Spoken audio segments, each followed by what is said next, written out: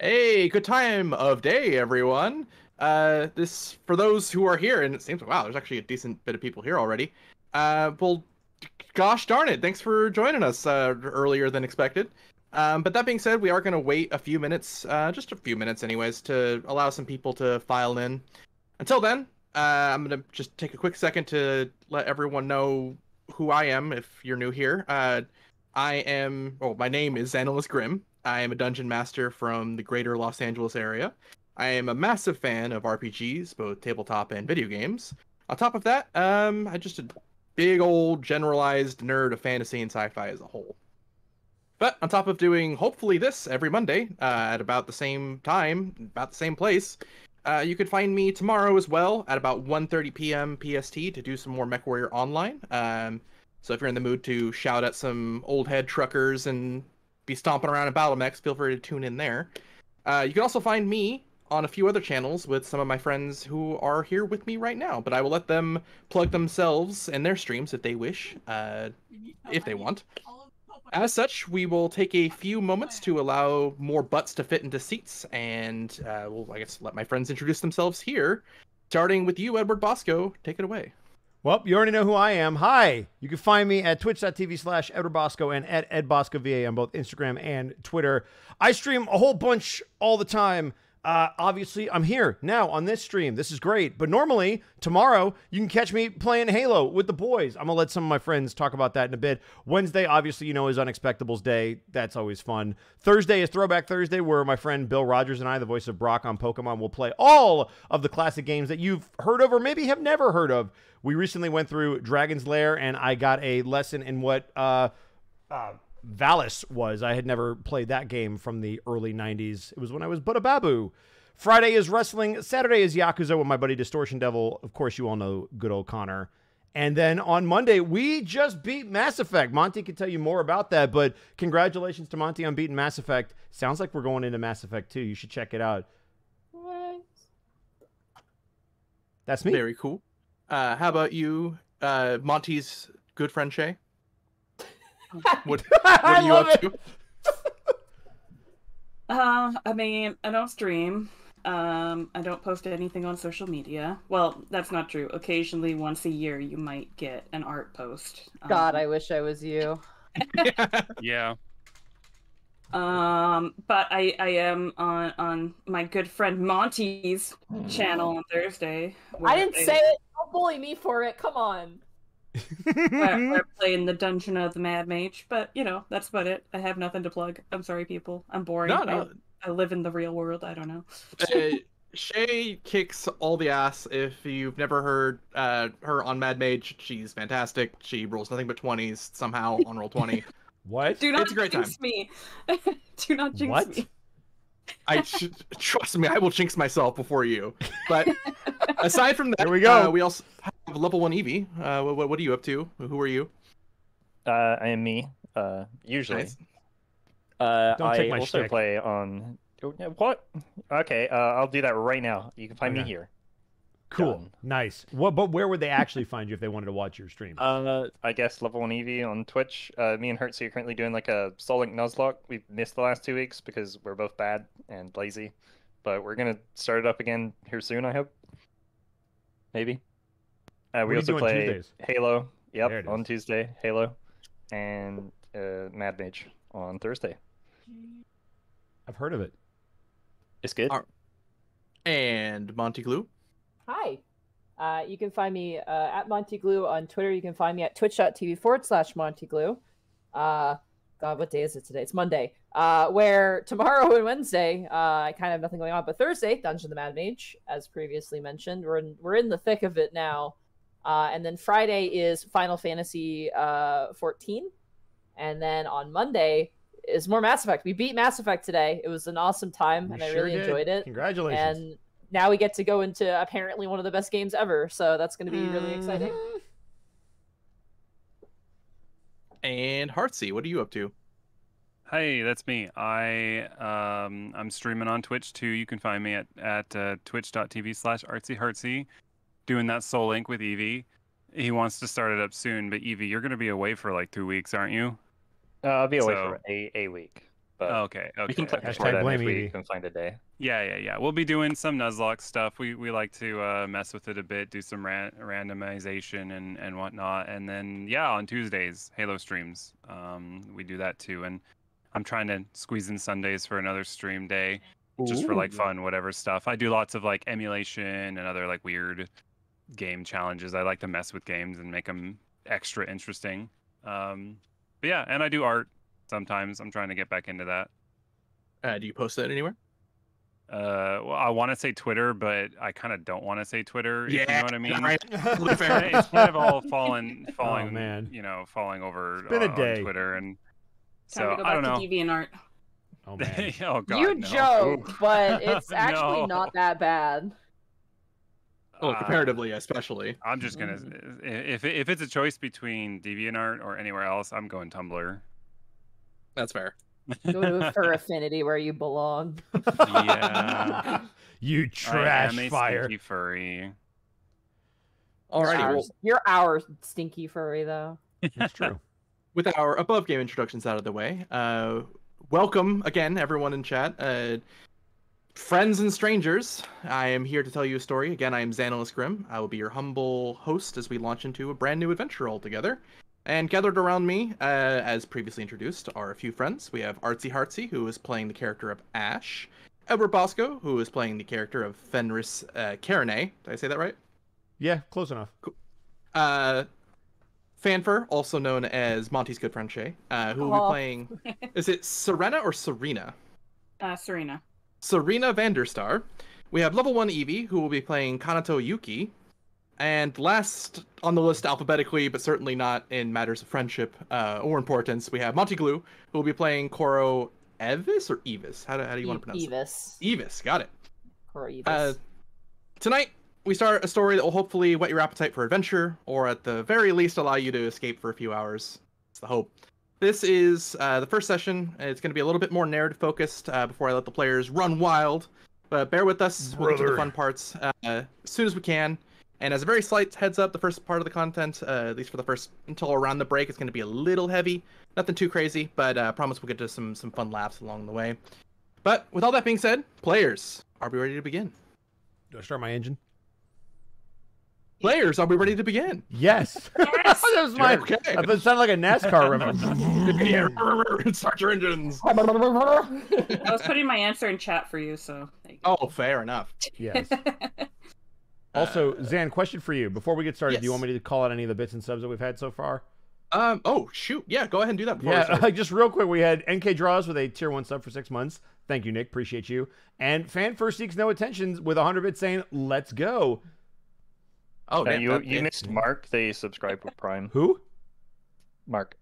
Which one? Mark? Mark. What? No, wrong At Mark. campaign, Eevee. Silly. Ugh. All right, anyway. All right, we're good to go. just Ignoring them. yeah. Let me get some music going. Let me know if it's a little loud. ah, Ooh. Beyond the confines of the mortal realms rests a demiplane that lives isolated and largely forgotten or ignored.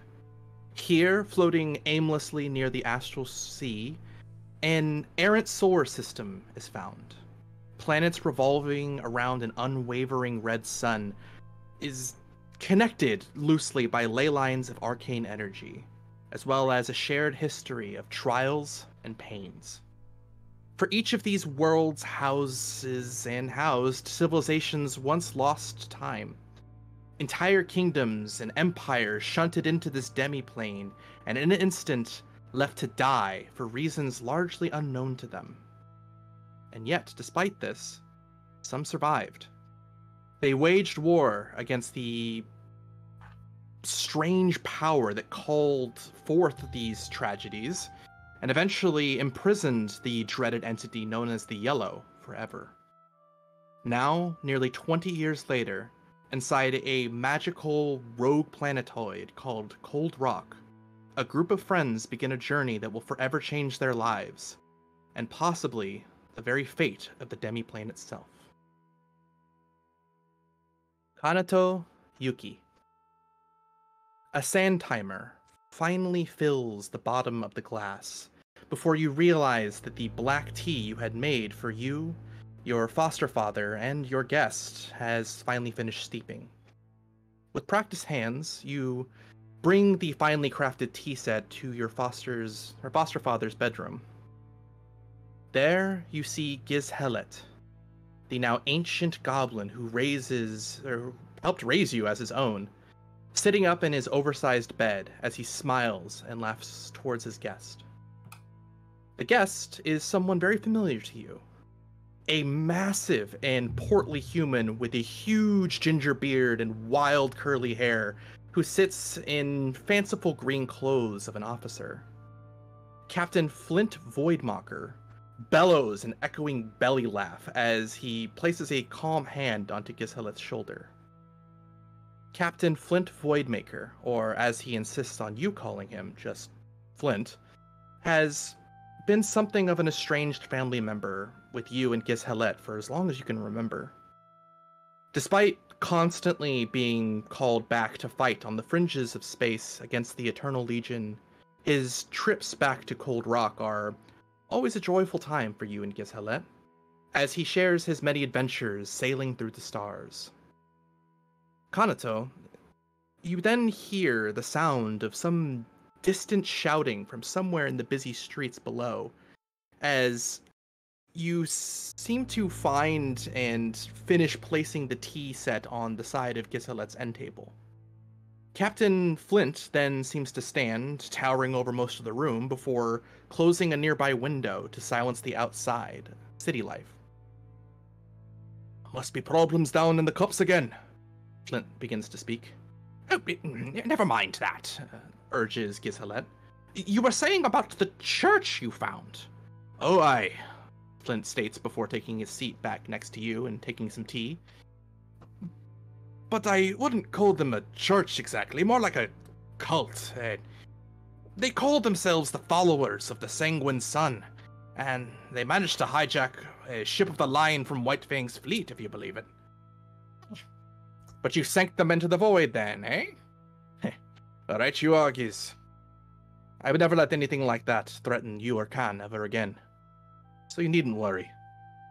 But Admiral Whitefang wouldn't let uh, some doom like that come to Cold Rock. Especially not uh, some upstart religious thugs who will burn themselves out in the better part of a month. Flint then seems to sip some tea before giving you, Kanato, a friendly wink. In all my years away from Cold Rock, you've never once asked me to return. I can't imagine you called me here just to learn of some pirates on the edge of space. Aye, you're astute, my boy. Gishelet says while a kind of giving a smile um, through mostly blindish eyes at the bed at the corner of his bed. Um, Kanato, he seems to give you a warm yet concealing smile that, with your passive perception, you can see is a bit less revealing than he would want. And somehow, this hits both you and Flint like a ton of bricks. As you also notice, Kanato, the captain's eyes begin to well with tears of concern. As you know, the great prophet of Istis told me long ago of which day I am to finally rest. I never told you both when that was, but. But I know that Flint seems to choke up slightly, trying and failing to hold back his emotions. I know that when I lay my head down tonight, that I will dream a sweet dream of my late beloved, and I will awaken near her again, wherever she is. But I will never awaken here again. Flint clasps onto Gishelet's hand, tears fully running down his face. Oh, don't say that! There's still time. I can get a cleric. We can. Gishelet seems to interrupt Flint with a simple hand gesture. I've lived nearly two lifetimes longer than any of my siblings. I am tired. My body's strength nearly diminished. No potion nor spell can cure old age. Gishelet looks towards you with another warmly sundering smile. You don't see an ounce of fear nor pain in his eyes as he looks towards you with a clarity, Kanato, that you have not seen him have in many years. Boys, my boys, I raised you both to accept the end, never to fear it. Just because my book is coming to a conclusion does not mean yours will anytime soon, and nor should it. Tears, snot, and sweat pour down the captain's face as he falls to his knees and hugs Gishelet while in his bed. Gishelet sheds a peaceful tear as he weakly embraces Flint and looks towards you, Kanato. The prophet told me that when I went, I would be surrounded by those I love the most in this world. If I could please ask you to retrieve them for me. I would much, very much like to see their faces again. A massive gasp of muffled cries erupts from Flint's face and into the shoulder of Gishelet. And besides, I think I need a few moments alone with him, Kanato. Kanato, in your mind, you make an immediate list in your head as to where to go and who to find first from the people he's requested, and are confident you can complete the task. Perhaps the last task he will ever ask of you. How do you respond? Well, um, so it's a lot. Sorry. Kanto would uh, definitely look quite saddened, um, but knowing Giz that they have definitely prepared for this and they, they know what they're doing, so I would I would definitely trust them. Okay. So we just kind of give them a warm smile and uh, I'll be like, I I can do this. I will Alright. return. You gather your things as you see Captain Flint uh, kind of sobbing into the shoulder of your foster father, and in a lot of ways his as well, um, before you head downstairs towards your uh, well, first person you need to find. And we will pause you there for a moment.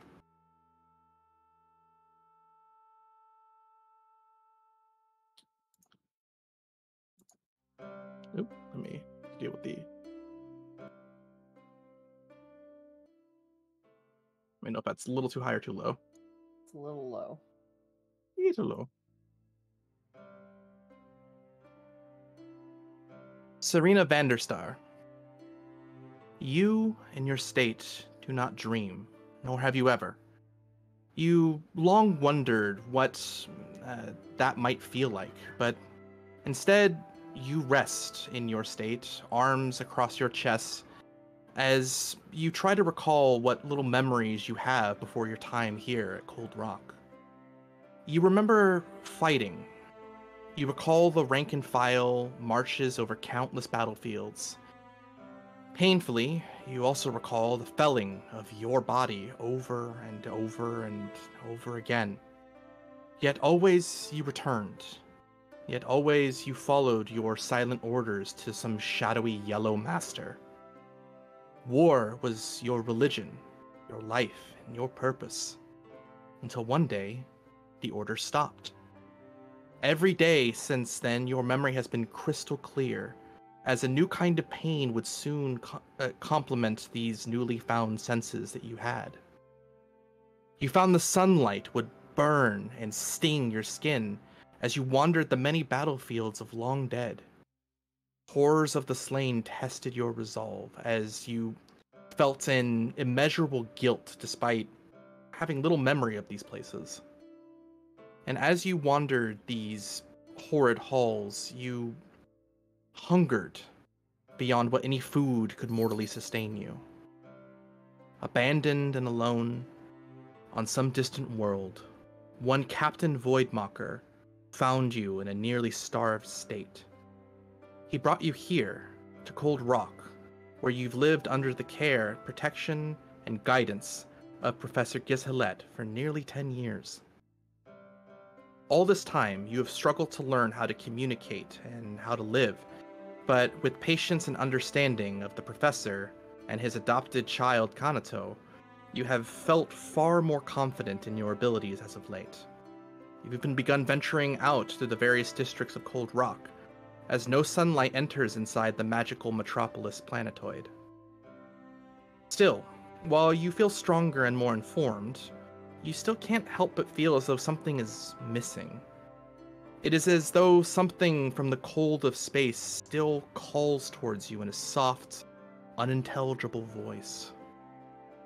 Suddenly, your thoughts are interrupted by a gentle knock that rattles the restful state, uh, rattles you from your restful state, as you hear the footsteps of Kanato.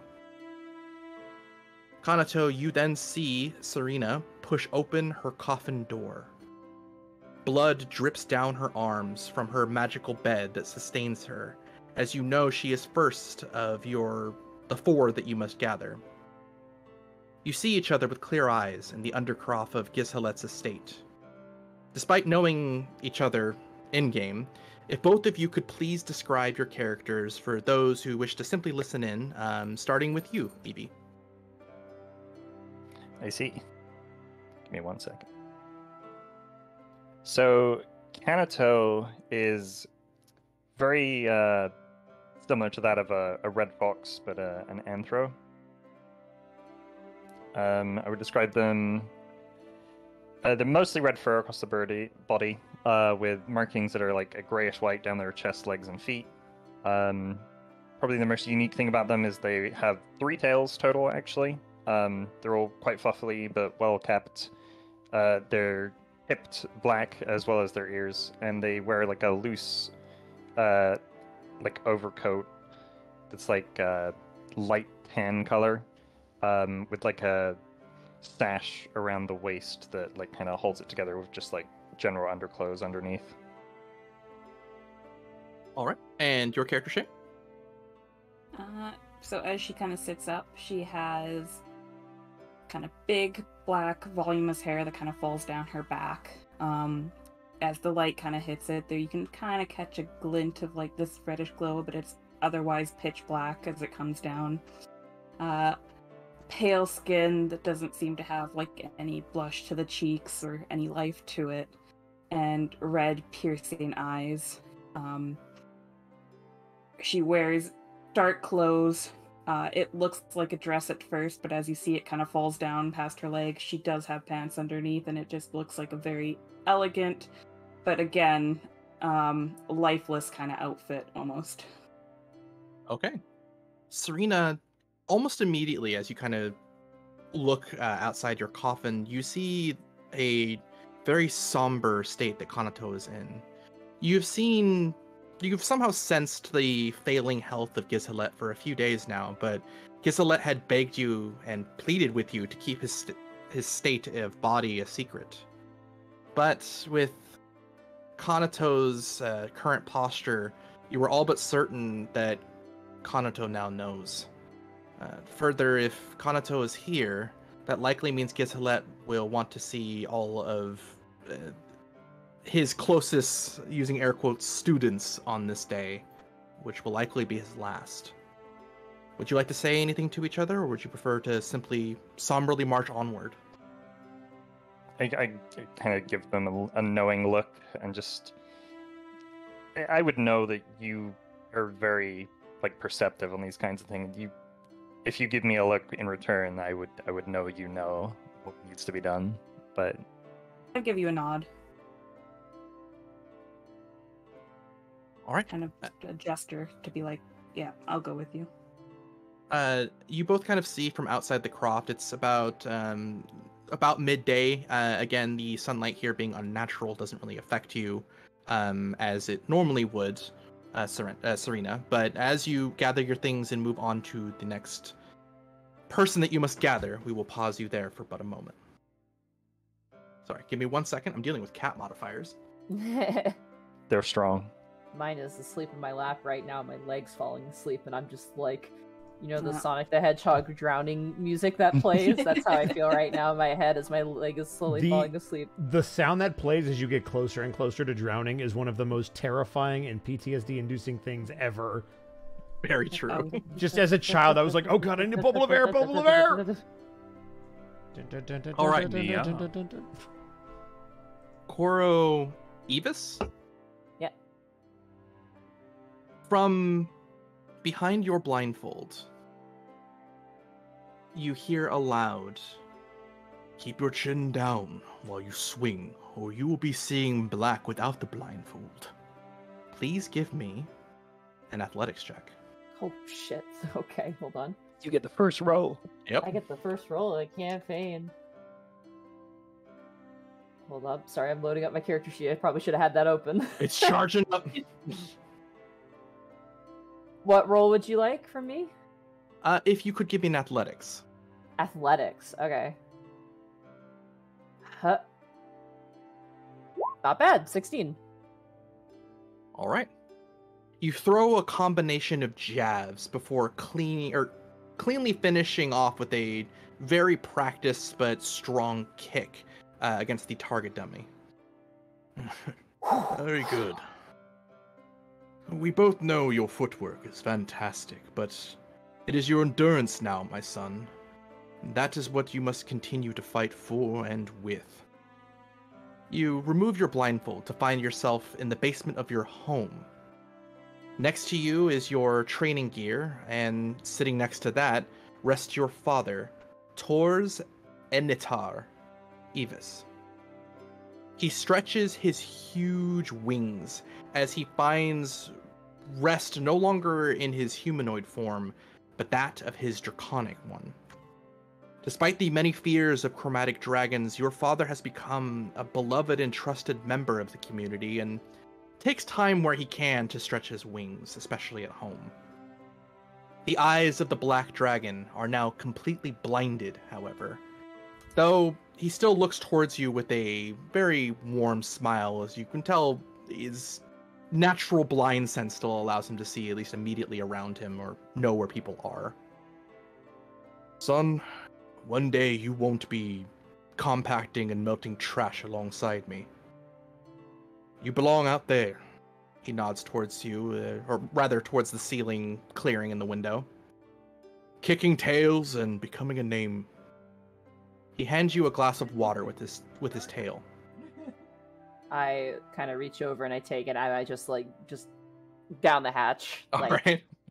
It seems to be cooling off on this very warm day. Just promise me, son, that when you do finally hit that knockout punch, your hand is raised and the bell is rung. Everyone begins to chant your name, that you still remember to come visit your mother and dear old father. Would you?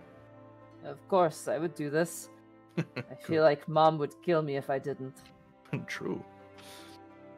With a then sudden and quick jab of his winged claw, you manage to block away a practice strike from your father, but are unable to avoid a jesting second swing that tassels your hair before your ah. father leaves a lets out a bellowing laugh.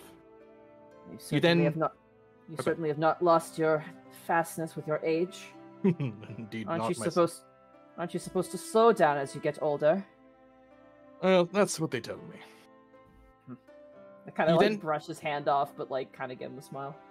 You then hear a clearing of the throat that seems to deafen the room. Coro Avis?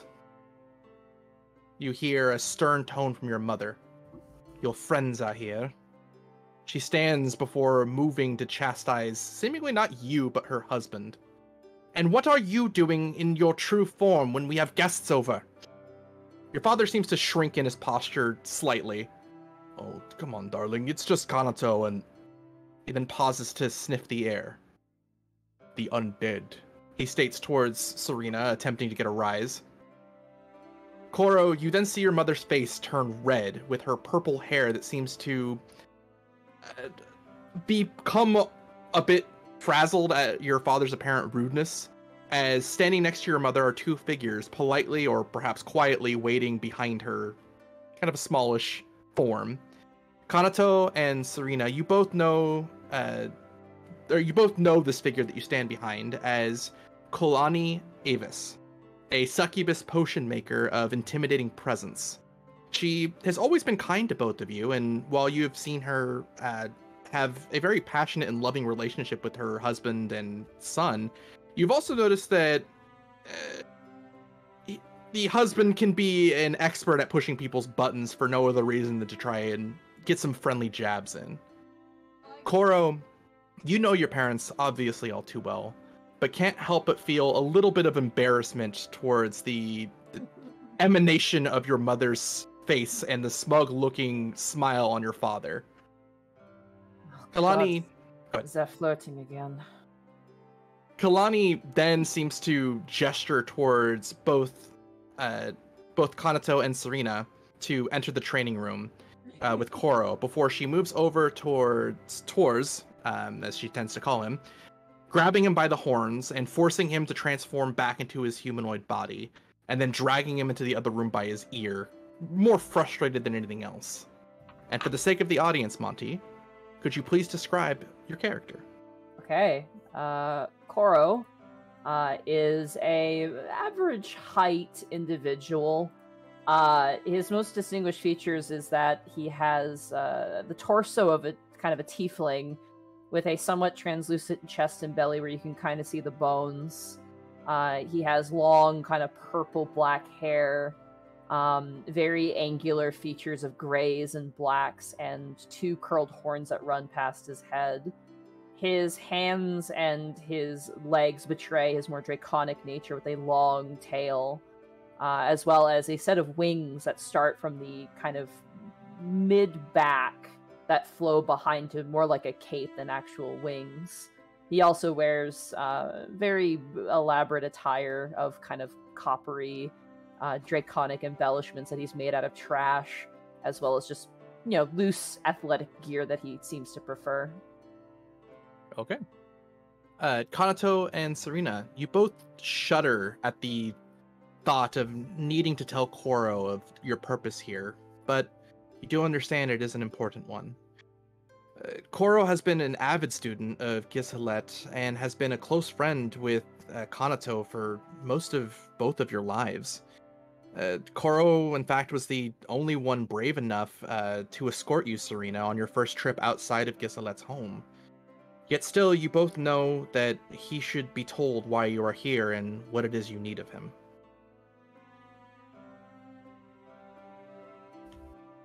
I'm gonna look to look to you uh, with my ears like pinned back, like.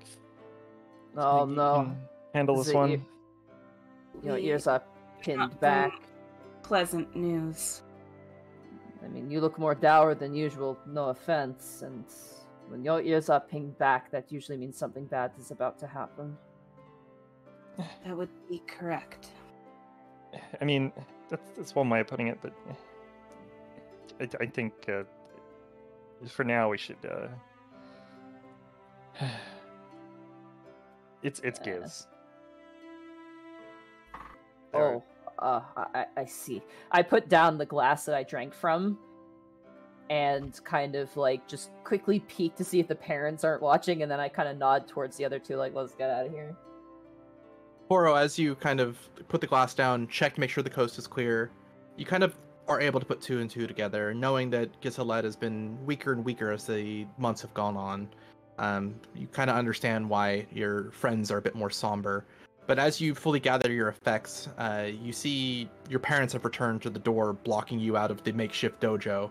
As you see, Koro, you see your mother uh, hand you a basket that is full of Gishelet's favorite incense and wine. As she looks towards you, tell Gishelet that we love him for us. Will you, Koro? Of course, Mama. With two gathered, and two still yet to remain, you head towards the Cups district to find the next person that Gishelet would wish to see. I will pause you there for a moment. Heartsy, you there? Yes. Ash, you lift Remington, your pet mouse, triumphantly in the air before placing him and the small bit of shiny string that you brought onto your lap. The small, shiny bit and bob seems to appease your eyes as you then put it into your jewelry box. Inside is the beginnings, of course, of your mighty draconic hoard. You aren't exactly sure why, but every small bit or bob that you find uh, here seems to fill you with satisfaction. You remember, or at least think you remember, that having massive piles of wealth in your honor was normal somehow, even if it is small right now in this tiny wooden box. You faintly also recall the joy of flying through the clouds and uh, perhaps one time even dive bombing through to stop a wedding to save a groom from his would be tragically unwanted arranged marriage. But every time you laugh at these thoughts and what feels like memories, you your mind then slowly fades back to recalling far more painful ones. Something of a difficult thing to fully place its origin. But in clarity, you do remember all of that seemed to change the day that you woke up in the void of space, alone and in the current form that you possess, trapped but somehow alive. You remember Admiral Whitefang saving you from the void, bringing you here towards Cold Rock. Here you were taught how to read, to write, and how to survive in Cold Rock by Professor Giselette. You remember the many pranks and shenanigans you and the professor's son would get into, and how annoyed Kanato's friends would get at some of your antics. But overall, your time here on Cold Rock has been a friendly one, and a pleasant one. Still yet, you look over your dwellings um, and do not see an opulent palace, but instead a dirty alleyway. You've had plenty of offers to stay in some place nicer, but for some reason you feel compelled to make cave-like nests in dark places or roost someplace high and outside in the cold. But above all that, you can never seem to not eat people out of house and home, a hunger that just seems never ending in comparison to your friends. And as such, you learn to not be a picky eater these days. But while you enjoy reconnecting uh, with your past, at least for what you remember it, you also do enjoy remembering your time with Kanato, Serena, Koro, and uh, what was his name? A twinge of hunger seems to warble through your stomach and interrupts your train of thought. You owe a lot, after all, to the people who helped acclimate you to Cold Rock, and you hope that one day uh, you can repay their kindness. But at the same time, you also hope to venture the stars and perhaps find your lost hoard. But for now, this tiny wooden box will have to do. Remington, your only loyal soldier, squeaks as you see three figures appear at the end of the alleyway. Some friends. Though they don't seem nearly as som they don't seem nearly as playful, but more somber um, at the at the current moment. For the audience, Artsy, would you mind describing your character? Sure. So, um, Ash is, appears to be a, uh, a dashing half elf with, um, but with uh, like sharp ridged horns protruding from their head and um, like a slender, scaly tail from their lower back. Um, they have gray skin that seems to have a subtle metallic sheen to it and um, very long, uh, bright blonde hair. Um, their eyes are a sharp yellow, um, seem to glow. Um, they have rept- reptilian eyes. Um, their clothes also are simple but seem to be somewhat elegant. Um, they wear like a, a simple sh- cold shoulder top, but notably have a um, a bright sky blue shoulder cape and these large leather boots with really thick high heels on them. Um, and and normally they carry themselves with uh, uh, an air of confidence, but um, upon seeing the three of you, can tell that maybe something's up. Uh, as such, Kanato, uh, Serena, and Koro, you see the strange self-made vagabond that is your somewhat mischievous friend, and know that unfortunately you will have to break some rather bad news. Would you like to do a scene, or would you prefer to have uh, explained along the way to your next destination? I don't mind. me. Go ahead.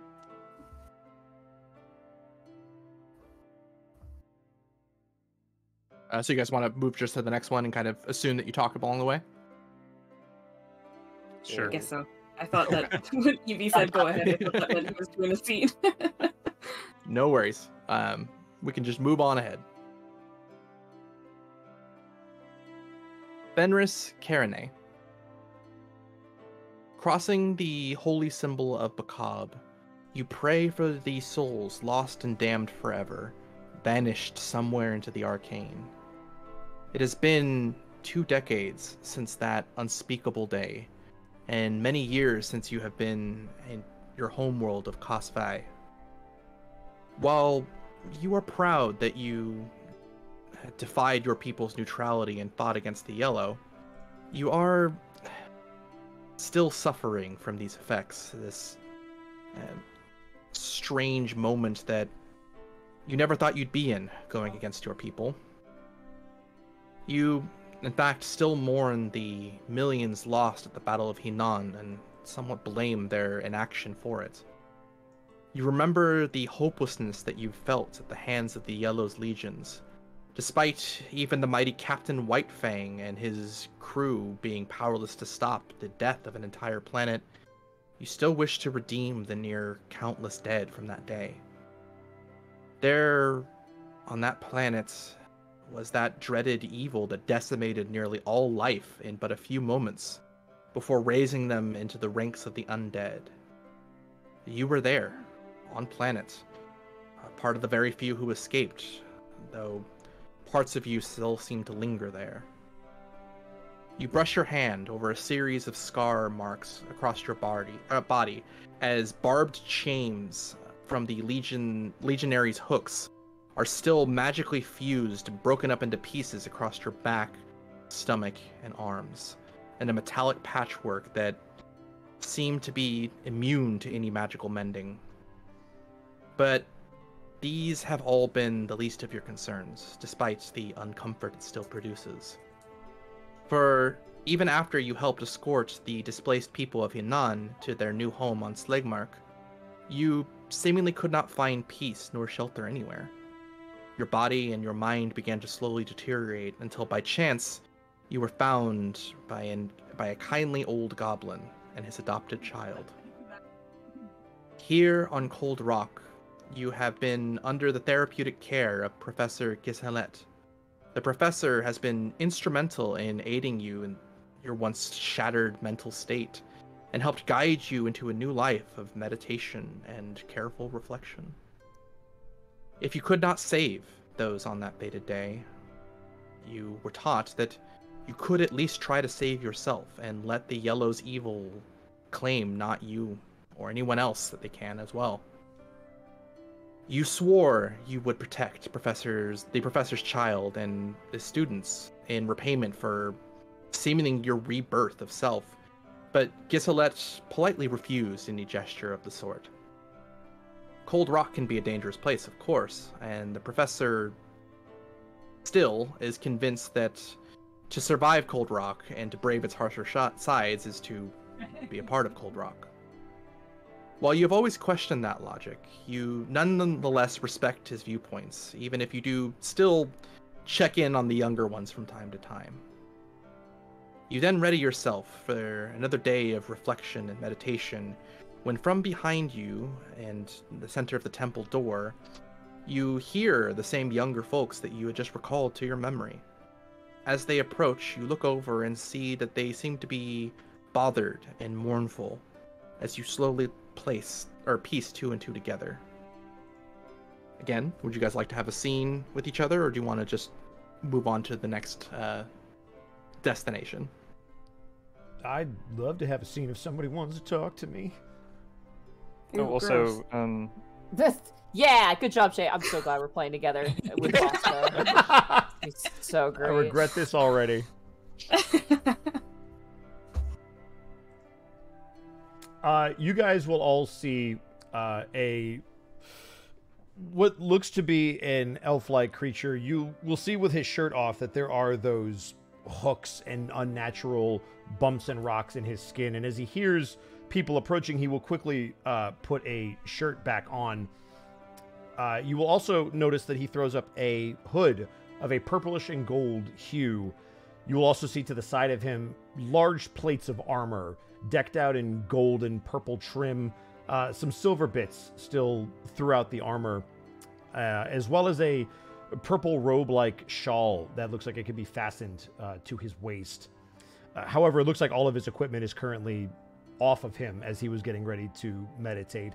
As you all approach, he opens his eyes and turns back to look towards all of you, and you all see the familiar look of those not quite hollow eyes, but the starry images within them, almost like little constellations within his uh, eyes where irises would normally be. And as soon as he notices your demeanors, you will watch what was at first a smile kind of start to fade from his face as he almost expects the news that is about to be given to him. We must Well- interrupt you. Yeah, it's eh, not great, but um, it eh, they they seem to have a plan. So if you if you can come with us to to visit Giz, maybe for the last time. You would eh, be- prob- Joining a um a cortege of sorts. You know, it's funny that no matter how many times he told me this day would come, I never thought it would actually come. All right, I will gather my things. Uh, you notice he very somberly starts to pick up his armor, but doesn't take the time to actually put it on. He just starts carrying it and will walk with you. Okay. I'll move you guys over to the map of Cold Rock real quick. Map!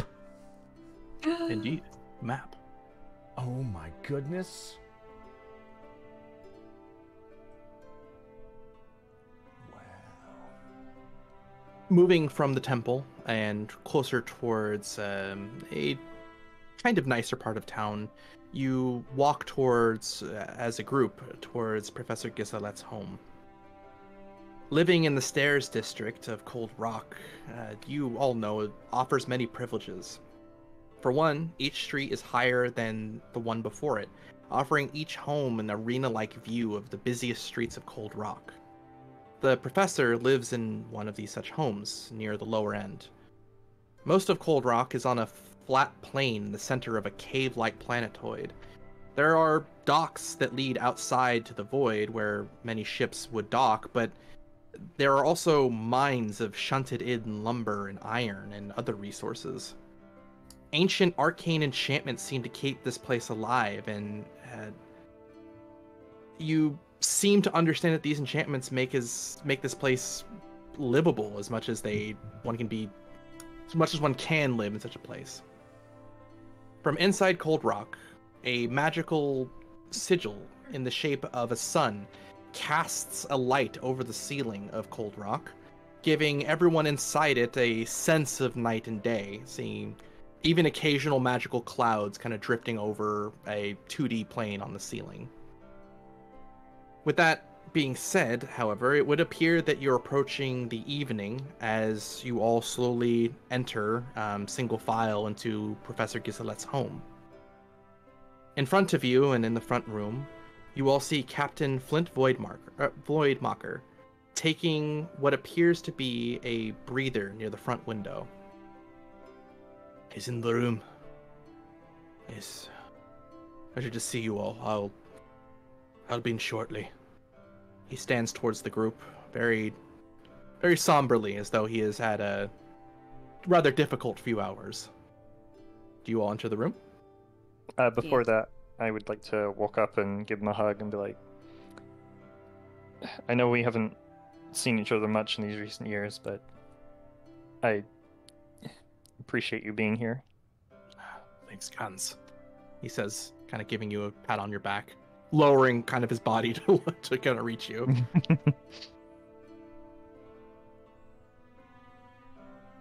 and then I'll head into the room. As you all slowly make your way into Professor Giselet's bedroom, you find him sitting upward at the edge of his, well, the head of his bed, uh, still covered mostly in his blankets. While he has always seemed vulnerable um, and venerable to all of you, he looks particularly time ravaged today. But you do hear aloud, uh, somewhat despite this, "Ah, Good, good, I'm so glad you've all come, Giselet says uh, with quite a gleeful tone to his voice. And around the bed, you see six chairs, um, each with a handkerchief on them and a fresh glass of water. Please, please have a seat. Oh, uh, um, my mother uh, wanted you to have this, Oh, and I will hand him the basket of incense and wine. I am so deeply honored. Thank you very much. Would you mind being a dear and lighting the incense for me? Absolutely, sir. And I will take it and begin to place it, and I will light it. lighting the incense, um, you get a strange sense of calm. You expected a well, Koro, you weren't sure what to expect to be honest in the situation, Could but anything with my mom, man. anything. but you find despite how heavy the situation might be, uh, the professor seems calm, almost serene even. His presence, you can't help but all feel, seems to calm you down as best it can given the situation. As all of you slowly find your seats. As you undoubtedly know by now, I am old. Uh, so old, in fact, that I do not believe I shall see another sunrise. But I call you here not to try to prevent my fate, nor to hope that you suffer from it, but instead, I wish to celebrate what few moments we have left and what small smiles I can give you uh, I have left to share. He then looks towards each of you with a smile. Specifically, his eyes lock towards Fenris. My dear friend, I am so proud that you have seemed to claim your life and reimagine it in whatever way you've seem fit. Not all survive the tragedies that you have. Even after such terrible events, you try to find strength. I know in your heart you wish to see some sort of justice for those who could not be saved, and that you seek to redeem yourself for feeling that you failed them somehow. Uh, while I have seen you make such great strides in your recovery, I must also promise you this, dear friend. He kind of grabs towards your hand, Fenris. The Fenris pain that you carry, the pain that you carry, it can never truly be erased. It can only be made into something new. He then takes his hand away from your hand and points towards the bottom of your seat. Beneath your chair, you will find a hammer. I ask that you try, if you can, to to build anything and everything that comes to your mind. Build others as much as you've torn yourself down and let others help you rise to higher heights of clarity and strength. He smiles towards you. Can you do this for me? Fenris will, as he says, building back as much as you've torn down, he will slowly take a look to each person around the circle, starting with Ash and then to Koro. A little bit of a narrower sight at Serena, and then finally kind of looking at Kanato.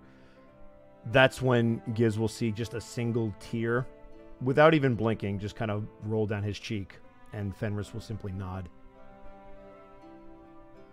Thank you, my friend. He then seems to look towards you, Ash, before pinching your hand softly. Oh, my silver hearted friend. I am ever so happy to have met you and to have known you. You are so youthful and creative and always so full of life. You hear a small squeak from your pet mouse Remington. And you as well, of course, he laughs before nodding. And while I know you yet struggle to find your power, I have no doubt in my mind that you will find what you seek. He then points towards Remington. But if your little friend has proven anything, it is that you are never powerless, so long as you surround yourself by those who care for you.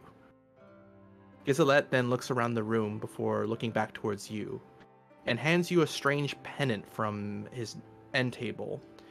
The pennant itself seems to be that of platinum, and it sports seven golden canaries around its edges. This, I hope, may help you find what you seek. Or if nothing else, uh, hopefully it will be a nice trophy for your hoard. He smiles towards you. Uh, Ash will will take it, um, and is is visibly trying not to cry, um, and will simply say thank you. He nods in acceptance. I give you this, of course, free of charge, but I still have one final request of you, dear friend. No matter where you decide to spread your wings, I ask that you keep those who care about you as close as you possibly can. You may have been found alone out there in the void of space, but I know, without being a prophet of Istis, that that will not be your fate again. Can you do this for me?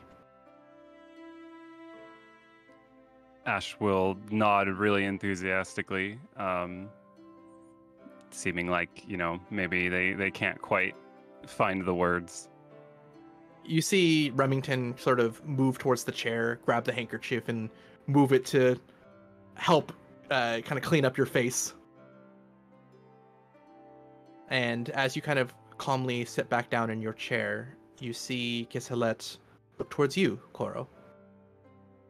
Koro has their fingers kind of pressed together and is kind of leaning forward and is looking a little forlorn, not making full eye contact. My dear Koro. you are so strong. Even at such a young age, you. It makes me so happy to see you and your family strongly thriving here in Cold Rock. And I foresee many adventures and triumphs in your life. You have such a loving family, but I know that they are not the only ones who believe in you. On Cold Rock or even beyond, there are so many things to fight for, so many causes to find, so many reasons to find passion in the struggles of others. I see such a desire to find that strength in yourself and to conquer problems that you cannot even know of yet. And above all that, I am I am so proud to have been a small part in your life and hope that you never lose that spirit that tells you to never stay down. He then points towards a spot beneath your chair. I'll slowly kind of trepidatiously reach underneath and grab whatever it is.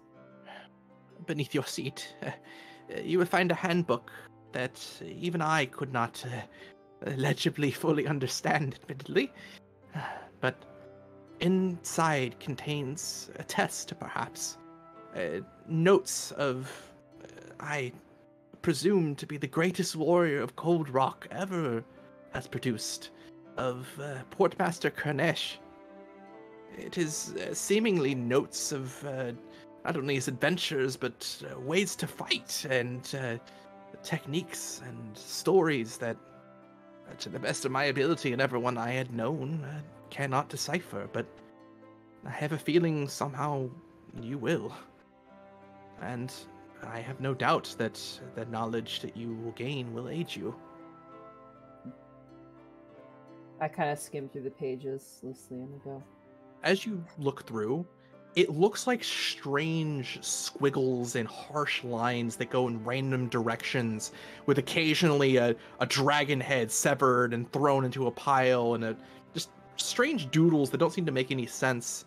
You can you know Portmaster Kernesh is a very very old orc, um, but none of the writing seems to be in any orcish or language that you would identify written on Cold Rock. I kind of, you know, cutting through the sadness, there's a little bit of a curt smile on Koro's face. He goes, Leave it to you to give me homework. yes. And I am certain that this is this test will be worth your time, no matter how long it takes you to defeat it. But my final request to you is not to turn in this uh, homework, but to never give up that side of you tells you to keep going. Rest, recoup, reevaluate, and be vulnerable when you need to, of course, but don't let anyone ever tell you that you're down for the count, as you always have. Your friends, family, and you yourself will need that strength from you in the time to come, I'm certain of it. And I'm sure that you will rise to the challenge that life has ahead of you, even if it does take a few tries to get there. I will do you proud. You already have. He then looks towards you, Serena. Oh, dearest Serena, the name Vanderstar that you share, the end, has one of heavy history. Many will never look at your likeness kindly, I will admit, even here on Cold Rock. Those who know the history of your name and who you are, or what you are, rather, may judge you harshly. Others will attempt to define you on what they feel you are alone. In the short time, admittedly, I have known you, you've already made so much progress towards bettering yourself.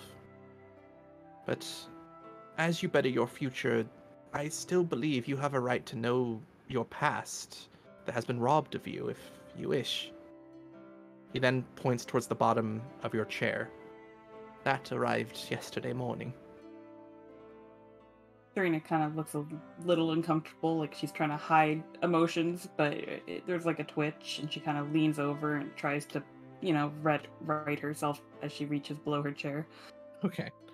Yeah. Uh, as you reach below your chair, you pick up a black leather bag. It seems to be a little bit larger than your palm, and on the front of it, it is engraved in a strange metal you can't quite identify. Seems to be the symbol of a crowned falcon.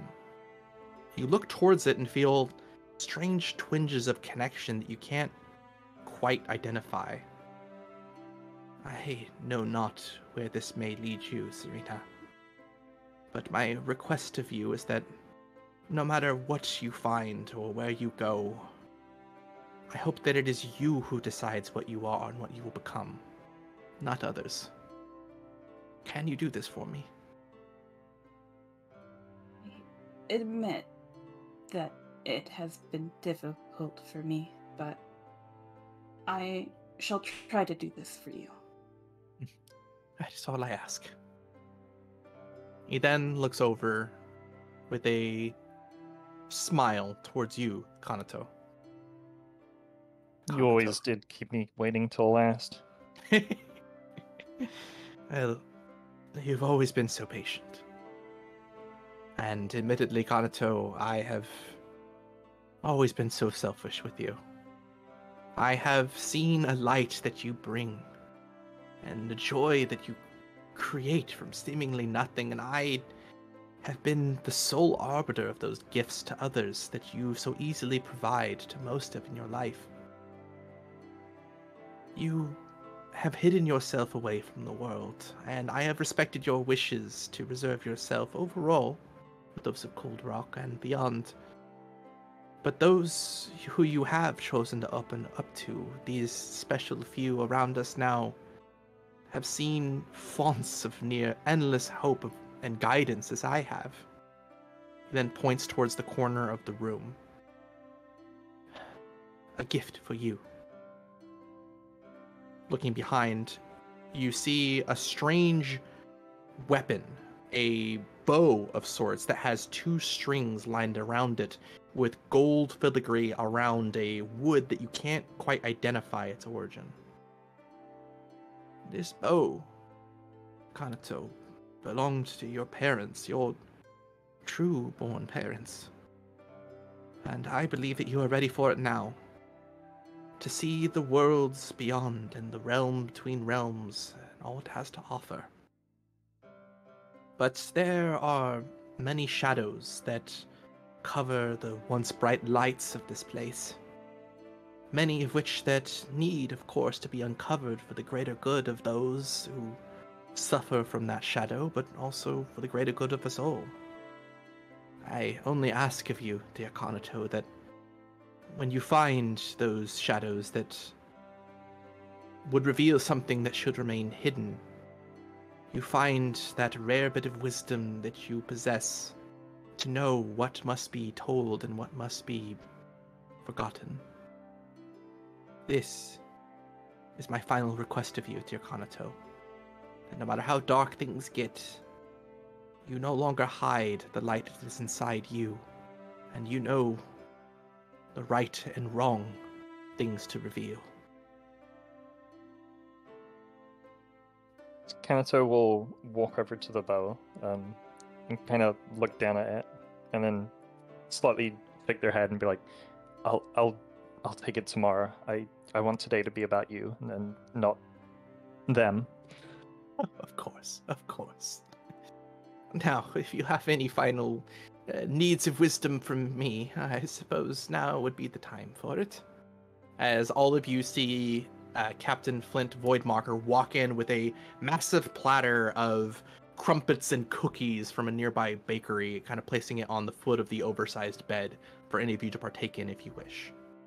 Any of you like to have a scene with each other or with uh? Uh, I'm gonna. Oh, go ahead. All right. Um, I was gonna just kind of go over and just uh, grab like three and immediately like hand them over to. Uh... Oh goodness. Names. I should learn them. That's why you got to write them down in your notes. Kanato, Serena, It's Ash. Koro, Ash, I was gonna hand, uh, hand, hand three immediately over to Ash. Oh yeah, because Ash is probably hungry. Two, two for you, one for uh, your your little friend there. Ash will, see will eyeing take them and um, and give a whole cookie to Remington. uh, Remington will respectfully but gleefully begin to chow down on the, the small treat. I'm not feeling particularly hungry, but I know you're. Yeah, I There's don't know a what time and a call it, place. but uh, uh, I'm just gonna sit down. I need I need a moment. I uncork the wine and begin to pour some glasses. As you do, you notice the delight on Gizhelet's face as he smells the slowly decanted wine, uh, something of a specialty that your wa- that your mother seems to find no one else on Cold Rock seems to be able to produce. Um, as you kind of pour it, you see even Captain Flint Voidmocker, a now seemingly legend amongst uh, Cold Rock's inhabitants, seems to also cheer up at the fact that you found wine where no one else could. It's not too frequent that my mother would bring out things like this, but I don't think it would go to waste. And I hand uh, a cup of wine to Flint, and I, I offer a very generously filled cup of wine to uh, my old teacher. Isolet takes it with, with glee and begins to slowly sip at it, seemingly sitting back uh, in his bed and just smiling and appreciating everyone in the room. Anyone else want some poison? I kind of jostle the bottle a little bit, just trying to add, you know, just a little bit of levity to probably the rather dour sort of, you know, quiet scene. It would Mm. seem that the, the spread of treats and the arrival of Flint seems to have lifted people's spirits at least a little bit. I Uh, meekly ask for for one. Bosco, you said you wanted to do something?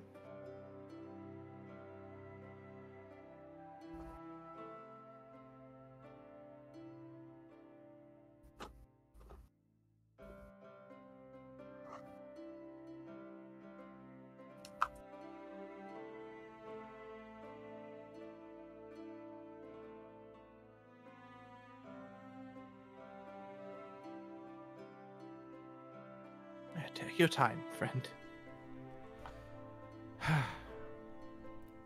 There was a time where I asked if if you needed me to watch over them, and you said no. And now you tell us to smile in the face of overwhelming sorrow, and I see those that can, I see those that struggle to, but how am I supposed to smile right now? I don't ask that you uh, fake your emotions. I never have. In truth, you're not a very good liar. But all I ask is that you try to look at things a little differently. For I have one final gift from Cold Rock laid at my feet. I know of which the way I must go and win and I choose to be surrounded by those I love most that I still have. And I understand that that still might mean that things are difficult for you, but at the very least, see that I know of no better way to go.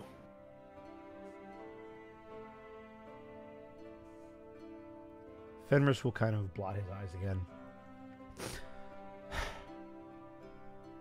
Wise beyond your years. Still, Uh, many years they are, friend. yes. You will forgive me if I, at some point in the near future, break this promise of constantly smiling, but for today, while you are here, I will do my damnedest. I know that my students, yourself included, are in good hands, not only in Cold Rock, but under your protection and watchful gaze. As I know that you still look after them, even though I did not want you to. I am certain that they can come to you for guidance and, if need, protection. Then I suppose I should drink. yes, a drink. Cheers, old friend.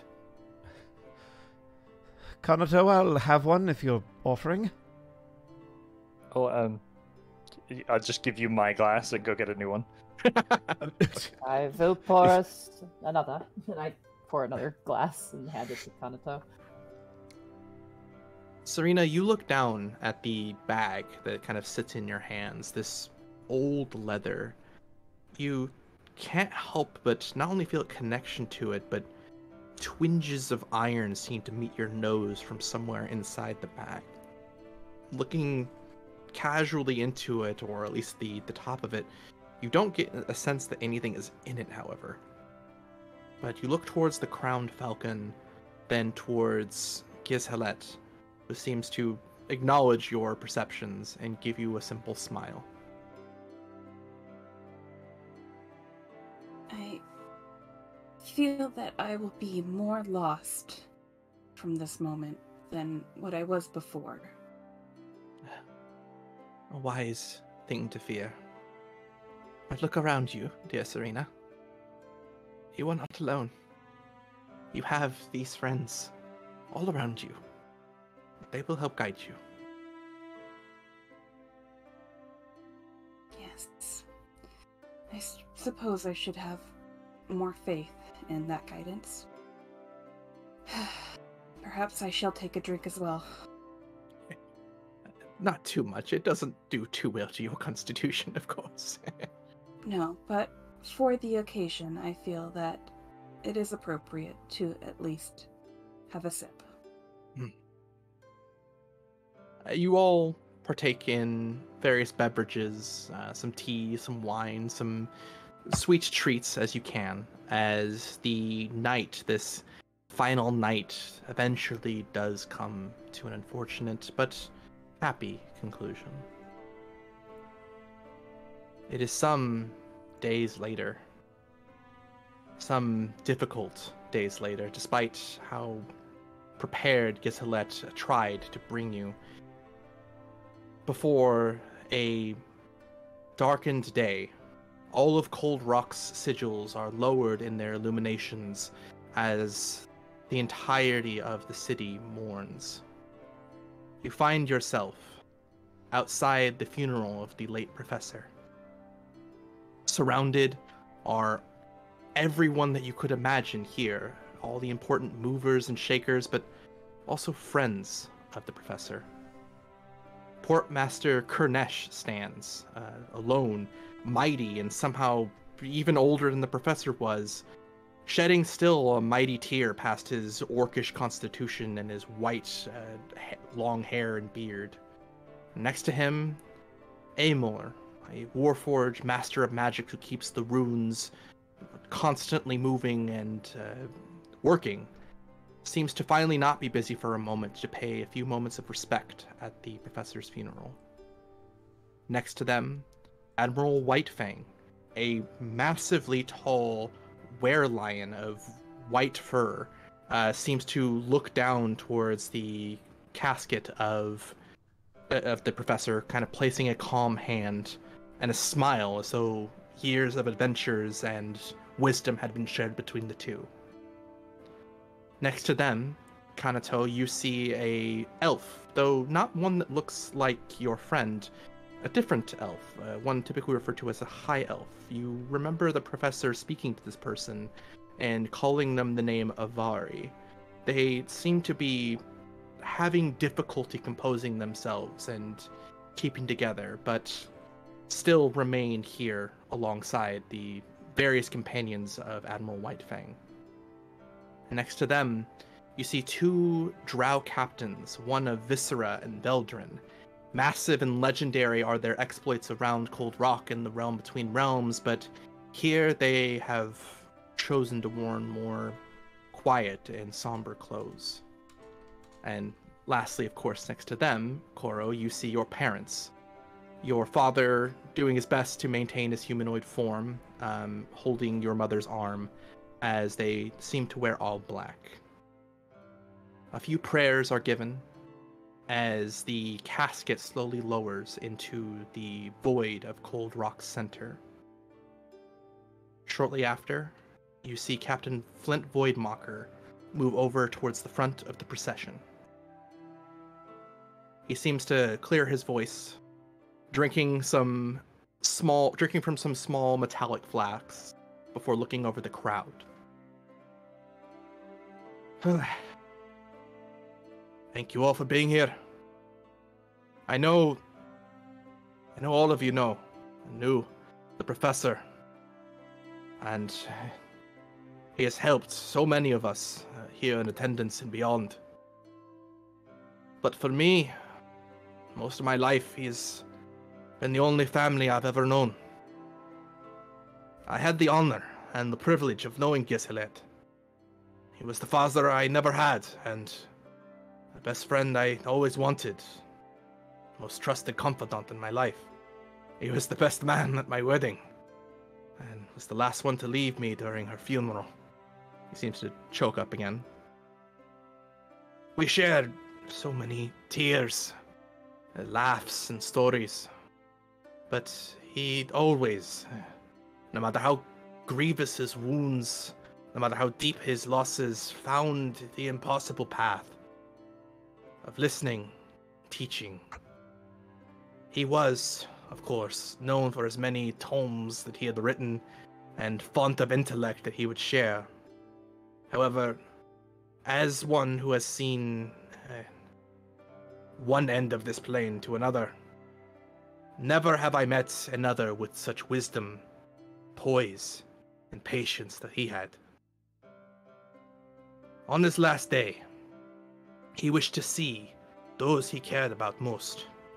And on his last day, he gave his final words as guidance and hope. For Gizalet was a lot of things, but one of the things he was most proud of was being a historian of Cold Rock. I grew up learning everything there was to know about this place, and we all call it home, but he knew this place in and out. This floating debris of a world that was founded by lost souls that were shunted by the Yellow and left to die. Their descendants thwarted over a hundred invasions of this place, and to this day, not a single force has ever taken over the stalwart souls who defend Cold Rock. His last words in this world were simply that, whispered into my ear. Stalwart souls. A promise and a plea. That is what inspired him in life. And that, dearest friends, he then looks towards you, Kanato, for a moment, and family, is something that we must keep close to him in his honor. But as much as we must mourn, please, for the sake of his last words, let us remain as vigilant, as vibrant, and as lively as we've ever been. No matter what you find out there, no matter what challenges you face, remember you are all of Cold Rock, and you are all his stalwart souls.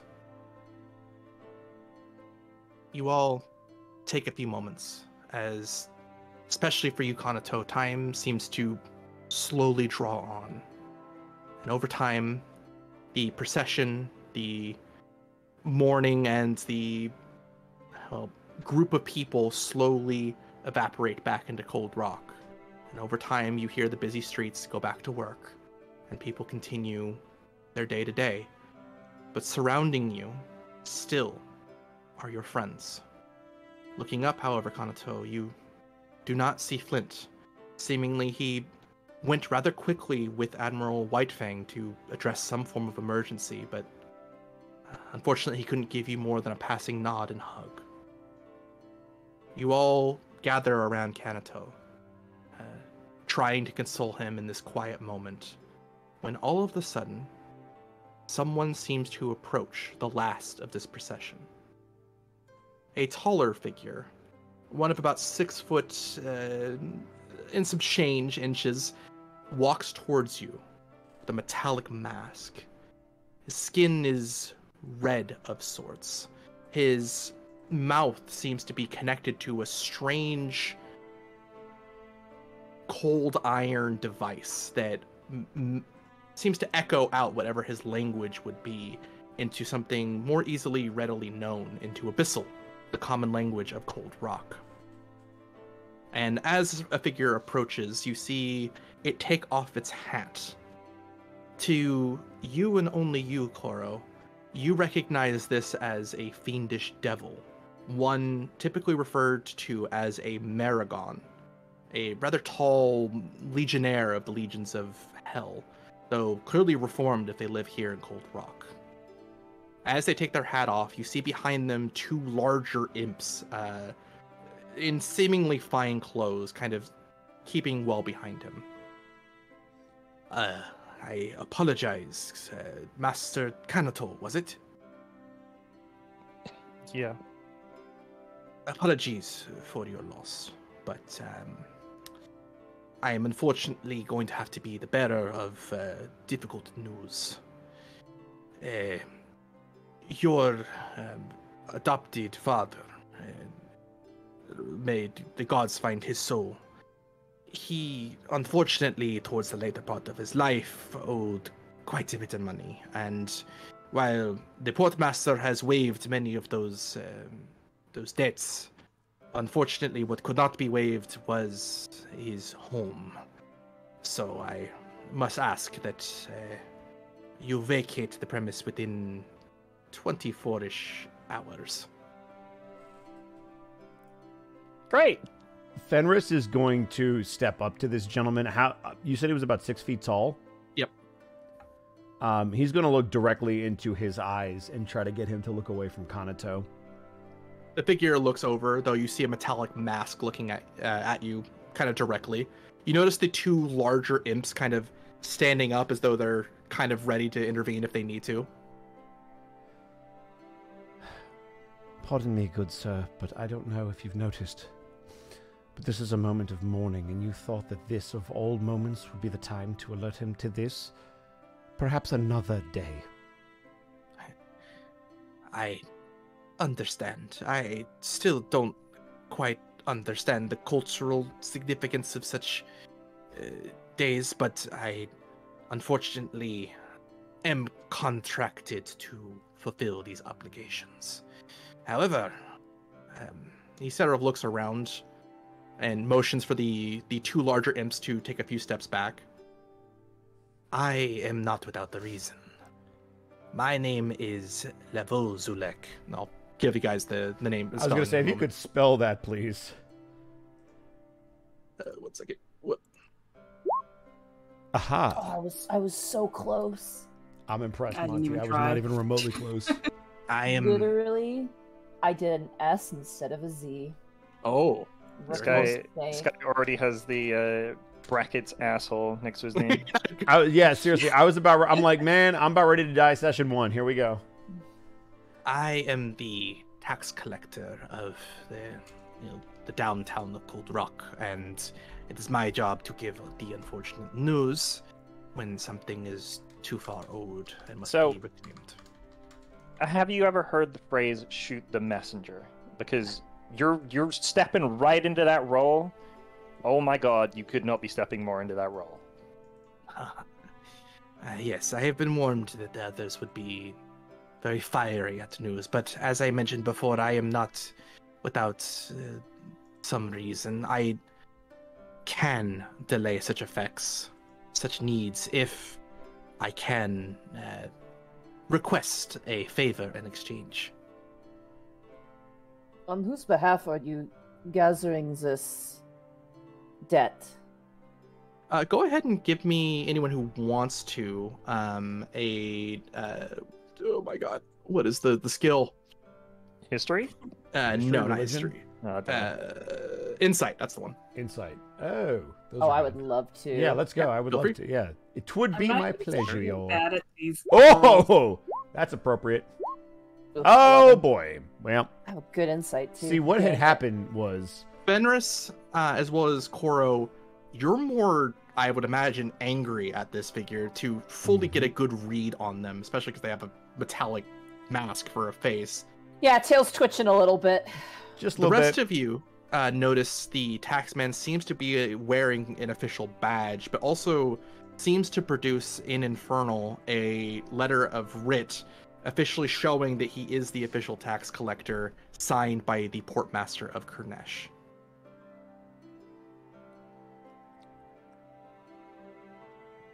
He does seem to be official.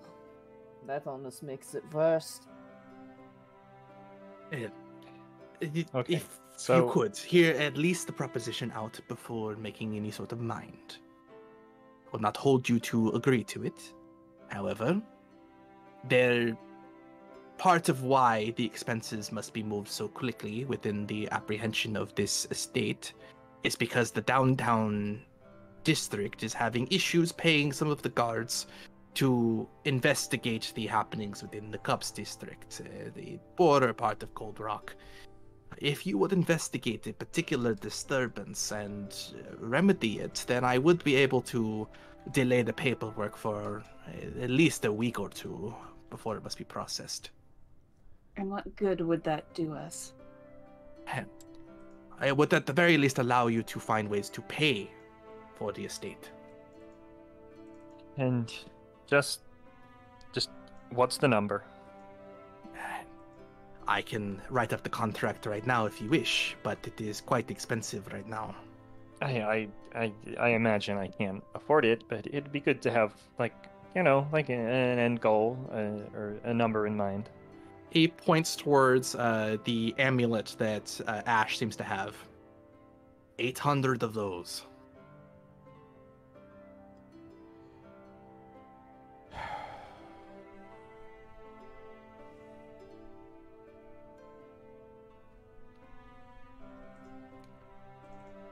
That was a platinum pendant that he had, right? Yes.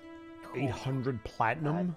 Like 8,000 gold, probably more for the house. I mean, it's a house. It is a house. And the stairs is a nicer district within. And Xan is Xan is from LA, so his understanding of house pricing is higher. It's and very- thus, definitely you know, inflated. Sorry, I bring. I want to bring No, some you're okay, you're okay. 'cause You're not wrong just though. died, You're not wrong at all. Yeah, I love, I love Xan. It's gonna be a heavy. It's gonna be a heavy first session. Like, uh, your father dies. Hi, I'm the debt collector here to take your fucking father's shit. Man, Eevee gets no breaks on this. no stream. breaks for Eevee. Oh my lord. Dude, this, Uh, I wrote in my notes that Kanado needs to move. Yeah. Well, I- also, Serena, that also means you. You live under the the the basement of the estate. Oh my god. Oh, no, all now I gotta move. I was gonna say, Man, uh, did you forget where you lived? rules, Dude. Uh, I have a question for you, Xan. It was investigated disturbance in where? The Cups district. The Cups district. Okay, got it. Okay. It's just Oh. above. Oh, it's above us. Yeah. Uh, it's it's directly to the north. It's all the way to the north. Uh, you guys are in the banner hands currently. Hmm, okay. I, I'm gonna turn towards Koro and be like, or not Koro, I'm Koro. Oh my god. I was like, brain. wait, what? You're to yourself? Kanado, Kanado, Kanado. yeah.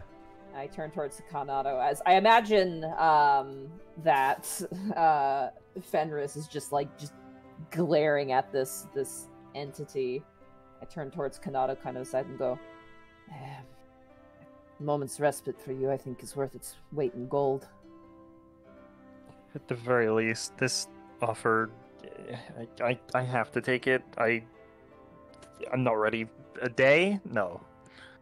That is Eh. not enough time. Plus, who knows? Maybe it will be a welcome distraction. Yeah, it would be nice. You see, I- Press a hand on Kanado's shoulder and I go, "Hey, I'm here if you ever need me. Okay." Uh, maybe more now than before. you see, Levusalek looks somewhat confused, uh, kind of then looking towards you, Kanato, through the metal mask. It, the the need to investigate the Cups district is only needed to be done by you. I do not know why these others would concern themselves with this issue. Oh, you're just, you're just, you're just like. No, someone else talk to him. Cousin, I say to this gentleman, Okay. care and considerations are habits you may wish to pick up while you are here. I see. I am still new from Avernus. Apologies, but uh, I have a contract I can produce if needed. If you agree to this, I can at the very least delay it uh, a week. Anyone may or- attempt or to. two, or two. Uh, Any of you may give me a social roll to try and increase it if you. I. I would like to roll a persuasion if you do not mind. sure, can I absolutely. assist? Because he definitely said or two. Yeah, Uh, yeah, I'm down with that. It's So fine. is this with ad- are to we doing with advantage then? Uh, we'll do with advantage. Yeah. All right, cool. Uh, that's a 14. Is there anything you'd like to say to assist me? Oh yeah, I just I, I distinctly remember uh, an or two. Yep. mhm. Mm-hmm. Okay, cool. So then that's a 14. And Fenris will say, At the very least, we will need some time to think over your offer. So if there's anything you can do in the interim to allow us that time, we would appreciate it. I am afraid the time is delicate, but if you do manage to handle this before the evening sun, I can work what uh, numbers I can to give you at the very least two weeks. Then But it must be on- done by this evening. Then I will not speak for my compatriots, but I will investigate it myself if I have to. You have my word. Is that good enough? Uh, So long as it gets done. Count me in. This involves me too. I shall join as well. Fenris will Me kinda as look well. over his. Yep, there. Okay, there it is. You also, all of you know Ash knows the Cups district probably better than anyone. then, if we have nothing here, I believe that concludes our business. not quite uh, the contract. Uh, you see him kind of magically move his hands as a scroll produces a inkwell of blood, writing down pretty much the exact details of the contract, uh, and then moving it over magically in front of Kanato. Can I like look And- over the shoulder? Is this like a, a demon devil contract or is this like a official? This is definitely a devil contract. Okay, Am that's I- not really that's not really the play in in Cold Rock anymore, is it? Would I know that from my mom? Um, you know that it's not it's not uncommon. Most of the devils within Cold Rock do tend to handle the logistics as they are more lawful creatures in Fair comparison to demons being more chaotic. Um, that being said, uh, there aren't orcs tend to be the largest population here within Cold Rock, and most of the ones that live here aren't particularly good at clerical things, so they just make the devils do it. No, And- fair enough. So it it's always your character especially would know your mother being who your mother is a the moment a contract is signed they are bound to it even if it serves against them but always read the fine print Yeah, I'm gonna look towards this guy and go, cousin, we're gonna need details on what this job is before we even consider finding this.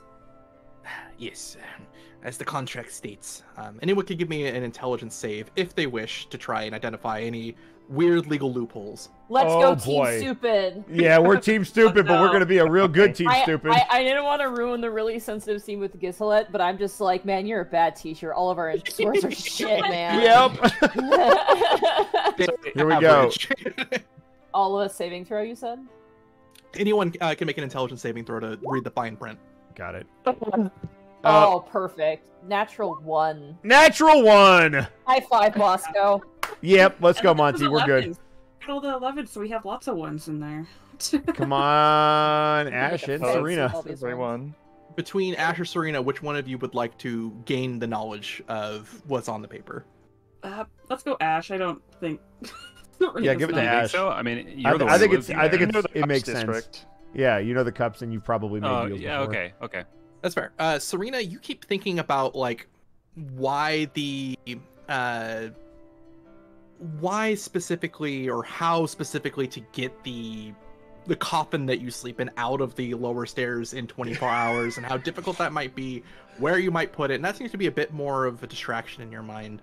But for you, Ash, you did recall this morning hearing a massive explosion in the Cups district that caused a bit of a riot. Uh, there have been a few disturbances from the top end uh, or the northern part of the Cups district the last few days, but nothing immediately called your attention.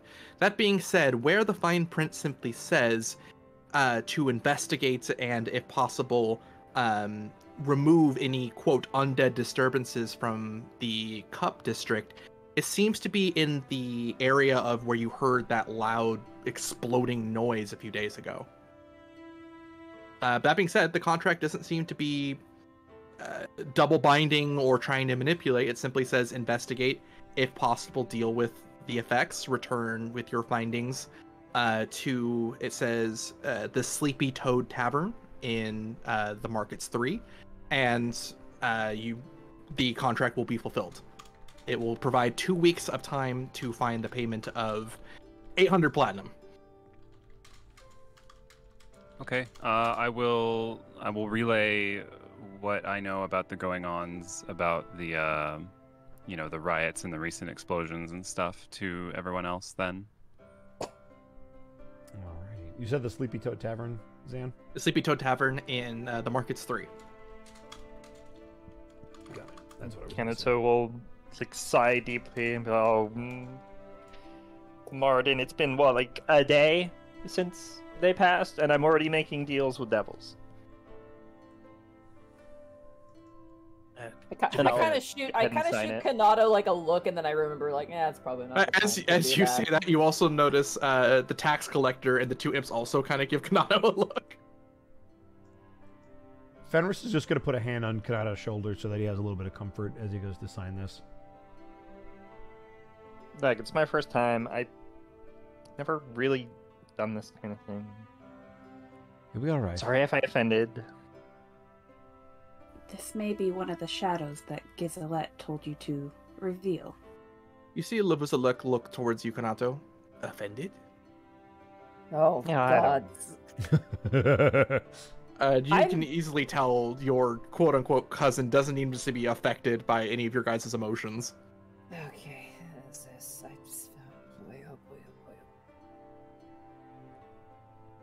I have You- um a word with you, Master Lavuzulette?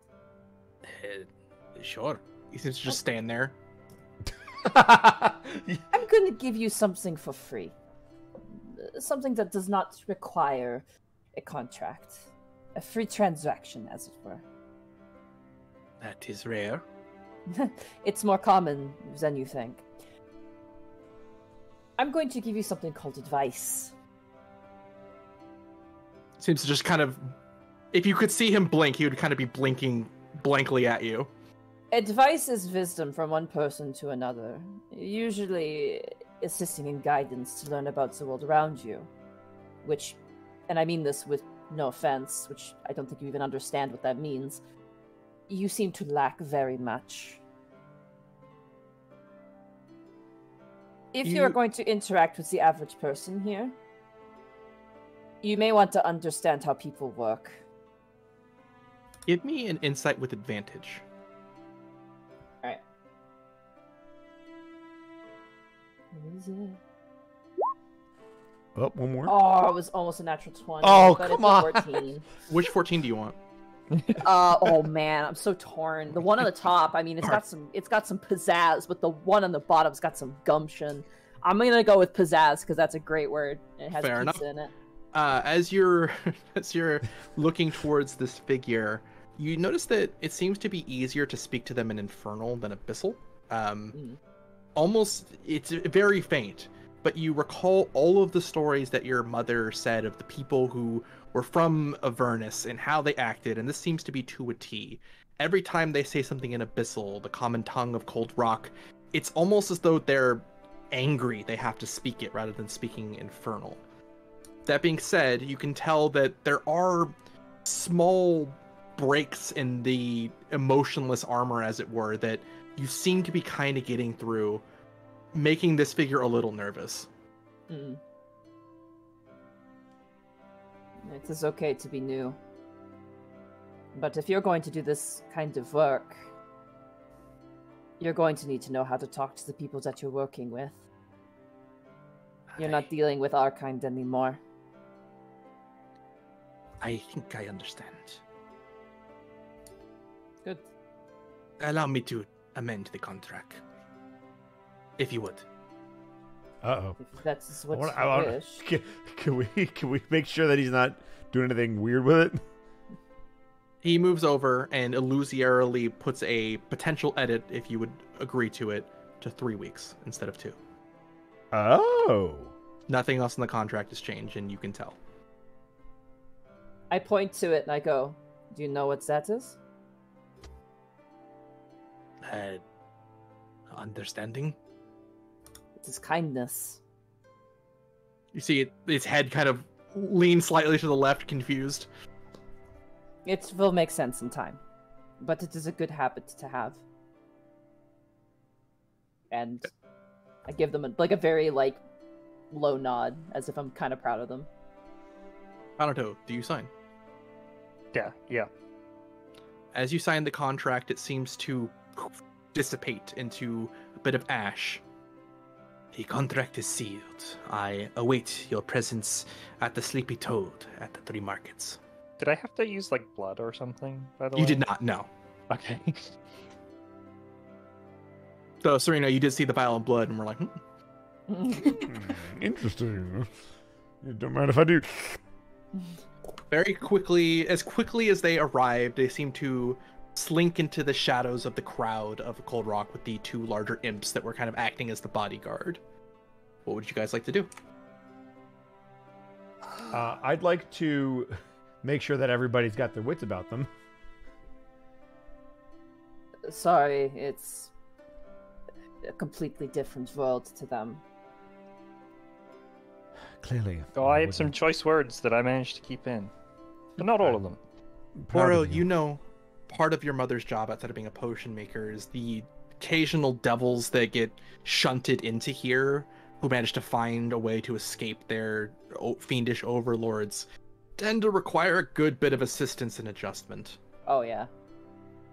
I I turn to Kanado and go, "Hey, on our way to the markets three, I could teach you some infernal insults."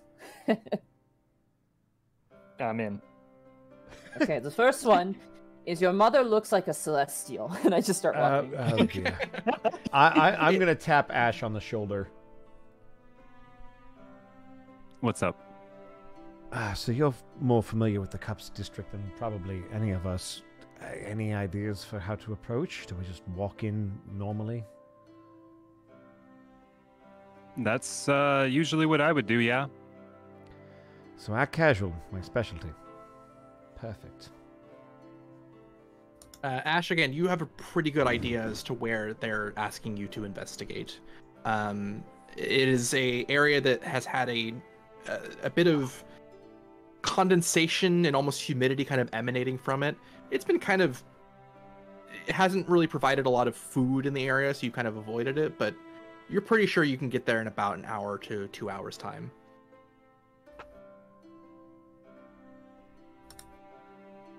Okay, so we're currently headed somewhere else first, though, right?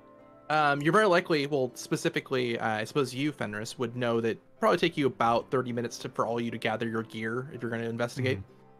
Mhm. So, do you all want to do that? I yeah, I think that makes the most sense because we're gonna want our stuff just in case something bad happens. if there was an explosion, I think we'd be Yeah, if, if stuff is blowing up, we're gonna Mhm. want our gear. All right. Um, as you kind of all motion to walk together, kind of keeping a comforting hand and eye on Kanato, you finally leave the uh, the wake of Professor Gizhalet to go gather your gear and investigate the Cups district.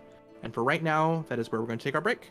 Oh. Hey, I was so I was looking through my character sheet and I was like, "Where is my sport ball? I have a sport ball. Where is it?" And then I found it. and I was like, "Yes, I Sport am. I am ready. I'm prepared." Wow, this the, the the tone right out of the gate was like, "Holy crap!" Yep, I tried to warn you. Believe it. You did. You I'm did. all about that. Immediately, managed- Xan. Yeah. Immediately. instantly. welcome to welcome to this world. That's nothing new.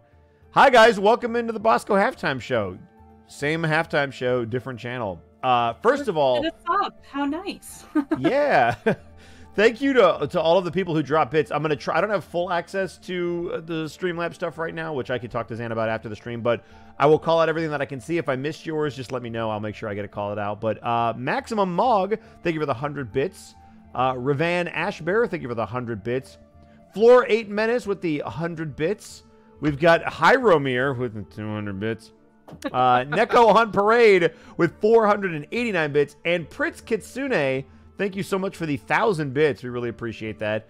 Uh, I'd also like to thank Heiromir for the 20 gift subs to the community. GTG Maximo, thank you for the 5 tier 1 subs gifted to the community. The Citric King, thank you for the tier 1 sub. And Floor 8 Menace, thank you for the 11 tier 1 subs. And Dracon King with a 1,000 bits. It's here. Holy shit! Yeah, I'm noticing like all of my players and a massive chunk of the 10 person campaign that was the initial part of the setting. Yep, they're here. I did. I did peek, and I noticed some some individuals where like characters were mentioned. They were like, "Let's go!" And I'm like, Let's go. Yep. That must be Uh, awesome." Bad Sam, I think for one of Xan's real life players here. Welcome to the table, everybody. Yeah, that is uh that is Alex, the the DM of our Pathfinder game on Sundays that Xan and I oh, play in. cool. Yeah, and also Welcome, very familiar with this world, having been in some of the long marathons that we've done. Uh, GTG Maximo was actually the ruler of uh, Hinan that we talked about in the intro. Uh, I think I saw one other person in here. Um, I think Oh, his name was Heiromir's like here. Aeon, Aeon something or other. He played a elf. Uh, Mark. yeah. Oh yeah, him. Yeah, maximum was a, ch- a hundred bits. I was a tree that started a fire. also, Shadow, this is going to be a, a long form, not a one shot. Yeah, Mm, Yep. It is. Yep. dude, I'm so spoiled. I have two D and D games that I'm in, and I'm like, oh my Yep. god, this is this is Yeah. amazing. NK draws And were I get redacted. And I get yeah, damn, your mother lets you have two. What? You get I two literally- parents? I get none. Yeah, I was gonna say, man, I love my dad and my mom. Yeah, I don't have any either, so Yeah, but yours did die like yesterday. I can't wait to go home and be like, hey mom, hey dad, do you want four more kids? Yeah. Oh, I found Maximum's uh, bit drop for some Anglers Ale TM, the only ale for what ails you. Oh man, Uh, for those Ale. who are who are, are versed in the Angler's Ale lore, Angler's Ale does come from this plane. It does. Also, Angler's Ale showed up in Ravenloft. And I'm Nice. so happy. It was it was Angler's Ale Ravenloft edition. It was great. It was in the wine cellar. I'm so happy. oh my god, let me drink some more water. Hmm, that's a good point. I should probably get in my water bottle, Also, but I've been Yep. drinking iced tea. I forgot to say, Do but it. my my character's only like three foot like two. I can't remember exactly, but they're like Aw, your short. travel size. You fit into most overhead bins comfortably. I'm actually playing a tall character. here. I'm seven foot six. Oh, I'm two eleven. I'm even smaller than I thought. My Two, you're 211? Oh, good grief. Are you considered small? Yeah. Oh, 100. percent Okay, got it. Just a little guy. Just a little You're pretty Yeah, I'm close to my. about You're pretty close to seven my nose feet. size. I think. Dude, you're like work size. Or so my keyboard just turned off, and I don't know why. So I'm gonna fix that. Not allowed to type. Also, Prince Kitsune, thank you for the 100 bits. Imagine going to a funeral and the tax collector is just looming 10 feet away, just waiting there smiling. That would, yeah, that was so messed up. Because you know he was in the back waiting for everybody to clear out. He's like, uh, excuse me, sir. Okay, drink time. My condolences. Here's your bill. Yeah, you're gonna get kicked out of your house in 24 hours. Bye. Jesus. Well, three weeks now because Monty and I were like, "I and diplomancy. I like how I was like, oh man, that really sucks. You better move. And then all of a sudden, Xan was Wait, like, oh, my by the way, coffin. He's like, you live there too, and I'm like, what? no. No, now it matters to me. But yeah, thank you to everybody who showed up. We really, we really appreciate it. This is again, this is going to be session one of a of a long running campaign, so we hope you guys will stick with us. It's been a blast so far. It's so weird to be back here. Uh, yeah. Also, this the vods will be uploaded to YouTube. So I Uh, will make lion, not tiger. Xan.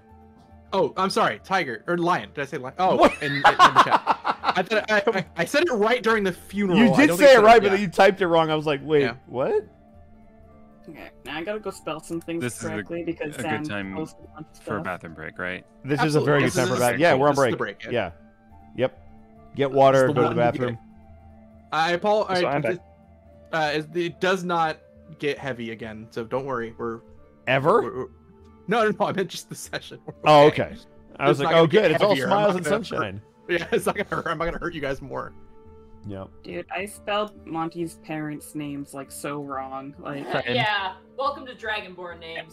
Yep. Awful. I was gonna say, by the way, I'd love it if we go to this place that exploded. It's like, welcome to the Emporium of exploding parental figure. oh God.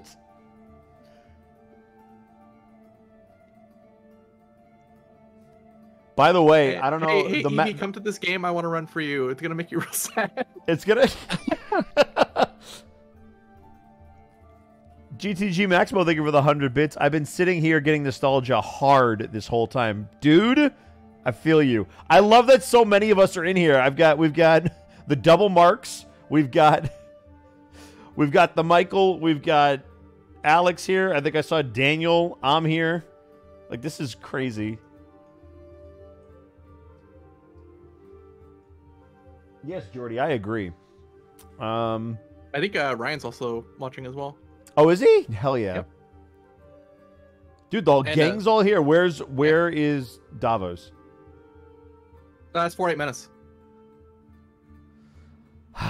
Unacceptable. Even Nick's here. Yeah. This is Gang's crazy. all here. Gang's all here. Nick's is here? No, they're they're Yeah, in Mad Mage. Nick's. Wait, Nick's a vampire? Oh sh. what? Neko on parade. Thank you for the hundred bits. Bosco, don't read this. Got it. Shit. He had one job. Yep, I won't read it. I don't even know who that is. Who are you? No, who are you? Don't forget me, Dorn Essex. Remember what you did in Mass Effect, Bosco? Shut up! Damn it, Major. Oh god, the, the picture of Major in uh, Kirby that you sent me was so good. yeah. I actually made the, the Mass Effect campaign that uh, NK draws uh, drew all the characters for as the uh, splash screen for my Twitch.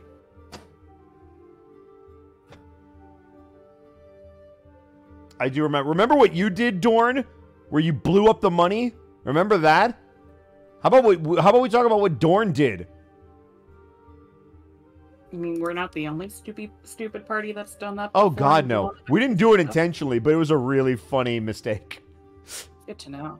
Also, Monty, in case you're curious, um, give you one guess as to who uh, who Bosco played in that game. What? Oh, right, you're away. Lecter remembers. Oh God. Burnout Vaughn, thank you for the 100 bits. Uh, will these be up on YouTube later? I believe the plan is for Xan to throw them up on his YouTube channel, yes? uh, not on mine personally, but uh, I will make announcements as to where to find it. Ah, perfect. Do you have a YouTube channel? Um, I do. I will make announcements as to where to find it soon. I, I Lies. just wanted to know. I gotta delete old content first. you gotta, I gotta pull stuff off of there. That could be. I understand. I mean, I don't have like old content, but like if I did, I'd understand. It's like looking can at I, old photos. can I post right? this picture in the chat? Cool Sasuke and Naruto AMVs. What? or better yet, Xan, put that in the chat. Let them see it. Uh, I, I don't think I can, unfortunately. Oh. Darn. No sharing. How sad.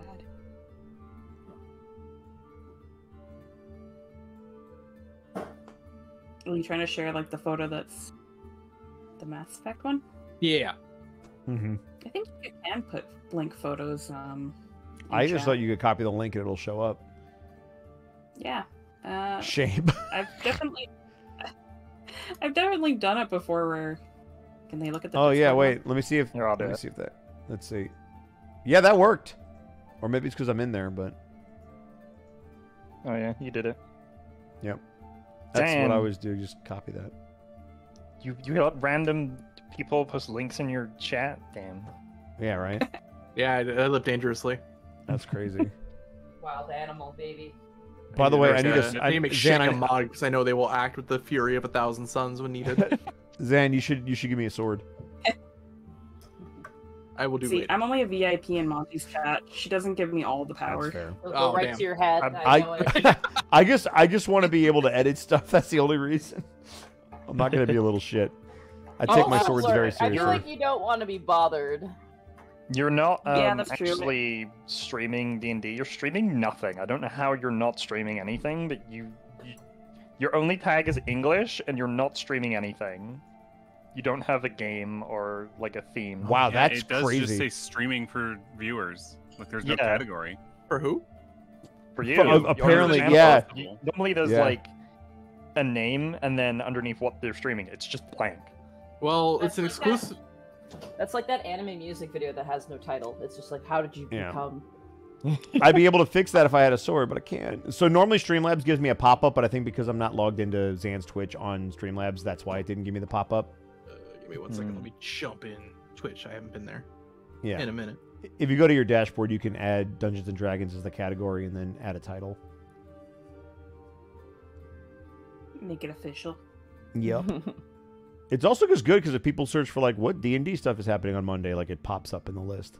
Right. Yeah. Lots of nerds out there, and they got to get their. Don't give D&D Bosco a sword; he content. deletes my messages. I would never, Citric. Come on. hmm. I appreciate the quality content that you bring to every stream, Citric.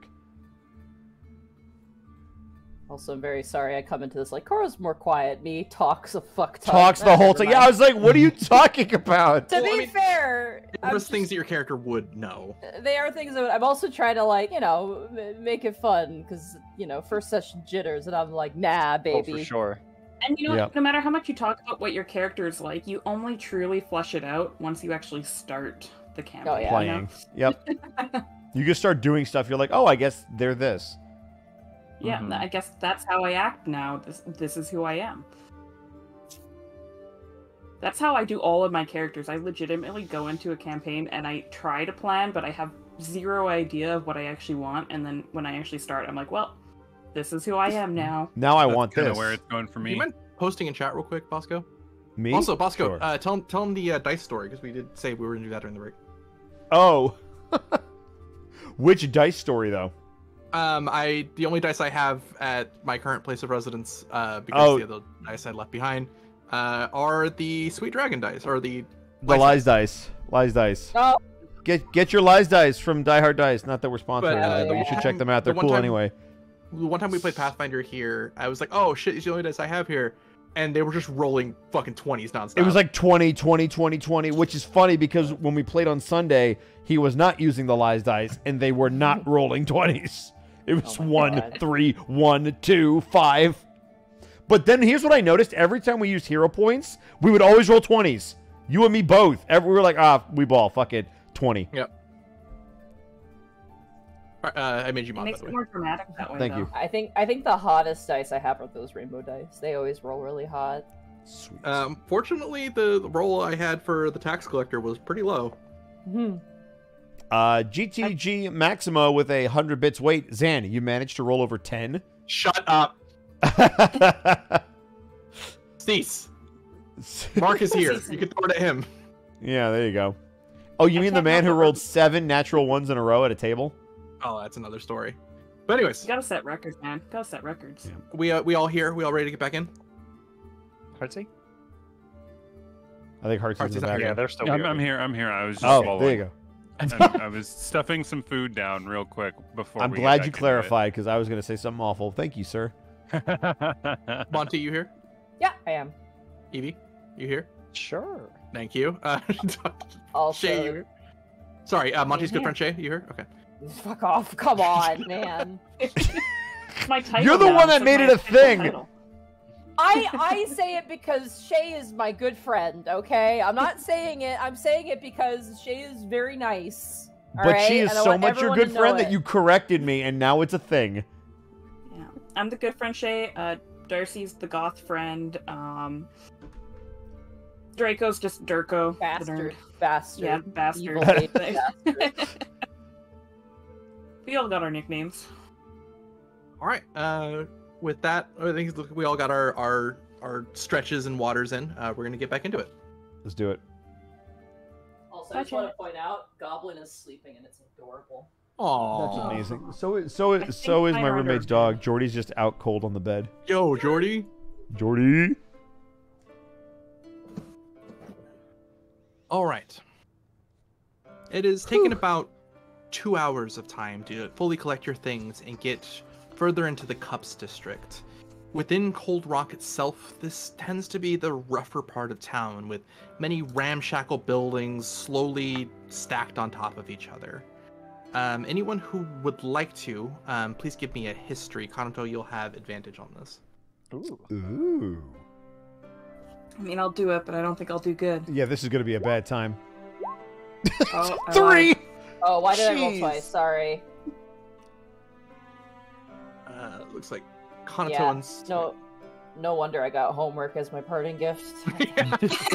Man, I'm having one of them days.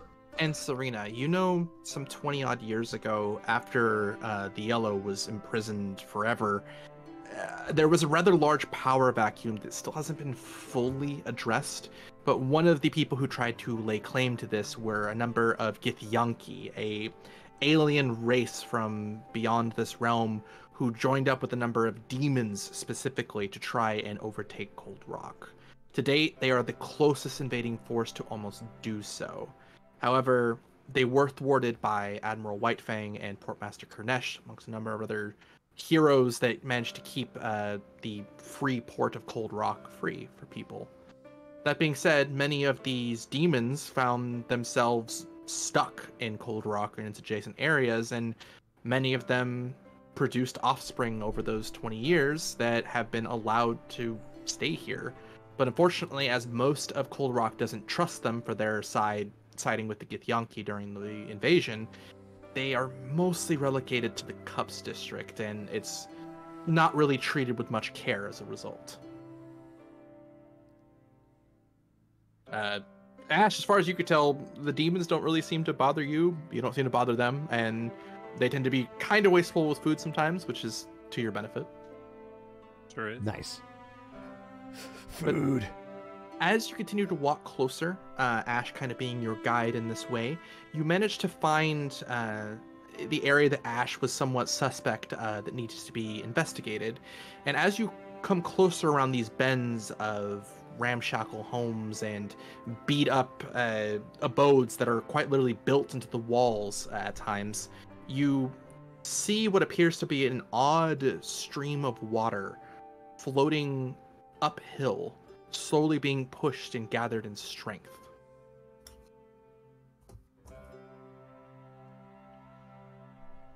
Is that a normal sight here? Ash, you are certain it is not. N- no, I have no idea what that is. Perhaps worth investigating? uh, as Ash, you kind of look around the corner to where this stream is connected to, uh, you're fairly certain you're pretty close to the area that the uh, the explosion sounded, and it seems to be that the stream is leading towards where you heard that eruption of noise. Something has sprung up backwards. Leak. Ash, you hear uh, Remington uh, laugh out loud and squeak just a little bit. Aw. Uh, for anyone listening, that that's uh, Draco. Whenever you hear that, it's actually, it's actually Remington. I have bumped my sensitivity down so much, and it just It's doesn't so matter. it's so minimal. It's Just- fine. Don't worry about Yeah, it. If it's, really it's minimal. to, Are they? you They're, they're right behind you. It's gonna be hard. To- to me to me it's like whenever we occasionally hear uh or, or sorry are graced by goblin in the Yes. Oh Just God, a meow. You know, cats, dragons, Oh. same thing. She woke up. Thanks, Xan. God damn it. Oh, Oh, gosh. no. darn it. Look what you did. British. Mine woke up too. British goblin. It's a goblin, isn't it? So, moving kind of looking around the go ahead. sorry, you said the stream is heading towards where I. the the stream is floating uphill which Yeah, doesn't seem in in the direction Possible. towards where all the disturbances have been. well the the origin of the stream seems to be coming from that origin point Oh, or at least near it Okay. uh, Ash, as you continue to kind of guide around the corner, you see a sizable cut of street, um, kind of slummed street of flagstone, broken in like a in what appears to be a fissure, with a sizable now river floating again uphill. Around it, you see four cackler demons, all looking Koro to your eyes to be particularly younger cacklers, small red demon things that seem to be wearing kind of beat up clothes and overalls, one with a straw hat, uh, as they hold, three of them hold on to the largest, who seems to be holding a fishing pole, as they seem to be shouting at each other to hold on for dear life, as the pole and string seem to be somewhere in this upward floating stream. As far as you can tell, this is the only life you've seen down or in this area of the Cups district. Fenris, you're tis an strong. Odd. I am strong. It's great. Sorry. that was just me cackling above So game. sorry, I interrupted you, Shay. I'm so sorry. Oh no, we just went at the same time. It's all good. I was, she was just gonna say that is an odd sight. I I have a good sense that Fenris and Serena are pretty, you know, Strong, yes. they're pretty strong. Buff. I'm gonna put my hands on both of their backs and go, well, come on. Are we supposed to assist them with the fishing pole? It's a deal. We might get information from them. you hear in abyssal one of them sh- the one of the smaller ones shout come on dominic you almost got him Are come they, on, are guys! They like, Dominic's almost got him. are they are they like kids? uh you can't really tell the only one who seems to understand kind of their age would be Koro, unfortunately Are they I as I as I run towards the kids, I go, "What is up, fellow youth?" And I'm going to, Excellent. and I'm gonna I'm gonna like gesture like, "Come on!" like Fenris to- will Serena- walk over. Yeah, Serena will walk over, kind of following, but more slowly.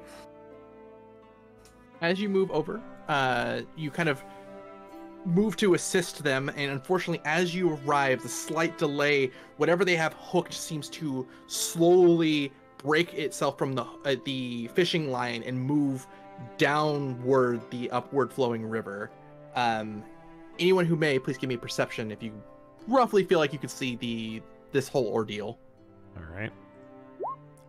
Hey, I rolled above a 10. That's a 13. So proud of you.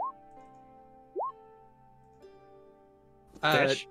Kanato, you have actually read quite a few fishing manuals and you know strange uh, texts that talk about creatures uh, around the realm between realms. You identify this not as a simple fish that seems to have gotten away, but that of a slaad tadpole. Ooh. Oh. Uh, you see the three of the uh, cacklers seem to chase down the the broken street towards this creature as one of them looks up with his straw hat kind of towards you. Ah, thanks, strangers. Uh, sorry to bother you. Uh, no bother. Sorry we weren't a bit faster. You hear in kind of broken infernal. Uh, uh sorry, sir. Uh, I didn't. Uh, I didn't mean to break any laws. Ah. I suck in my lips. Is that are they breaking a law? Uh, you don't know. Don't worry, you're not lawful stupid. You're good. What is my alignment? I do not think that you have broken any laws. None that I am aware of, anyways. Uh, you see the cackler kind of take off a straw hat, and kind of hold it sheepishly in front of him. Uh, name's uh, D- Dolmic, ma'am. Uh, uh, me and my, my friends, we were just trying to get something to eat. Is that a common food in this area? Uh, not really, but food ain't exactly common in this area. I see. It, it, Oh, I, that's. I I think you are a bit lost though. Uh, uh Banner Hands district is back behind you. Uh, uh, this is the Cups district. Eh, ain't not much to find here. Actually, I, I would disagree. We're um, investigating something. We heard that there was um, a commotion, perhaps, in the area. Would you happen to have heard, seen anything recently? You see the cackler's face light up. Oh, you mean the big bo- uh, uh, You mean the big boom? Correct. Yeah, tis the rumor. Yes. It, it, it does sometimes happen down here. Uh, a bit more frequent than usual, I think. Uh, but yeah, it's just down the way where the where the river water's coming from. Bunch of strange fish been coming out of there for a few days now. Good eatings though. You hear that, Speaking of- Hash? We might be able to get you some food. Speaking of Ash good smirks a little bit. I'm gonna pull out uh, a ration in the form of a cookie. Can I also take a shot at this uh, fish thing? I thought you were Uh, gonna it take a shot at the kid. Can I kill this child? Can I shoot the Um, child? Can I just take a shot? Koro, uh, as you look, kind of look towards the cackler, because they're smaller sized creatures, uh, you can tell that Dulmic and his friends seem to be anywhere from about f- the equivalent of human age, about 14 to 18 years old. Oh, they are youths. Dang. Ah, they are indeed. Uh, you can tell that they were born well after the invasion.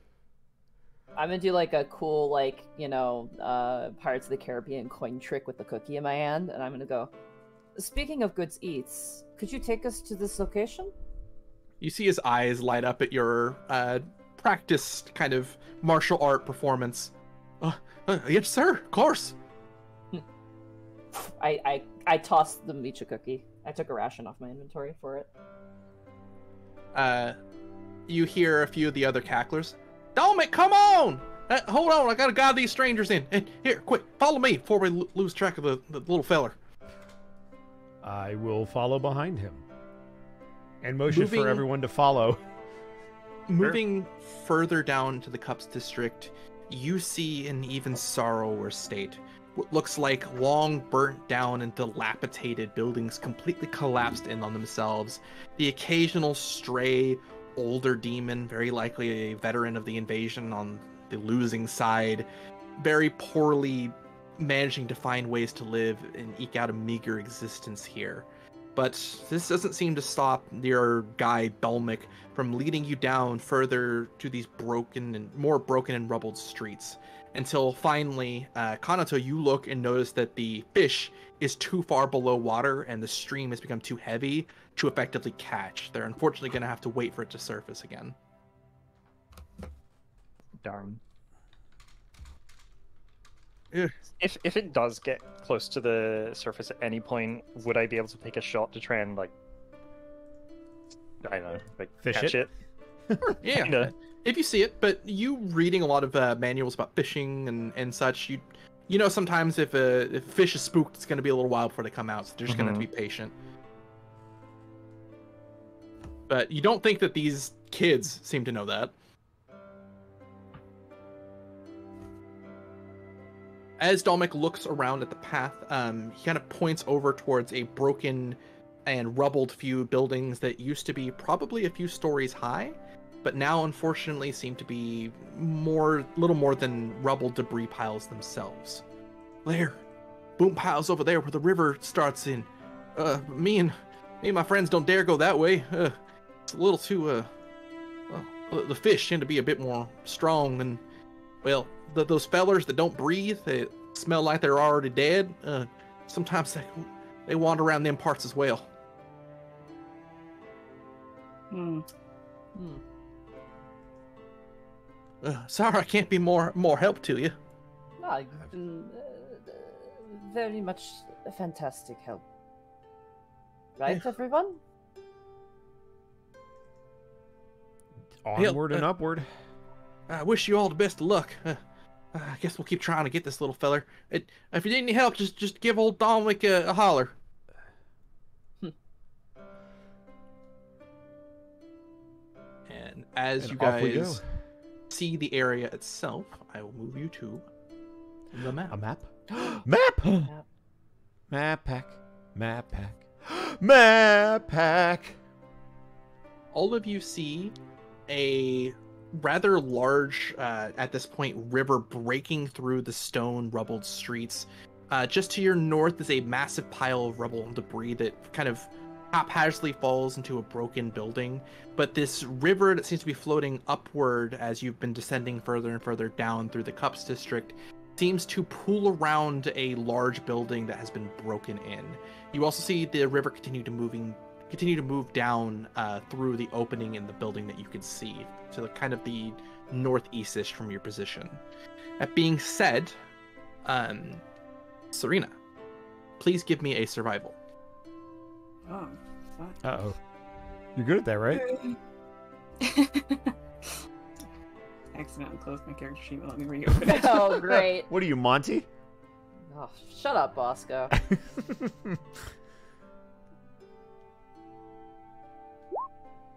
Oh no. Six. You know, it's funny. I think that's the only roll that I did today where, where I actually had a positive, and I think I that was the worst I rolled. I am so sorry. Um, you actually have advantage to this. oh, Oh, okay. you have a chance. Eleven. Okay. Maybe.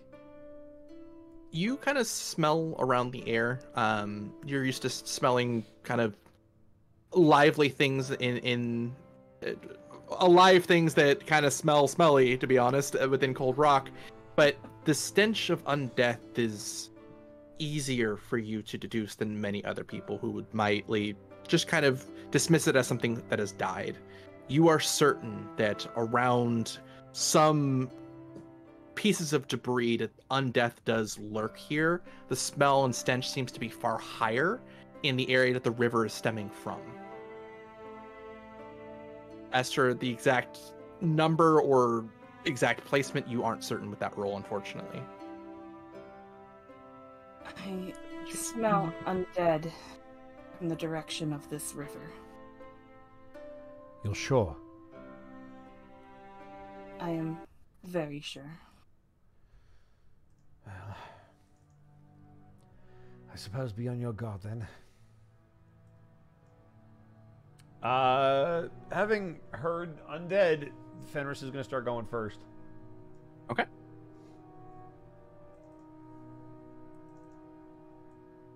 And I will continue to walk. Uh, Uh, as you go there, yes. um, Kanato, your passive perception kind of leads you to listen in, kind of being lower on the ground from everyone else, and you hear the water here is far more rapidly moving than what you had already experienced above. Something real weird going on with this water, guys. Yes, yes, it is. As you all Can I- move, as you all move forward, uh, Fenris, you also see above the massive enchantment or sigil that looks like a sun, uh, kind of crudely painted in 2D, uh, two dimensions on the dome-like ceiling of Cold Rock. Uh, it still also covers here in the Cold District, and it seems to be getting a little later, Got it. giving Got you it. an indication you're not going to have much light here for too much longer. Got it. Whatever we do, we should do it quickly, uh, lest we want to roam around in the dark. We are on a time limit as well. Surprisingly, I do better in the dark. That does much not I surprise me at all. Did you not Uh, hear the sarcasm in my voice? What? It sounded like your voice. I, I don't follow. We need to work on your inflections. They're a little hard to pick up. Ash is trying to stifle a chuckle. Uh, as we get here, can I roll a perception check just to see if anything's changed? You absolutely may. All right. 15. That's what I'm talking about, Fen. 15. One second. Also, Koro, I'm I'm sticking pretty close to you. I Like, got just- you. I got you, bro. I got you, brah. Fenris, you definitely hear what sounds like water um, almost jutting jutting you would assume to be downward like a waterfall, but instead you're hearing it go upward, splashing against the ceiling before falling onto the ground and pouring upward in these rivers. You also see on the other end a river going the opposite direction, still upward some other direction. But with 15, you also hear what sounds like slight shifting of debris and echoes from uh, the mouth of this broken building. Do they sound like actual voices or just like whispers? It, no, it more sounds like debris or water kind of being unsettled by the stream of water. Also, uh, Bosco, if you could uh, wall fly for us. hey, oh, that's mine. Come up with your own. Uh, I'm not cool enough to have a Bosco wall flyer cam. or an overlord. Bosco cam, exactly. Uh, I'll move it down a little bit. I'm just trying to see how the stream sees it. So many monitors. All right. That should do it. Uh, cool. But I don't sense anything like an actual presence, just the whispers. Correct. All right. Then I'm Oh, not whispers. couple- You're hearing like debris moving. You don't hear Oh, any debris. voices or anything. Got it. I'm gonna keep moving. All right. Uh, Is there what kind of vision? What kind of visions do you have? Uh, I have, I believe, dark vision out to 120 feet. Dark vision? Snap. Correct. Same. Uh, dark vision up to 120 feet. Dark vision vision's damn. at 60 feet, but it's, you know, it's. Yeah, it's, yeah, 60 feet, gang. Let's go. Drag, drag. Yeah, let's go. Oh, We sorry. all got Bob. dark vision. Let's go. uh, can I get a ruler for him? Uh, whoever's looking into the the opening in the building. Yes, I sure can. Uh, where do you want it from? My character's From you, position yeah. too. Uh, sorry, other direction. The other direction you can't really see into the broken. bu- Yeah, building. Yeah, there you go. So 120. So if you want, you want the full 120. Yep. Yep. All right. Question for the DM: Should I be drawing these maps? That is entirely up to you. I don't think it'll be nearly as relevant. I do hate that you had to ask that because I know you would. I would. you see a river continually etching downward through a broken uh, opening in the wall, a cliff going downward, followed by a separate cliff going downward, each about five feet. Not too difficult to uh, surpass. However, you do see what looks like two upside down waterfalls streaming into the two rivers that you now stand next to, with the water continually stemming upwards in defiance of gravity, showing up further downward. Well, watch your step, I suppose. I confess I do not do well with water.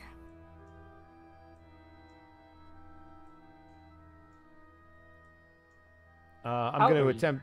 I'm going to attempt to step board. down. Oh, good. Shay, how how tall is your character? Uh, seven foot six. Jesus Christ! No piggybacks for you. Forget it. uh, do you need to check to go down five feet, or is it just easy to do if I take my time? Uh, it's easy to do if you take your time, but as you look over specifically, Serena, you see where uh, Fenris is moving downward. The water's actually on the ceiling. So, strangely enough, you feel comfortable going underneath water, not above it. Good to know. I was I was wondering if that was going to play a factor. That's good to Yeah, know yeah. indeed. I've lost my piggybacks in the future, though. How sad. That's true. Yeah, But no to be longer, fair, you're no longer you- Nick's sized. I Would you- know. Would you have dignified that with a response at all? I'm sorry, what were you asking? No, I was asking if they would actually want to piggyback. Oh, I see. Uh, she probably wouldn't have taken a piggyback unless there was no option. As you move At- to here, everyone please give me perceptions. I was just gonna ask. Is this hearing based? Uh, this is. That's a natural one. I'm killing it. It's so weird going from a character that has like a plus nine in perception to one that All of a sudden, you're like not- plus one, plus nothing. It's like no proficiency. Oh, I'm the Ooh, complete Kanato! opposite. Hey, Kanato, all right, Kanato. What are you? Kanato is oh! out Oh! here. All of you, ears. all of you here, shifting from the debris itself, breaking from the walls of broken down rubble, seems to be mindless and shambling undead that you seem to have disturbed from their slumber. Um, while all of you see this, oops, uh, Oh boy. Well, all of you see this. Uh, let's see. Who got Serena as well as Kanato are actually going to get advantage as we roll initiative. Oh, Hey. Uh oh, uh oh. It's showtime, boys and girls. Oh, that was almost a natural one, but I got 23. Oh, Hey! Kanato with the net Oh. 20, baby! Oh, Oh, Ash. Ash, no! Natural Dude, we rolled like gangbusters. Look at that. Except for Ash, dude. Oh. Ash is over here like, I want to get some food. I wonder if there's any food. Yeah, Ash is hungry. Ash is a, Ash is a big package. You heard the growling and you just thought it was your stomach, and you're like, oh, it's not really oh, man. it was Fenris, right, Bosco? Uh, Fenris, correct. Fenris. Yes.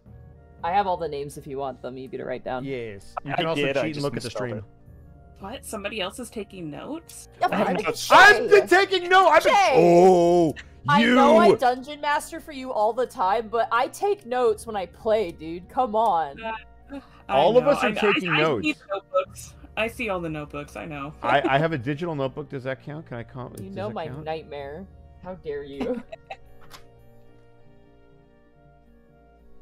I feel so overlooked right now.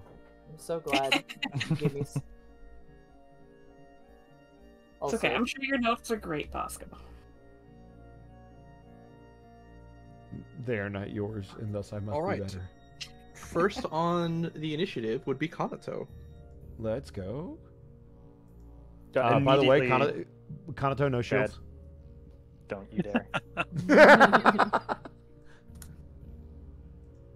So immediately, um, seeing these creatures stumble out, one behind uh, Fenris, Catcher's going to call out, "Behind you!" and just like immediately take a shot towards that one. oh Okay. snap! Uh, do you mind pinging the one you're shooting at? It won't ping. Uh, this one? Yes, Okay. Yeah. You guys got to click and hold. I, I did that. 15 Oh, to hit is in fact a hit. nice. For eight piercing. Eight piercing. Uh, okay. It is unfortunately still up. I'm gonna then uh, hide behind uh, my good friend here. Okay. Uh, Next me. on the next on the initiative is Koro.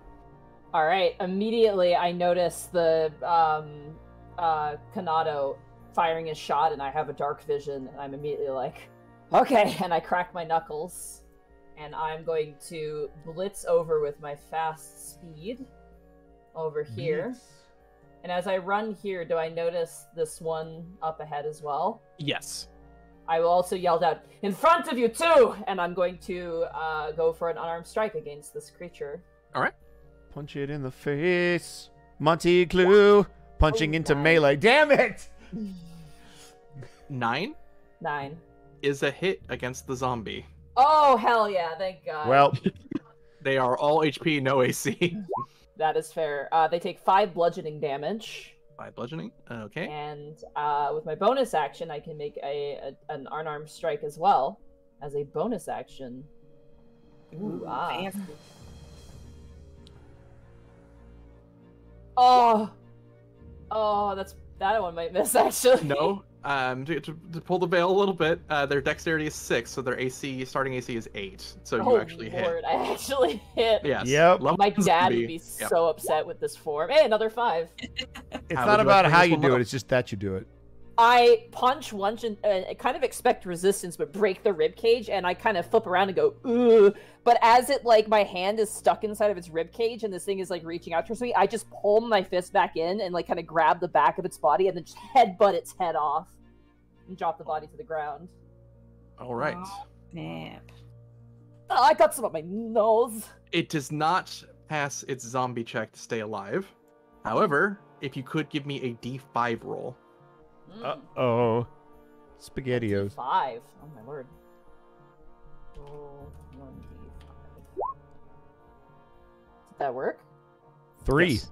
You see, Oh. while the rest of the undead body seems to shamble into pieces, popping off from its body like stitchwork, you see its hand seem to reanimate and plop right next to you Ah! in an aggressive posture. Oh my goodness. Okay. Uh, Uh, that that's- ends my turn, methinks. Serena, you also see all of this. Awesome. and murder. Murder. I gotta play a completely different style than what I'm used to. I know. So- What do you normally play? I play a rogue.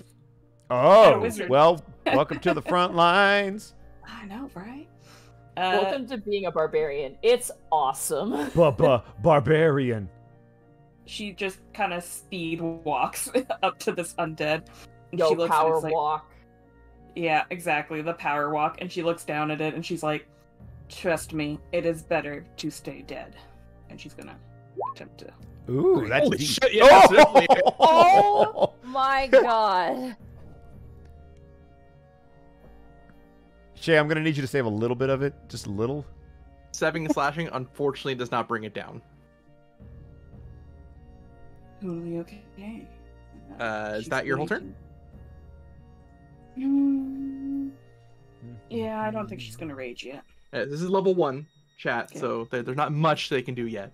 Uh, it is now Fenris's turn. Let's go! It's the best boy. Uh, I'd like to go help my compatriot. Uh, so I'm Which going to one? ignore this hand because they have it under control. Um, all right, it does provoke an attack of opportunity. Cool. Um, does a 14 hit you? It does not. All right, as it tries to claw at your leg as you move past it, it, it does not seem to get past your armor. All right. Uh, then uh, you will watch all the folks in the back as from off of his back, almost off of his armor, he will pull out a very large glaive and he will twirl it uh, a little bit before bringing it down to crush onto this zombie in front of his friend. Let's see what happens. Well, uh, thank goodness a 10 hits. I appreciate does that. it? Yep. Uh, for 5 damage. Five damage. It is still unfortunately up. That is fine. Uh, he will then twirl it one more time, and he will turn his attention to the other three, and he will simply use one of his hands to uh, vary the rock. Just bring it. All right. Yep. And that Next will on the initiative is the undead, uh, not including Serena. Exempt. Except, yeah. Like a little asterisk next to their name. All right. Uh, we are going to start off with uh, an attack on Koro. A small climbing hand attempts to slash at your leg. Ooh. Does a 14 hit? Uh, 14 does not hit. As it leaps up to me, I do like a knee up and kind of launch it into the air so it doesn't hit me Okay. like a soccer ball. Uh, the one in front of uh, you, Serena, is going to attempt to move away from the water. Uh, we'll have to make an agility, or sorry, a dexterity to not fall in the upstreaming, move, fast-moving water. Does manage to succeed somehow, and will attempt to swing towards you. That is a 15 to hit you, Serena. Does not hit. All right. Uh, this one's gonna move up. One, two, three, four. Uh, that will provoke. Yes, it will. All right. Um, how would you like to describe your its provocation? uh, as the zombies begin to approach, uh, he will feign like he is about to cut with the front end of his glaive and twirl it a s just a little bit more to hit them with the, the butt of it. Is I will use Polearm Master. Uh, which one did you want to swing at? Because three would have entered. I will, which uh, the first one that to come to me would have procced it. So whoever the first one was. Got I it. think the north one was. Yeah, Uh, yep. yeah. So then that one. Okay, cool. Here we go. Let's hit him in the face. That should hit. It's gonna Yep. be a D4. That's one point of damage. Oh. All right. There's It's there's still damage. damage. Damage has happened. It right. looked cooler than it actually effectively did anything, but I'll take it. Uh, two swings are going to come out towards you, Fenris. Ow. The highest of which is 15. That will miss. All right. As both swings flail against you and do not seem to connect. Uh, If I he could will get- then he will then swing back across to just kind of block the hands out of the way with the glaive. Okay. If I could quick quick perceptions from both um, Serena as well as Fenris. Copy that. That's gonna be a twenty-one. Oh, Uh, anyway. four. You uh serena you're kind of stuck in this this bloodlust usually when you hit stuff in practice they go down and this didn't go down uh that being said fenris you hear what sounds like shambling and moving coming from around the corner to the south Oh. Uh, may I speak upon hearing this, or should I wait for my turn? yeah go ahead Um, there may be more of them around the corner. all right and with that it is ash's turn All right. Um, I can I can see everything that's going on up, up over here with my dark dark vision, right? yep hmm And I cast shape water on the like the little river to kind of like put water on the ground around. Oh, I can't. Is my ping working? yeah it is Yeah, Yes. just Okay, to to, to put like water on the ground there and freeze it. Can I create difficult terrain? oh sure yeah yeah i'll give it to you uh, can you Ooh, post the spell card for me Just I love click it new players. That's Um, cool. It is Water really bending. cool, I, like love that. it. Shape water. Goblin, honey. Uh, within range. I love you too. It is 30 feet, so Oh, you'd have to step feet. up. Okay. You'd have Yeah, to move up. 30 but movement, That doesn't count. That is not an action. Yeah, so you can move up. Yeah. Yeah, I can. I'll move up to. I was gonna say if you move up so, about yeah. four, yeah, that works. Um. All right. Uh, so you're gonna move kind of water from the ground and uh, kind of throw it onto the ground in front of these guys, or on Yeah. the, underneath them. Yeah. As it as you move the water, and you move to kind of freeze it, you notice it snaps free. It snap freezes. It so the water's extremely hot. Oh. But I will say that they are in difficult terrain. Uh, that doesn't do anything to them necessarily until they move. Um, all right. Uh, is it the end of your turn? I imagine you don't have a bonus action you can do quite yet. Right. Yeah. Um, all right. Top of the turn. It is Kanato. I will step down, seeing the the little one. And be like, uh, do you need a hand, or should I go for the group? I'm like playing hacky sack with this thing, and I go, uh, I think I got this. Yes. Yeah, you do have a hand. All right, I'll go for this one. you fucking little shit. if you weren't so cute, I would throw you into the water. Listen, he just wants to punch up. That Eleven is hits it. That is it. hey, Yay. let's go. for seven. Uh, seven to hit, uh, or seven No, damage for rather. Damage. Yeah. Um, okay, is unfortunately still up. Uh, I'm going to activate the uh, thing on my bow and take a second shot. Do you want to describe what that looks like? Uh, as this has two strings, um, I'm able to quickly get a, a second one on as I draw the arrows and fire the second just after the first. Doesn't seem to have quite as much power, but we'll see if it hits. That's it. Just about. For one. Uh, let's see. Actually, that does do it. Give me a second. Let me get the zombie roll. Um, a zombie roll also fails, so it seems to fell the target. How would you like to bring this one down? Uh, this the second shot just happens to nick like the the little strand that was keeping its head on, and just like cuts that bit clean off. It's like totally meant to do that. Uh, please give me a D5 roll. Okay. Oh. Well. See Five. what happens. Huge. Uh, as it explodes out, you notice that its limbs try to pop off to continue their assault on Fenris, but they seem to be frozen and snapped in place by Ash's spell. Hey, good stuff. Ash. Nice. Do not get the effect off. All right. Uh, Kanato, is Uh, that your turn? I've got a little bit of movement left. I'll step forward one more. Okay. Koro. All right. Uh, I'm hacky sacking this hand, and I'm going to like launch it into the air and try and like just roundhouse kick it into the wall. Okay. Whoopsh. Pretty good. Hey, there it is. 18 is a hit. Uh, you can you can tell um, that the the hand is harder to hit than the whole zombie, but you crush the AC still. Uh, for six bludgeoning damage. As you kick the hand into the wall, it seems to uh, fall lifelessly or unlifelessly to the ground. It doesn't seem to be moving anymore. All right. Nice. I will go right here because then I'll have flanking. Unfortunately, I- that will be difficult to rain if you. Oh, that's right, because the eyes. Yeah. 5, 10, 15, 20, 25. Wait, I'm, I'm, oh, I don't have it yet. You're like, wait, I can do the. Oh. Can I stand here without any repercussions? Uh, if you give me an acrobatics or athletics of your choice. I would like to choose acrobatics, please. Okay. I would like to be the graceful.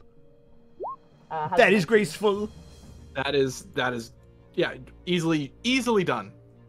Um, how would you like to describe you artfully landing on top of the broken zombie? I uh like actually slide into place. I, I might even like skate in on the body and then like kind of kick the body aside as I Yeah. take position oh, here. that's great. And then I leap off backwards, and I'm going to use my bonus action to do another unarmed strike on, uh, hmm, on this guy here. Okay. Bonus action. Bonus action, Ooh, punch it again. 23. Yeah. Uh, for an additional six. Six damage. Um, okay. Unfortunately, that one is fresh, but you do manage to get a good damage into it. All right, that ends my turn. Serena. Whoa. Um, this is the guy I hit before. Has this guy taken any damage? Um, let's see. Uh, which one? The middle one? Yeah, the middle one. The middle one just got kicked by Koro. Okay, yeah. I think I'll just go for the one in front of me. I'll just try to finish it off. Do my best. For five slashing.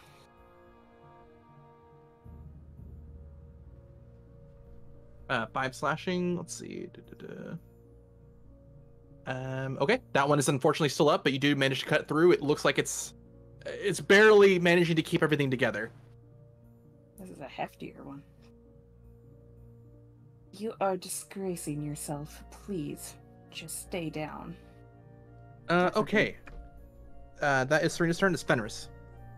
Nice. I am going to continue the assault on this one that has now been kicked and sliced.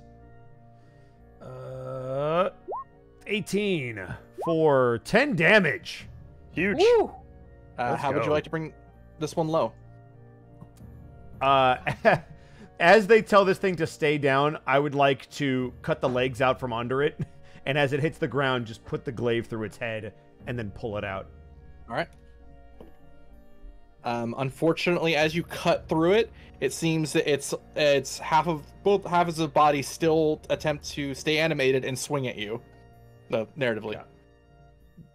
God, Made this its thing is funny zombie roll. is. Gosh darn it. Um. Well, that'll be my turn. Uh, okay. That is now the enemies. Uh, this one will attempt to swing back at you, Fenris, even though it's only half a zombie.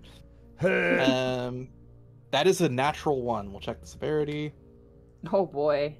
Uh, He's like bisected. It makes both sense. of you, uh, both or all three of you in the front line do get. Uh, you can use your reaction if you want to get an attack of opportunity, as it kind of shambles awkwardly in front of you, giving itself ample opportunity to swing at it.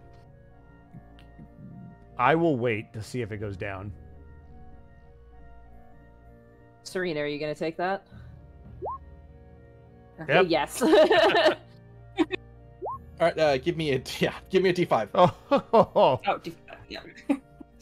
uh,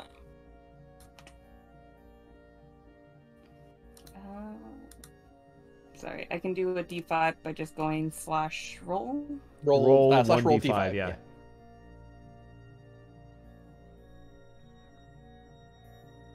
you want to put a space between the one d The five roll as well the- between yep. roll. Yeah. Hey, Ooh. a two, a two. As you see, its uh, foot still seem to be animated. Unfortunately, however, I will say because it's the Ah. same creature, it still provokes. Or it's from the other two can still use the uh, the potential provoke if you want. Go ahead, Monty. Uh, hmm. Yeah, I'll I'll use uh, unarmed strike against it. Punch it in the face. Stop. It has no face. Oh, it has a natural twenty. Oh, That. yeah. Fuck. I'm pretty sure minimum damage will kill it, but foot. go ahead and roll damage for shiggles. Roll it from. Oh. Oh my lord. Just to bring the severed Uh, foot. Uh, as the foot splits off, I literally, like, football kick that thing into space. Channel sport ball. yeah, I channel sport ball and I, I threw a touchdown. Goal. Uh, this one will attempt to move up towards you, uh, which does provoke from you, Fenris. I will take that slice now. You jerk. Twenty-one That's Woof. it. for seven. As with your pole arm, you slash out, doing damage to the creature, but it is still up. It will attempt to swing at you, Koro, uh, for a total of 16. That misses. Okay. As the one in front of you, uh, Serena, will swing. Oh, I'm so sorry. That is a natural 20. Oh. Oh. Rude. Oh no. Ow. Um, okay, and that is total of nine slashing damage. Oh. Ow. Sorry, eight slashing damage. Yeah, Eight slashing damage. eight We're slashing. level one. Ow. Yep. As you hear what sounds like groans further around the corner. Oh, great. Uh, one second. As you barely make out the images of one of them shambling towards the, uh, of the seemingly disturbance of the undead, and that is enemies. It is now Ash. If I were to use any ranged things here, am I at a disadvantage because of my allies all being in the way and not tiny like Eevee? Um, you they unfortunately do have cover just because uh, they are hmm taller, uh, especially Serena. So cover works. Uh, I don't know if you know. Uh, they'll have like probably a plus two to their AC, so you'd have to beat Mhm. like a ten to hit them. Unless, unless you were to move around so that you had an angle where you didn't see us. So, like, if you got between, or rather behind myself and Koro, you might have a shot at one of them with no cover. hmm If I if I move there, do I have a shot here? Yeah, absolutely. Okay. Do that. Take a couple steps, and then I will cast my Ray of Frost. Ooh. Spicy. Holy shit! Oh! We are critting! We out here Sorry. critting! Sorry, I've got to fight back against the crits with other crits. I did Uh, that correctly, right? Yes, you Yeah. did. And with the additional damage Serena already did to this one, uh, how would you like to bring this one down? And what does your spell look like? um, upon seeing one of these things sort of up close, finally closer than I had before, I'm kind of Ash is just kind of like, um, you know, puts out their hand and is kind of just like, ugh, stop that, you know, like ew, and just like, just boom, ray of frost. Gross. Oh my Uh, as- god. As you throw the spell out, please give me a d5.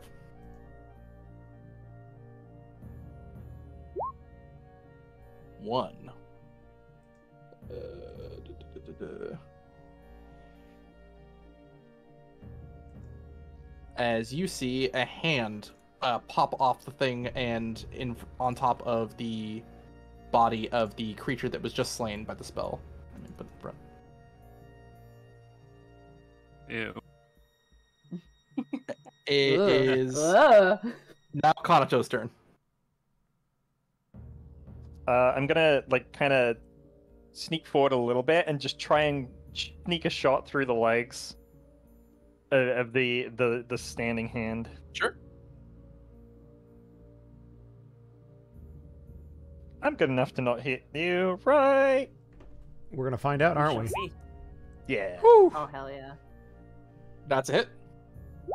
Five damage to the hand. Uh, how would you like to destroy the severed hand? Just Immediately as it like goes to I don't know whatever it goes to do, like leap up or whatever, I I pin it to the floor. Okay. Uh, is that your turn? Uh, I'll take a little step forward. Like, do we? How many more are there? I can't see. Uh, there's two. Okay. All right.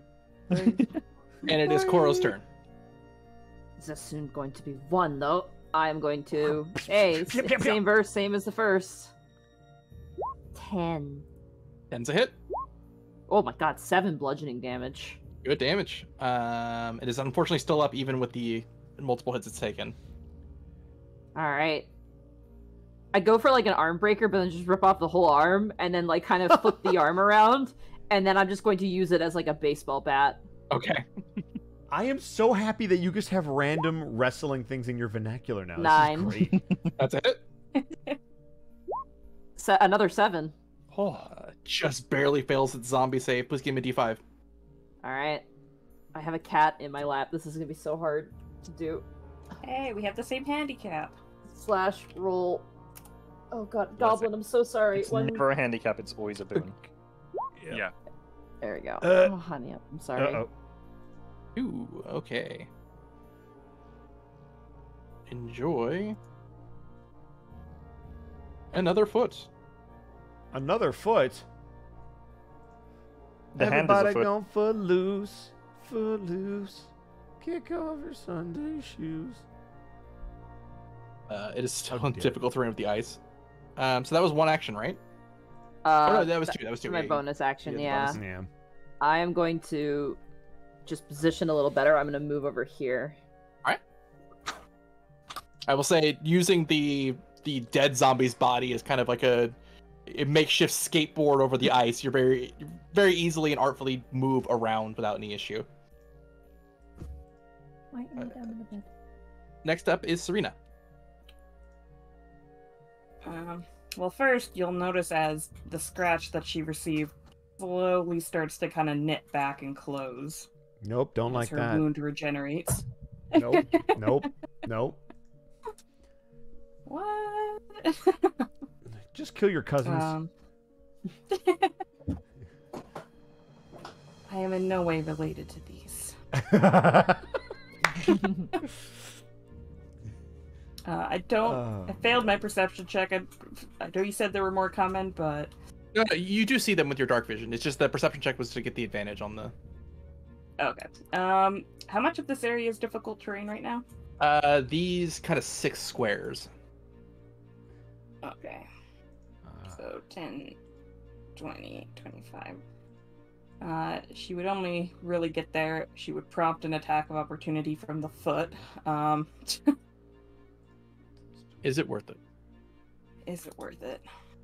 I mean, I could just stay and attack the foot.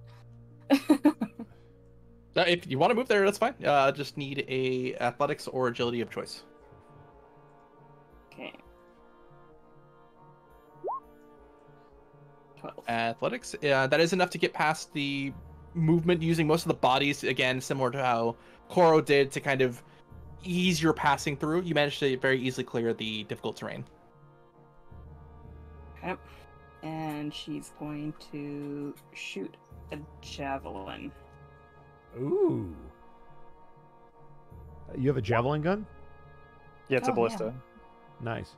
Pocket Don't ballista. you have one? Exactly. Pocket ballista. Yeah, I we didn't all get of those. those. No. Oh, right. Dude, I only get one sit down gun and it's not this campaign. Um, uh, for four damage, uh, do good damage. Unfortunately, it is still up. However, as you look past the creature, one second, you see a huge crater Oh. that seems to be Oh. a massive dome on the other side of this shambling undead is trying to move towards you.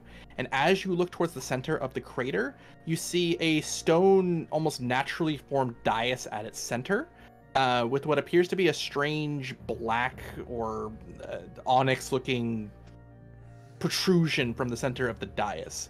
You also see an upside-down lake uh, on the ceiling of the place, pouring water uh, from the domed crater onto the uh, pathway itself. A stone dais with a protrusion in the center. Uh, aside from that, Go is that ahead. your turn? yeah, I think that's my turn. Uh, next up we have is Fenris. All right. Uh, let me know if I can cut this corner. So I'm going to go one, two, three, four, five, and then six. Yeah, I'll allow it. Um, the water is going to make it kind of difficult, so you will have to make a um, acrobatics in that case to kind of be able to artfully move around it. Will you let me make athletics instead, is it acrobatics? Unfortunately, this would be acrobatics. Um, it would be athletics just. to How get does over the the natural one do? Uh, unfortunately, you fall flat on the ice here. Cool. Already an attack when it gets near me. All right. Hey. Uh, next up is do-do-do-do. enemies. This one is going to move up. Um, give me a quick uh, another. Give me another acrobatics real quick to see if you're prone. Uh, twelve. You still stand. You just kind of get. You, Uh. you get, you get you, it's like when you're walking on a hockey rink and you kind of You catch yourself. shuffle around. Yeah, Yeah. uh, but this one does move up. It does provoke from you as it moves up. I will take it. That's a thirteen for eight damage. 13 for 8 damage. Good damage. Uh, with the javelin, it stills unfortunately barely up. Ugh. uh, as That it will will attempt to turn. swing towards Serena. That is a 16 to hit. Matches. Matches, okay. That Oh. is oof, five damage slashing. Ow. Rude. Um, let me see. As both of you see something move incredibly fast towards your position, uh, both I should say Serena and Fenris, as you see floating or flying uh, from somewhere in the crater beyond a green flame wrapped around a skull with what appears to be two uh, broken eye sockets, as both of you see. Oh, Uh, Oh no. This seemingly charge forward, attempting to find purchase in combat, and instead blindly slamming into this bit of debris. Ha! Idiot. oh. Uh, as it then lowers a uh, what appears to be some form of spell towards you, Fenris. Oh, cool. My favorite. Uh, that is a 19 to hit. That'll hit. You take eight fire damage. Oh, ho, ho, ho. oh my As a god. fire ray swings blindly towards you. Serena, you kind of look over, ready to fight this new combatant, and you notice it doesn't even seem to recognize, or doesn't even seem to see that you are there, but sees the rest of your companions. Uh, not attacking the undead. I see how it is. Yes, this it's solidarity. Yeah. Uh, it is now Ash's turn. Um, This this foot here is still active, right? Correct. It is an active foot. Uh, oh shit! I need to roll to kick Koro. No. Uh, that is a nine to hit Koro. I'm good. As the thing fails to kick you, you wore your shin guards. Hell yeah. Uh, it is now Ash's turn. Okay. Um, I am also going to Ray of Frost that foot. All right. Oh no. Unfortunately, Unfortunately, you miss the foot, Hmm. uh, as it seems to be a little too agile and avoids the ray of frost. The Hmm. ones are stacking up, kids. Not the ones. Go back to the 20 guys. I missed the start. And I am assuming I cannot cut the corner here. Correct, not that one. Okay. Uh, you can, uh, as a, a part, or as just a free action, get rid of the ice here if you want to remove the difficult terrain for yourself. Okay, sure, I will do that. Uh, as you kind of, with a, a slight twitch of your hand, manage to melt the ice that you snapped into place. Uh, do you want to move or do you want to stay there? I will. I'll just. I'll move. And uh. mm, I'll stay put. Ah, fair enough. All right, and top of the turn order is Kana- uh, Kanato. Okay, I'm gonna do it like a running slide and kind of try and distract the foot, uh, giving you uh, flanking before taking another shot between Serena's legs at this weird skull thing. And I'm gonna double knock again uh, the arrow. No, no, you will not. not in this game. You will not. I'm gonna take uh, my multi shot. It has been knocked. It skull. cannot be unknocked. Ugh. with a 21 and a 22. 21 and a 22. You see it reflexively try to throw up what you can identify as a shield spell, but you still hit it. With both. Yep, with both. The first one for 10, second one for 1. Good damage. But it isn't still, unfortunately, up. I, I'm like doing my best to kind of like just kind of keep the foot away, but like distract it. uh, next up is Koro. Okay, I am going to.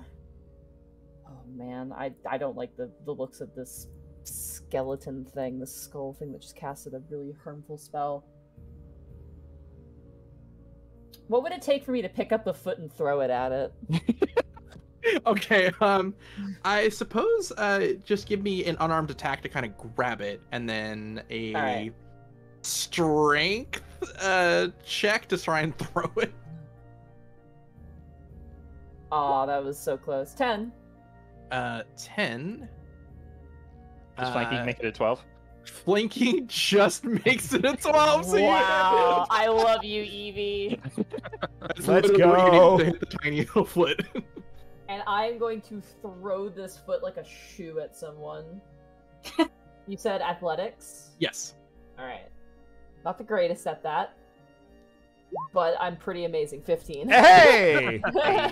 It's a hit on the creature. Uh, it's a How- D4 plus strength. D4 plus strength, excellent. Uh, this is gonna be a D4 minus one. oh no. oh boy. Got this. hey, I have three. Max Hey! damage. Uh, you do three severed foot damage Nice. um, to both the severed foot and the weird flaming skull, and it kills the foot. hey, nice. Oh, there we go. Uh, do I still have my bonus action despite the the shenanigans? Yeah, I will say you do. Let's go. I am going to Kirby down B slide right here, Oh boy. and I'm going to do my second punch on this thing. I Okay. love this. I love this so much. Ooh, nine. That will unfortunately miss. It's tiny. Eh. It is but a skull. Uh, is that your turn, Serena? Or uh, Koro. It's now Serena's turn. Oh, That's- oh, oh, I want to be a, a seven foot tall, cool vampire lady. But yes, it does end my turn. I have to settle with being a, a, a, a, a tiefling twink. Nah, In the next Oh, life, you did this. I know. I know.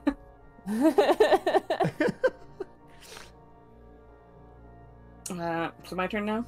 oh, Also, She- shout out to someone in chat who said uh, Koro with the chancla. oh, I love it. Uh, at old chat. Uh, Serena looks a little bit worse for wear, but again, her wounds slowly start to heal up, just the tiniest amount. She looks at this zombie and she kind of sighs. If only you would bleed. Creepy, but okay. She's gonna move to flank. Hey, tactics. Well, you didn't leave the you didn't leave the threatening area, so it doesn't provoke. It's a 21. That's definitely a hit. oh my lord. Four slashing is great on my just enough to bring it down. Let's go! Nice. It natural ones its zombie save. Um, so please give me a D5. Okay. You got this. I believe in you. A one. A one. A one? How does a hand treat you in this situation? I do not want a hand. I'm sorry, but you're getting a hand. You're getting a hand and you'll like it. As the hand pops off the zombie after you. How would you like to bring this one low outside of the hand managing to survive? Uh, I think she just goes for the traditional, just cleave.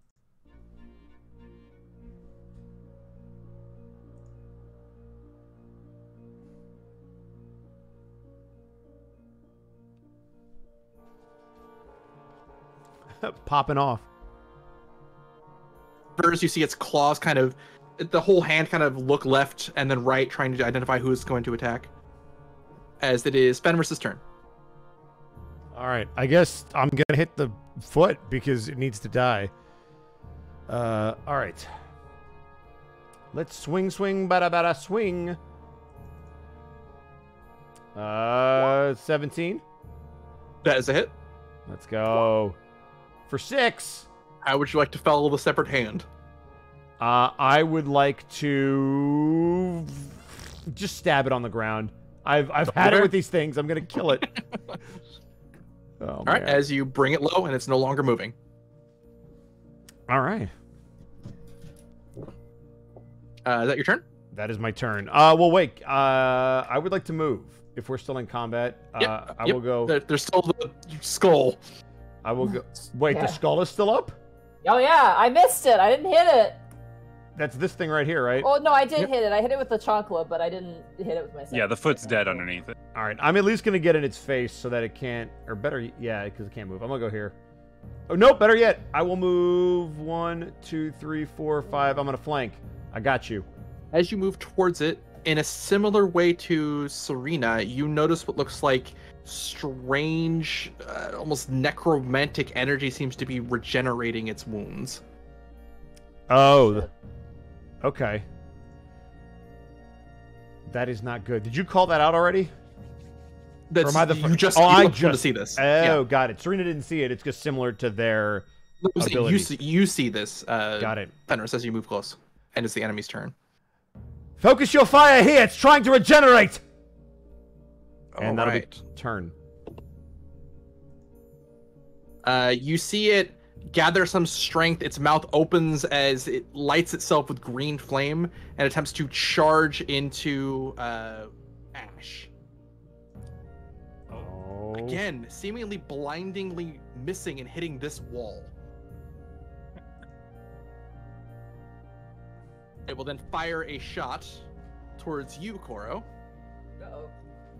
Uh-oh. Uh, as you see another ray of fire uh, strike out for 13 to hit. Misses. I just I like full on matrix dive out of the way. Then that's a miss. Uh, that's the enemy's turn. It is now Ash. Oh. Um. Remind me, ranged spells. Can I use them when they're that close to Yeah. me? Okay. Uh, You'll there's- have disadvantage though if dis- it's yeah. within five feet. Okay. Um. Ooh. Okay, I will. I will take a. I will take a step back. Just a little bit. Does that provoke an attack?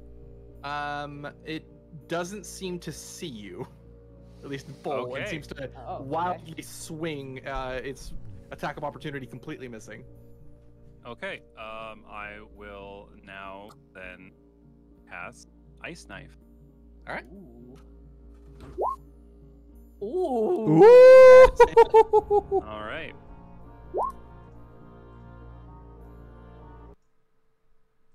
That was eight damage. Eight damage. Okay. But it has to make the save or take Oh, no right. cold. yeah. Uh, you can see that this creature, uh, in a similar thing that you've seen, kind of uh, people who have ventured the void who are a bit more resistant to um, magic. In a similar way, this also seems to be pretty resistant to magic in general. However, it does still fail its save with advantage, so you get it. Uh, you get the full damage. Nice. Uh, that is that's your whole turn, Ash. Yes. Kanato. Uh, I want to run and hide between my allies before taking a shot at it.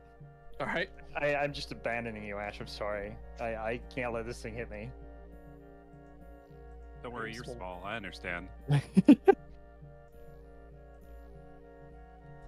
Oh, it's it's it's coming. It's, it's loading up. It's charging up. Twenty. Uh, that is a hit. Six. Six Nice. damage. Still up. Yeah, use my bonus action to cower. All right. uh, next up is Koro. Uh, you know Captain Falcon from the hit video game Super Smash Brothers? Sure. Yeah. I'm gonna try and go for one of those knee kicks that he does famously All right. into this thing. Oh yes. Um,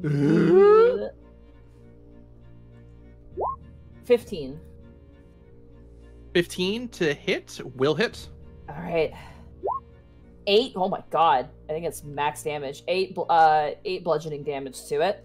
Eight bludgeoning. Okay. Good damage. As I knee this thing into the earth, and then I kind of, kind of do like a order, order, order, like multiple swings into the the stone and this thing as I go for another strike. Oh, that was almost a natural one. That was scary. Nineteen. Oh man, that's a hit. Uh, an additional five. Good damage. Uh, unfortunately, it's still up. Oh lord. Uh, is that your turn? If I move one space up, does that provoke? Uh, it already used its reaction this turn, so. Oh, sick. Um, I'm going to move. If there's no difficult terrain, I'm gonna actually dart around, and I'm gonna actually run up next to you, Ash. Hello, friend. Can't be Alright. my cover ran away. Serena, you- it is your turn. Would Your you spells like are a, pretty cool. Thank you. Would you like Your a punches are dragonborn in pretty these? cool. Oh, I try my best. Again, my wound slowly knitting back together. Gross. Stop that. hey, man. That's how what I do. Don't be jealous. I'm not jealous. I can do it too. Just like, you know, a little necromantic, like, you know, band aid on your wounds. You know, totally normal stuff.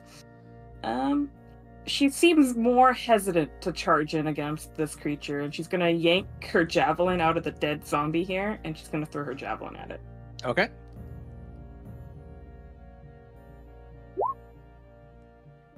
Fourteen. 14 is barely a hit. Oh, Oh, For six piercing. Six piercing. Unfortunately, the piercing doesn't do as much damage, but it's it's still unfortunately up. Hey man, it's hit. It did something. Uh, with that, it is Fenris's turn. Assuming you're done, you don't if you don't want to move. Uh, I think she will still move.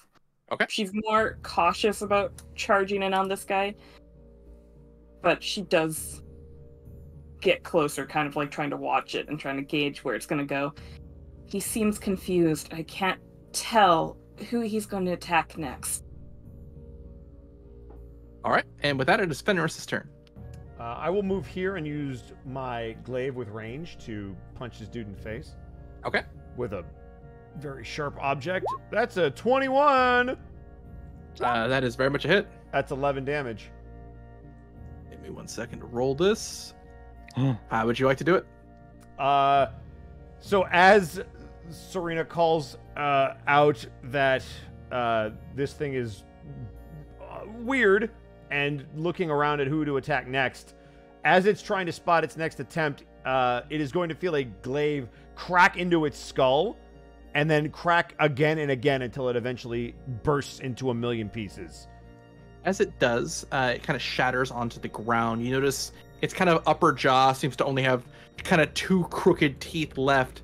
And Serena, as you look at it, you get the sense that whatever kind of undead creature it was, when you found it, it was already significantly injured. As initiative is over.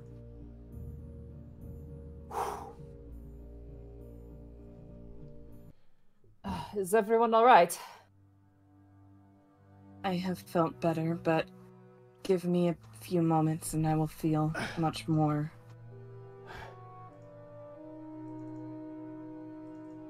Fenris is going to just look down at the blood coming out of his armor and hold that and put away the glaive.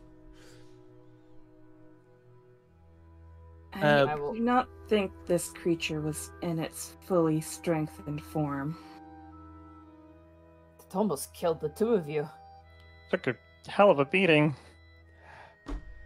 Ash kind of carefully, you know, steps around the zombies, making sure not to step in any of the nastiness, and they they just say, "I I really think we should finish uh, our business here. I want to go home." Serena If I'm- grabs her javelin. Fenris, Yes. do, do you require healing? Or will you be okay? I will be okay for now, but at some point, yes, I would appreciate it, If it worsens, let me know. of course. Although that thing, it was not at full strength as you pointed out, which means something else might be here that it fought. I am gonna pick up this skull and I'm gonna put it in a sack that I have. Um, for Xan, what are the rules on my regeneration outside of battle? Um, it would be uh, every minute that passes, you get six. Okay. If we do not mind waiting another minute, uh, I will feel well I've enough to gotta- continue, I think. As I'm Serena gonna says collect that, my arrows. Kanato, and you begin to collect arrows, you hear a soft, almost breathing noise that catches your ears and passive perception as down the way you feel a strange pulse uh, emanate from the uh, black construct that's peeking from this dais.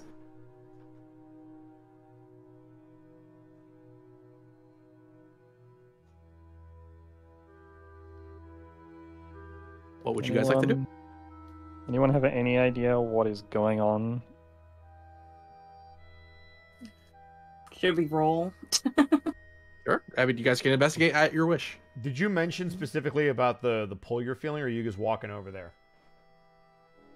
Uh, I'm mostly walking over there, just asking uh, what I said. Again, if I remember the contract correctly, we don't necessarily have to stop what's here. We just have to investigate it. As you move over, um, anyone with Arcana, please give me a check. Uh, can give me a test. Um, however, anyone with History can give me a test with disadvantage. Proficiency. Uh, yes, if you're trained in it. Yeah. Yeah. That's nerd stuff.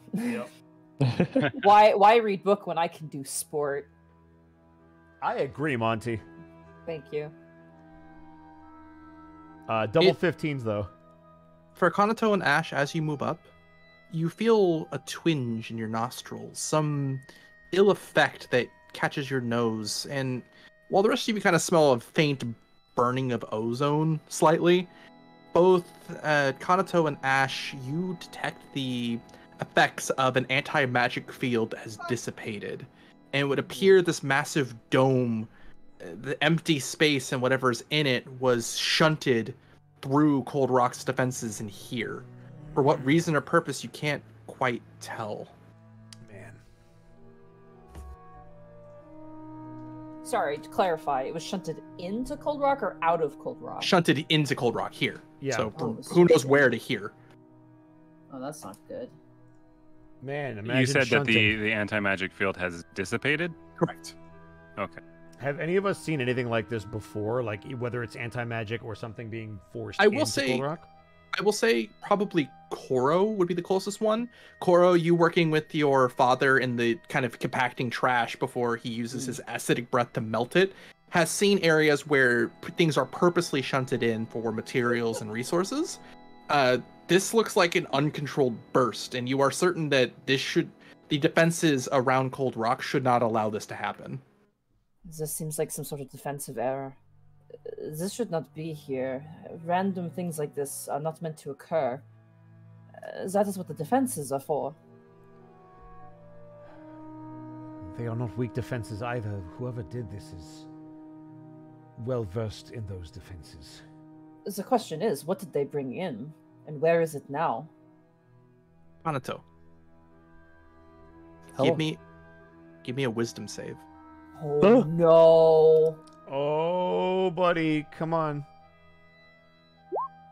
Uh, Oh, Oh no! Kanato, you look over and you feel this strange pulse emanate again, uh, noticing for a moment that Ash and Fenris don't seem to notice it. What appears to be in the onyx protrusion almost creates an eye within the gross material that seems to be emanating from it as it opens and looks towards you. You find yourself listlessly moving towards the thing.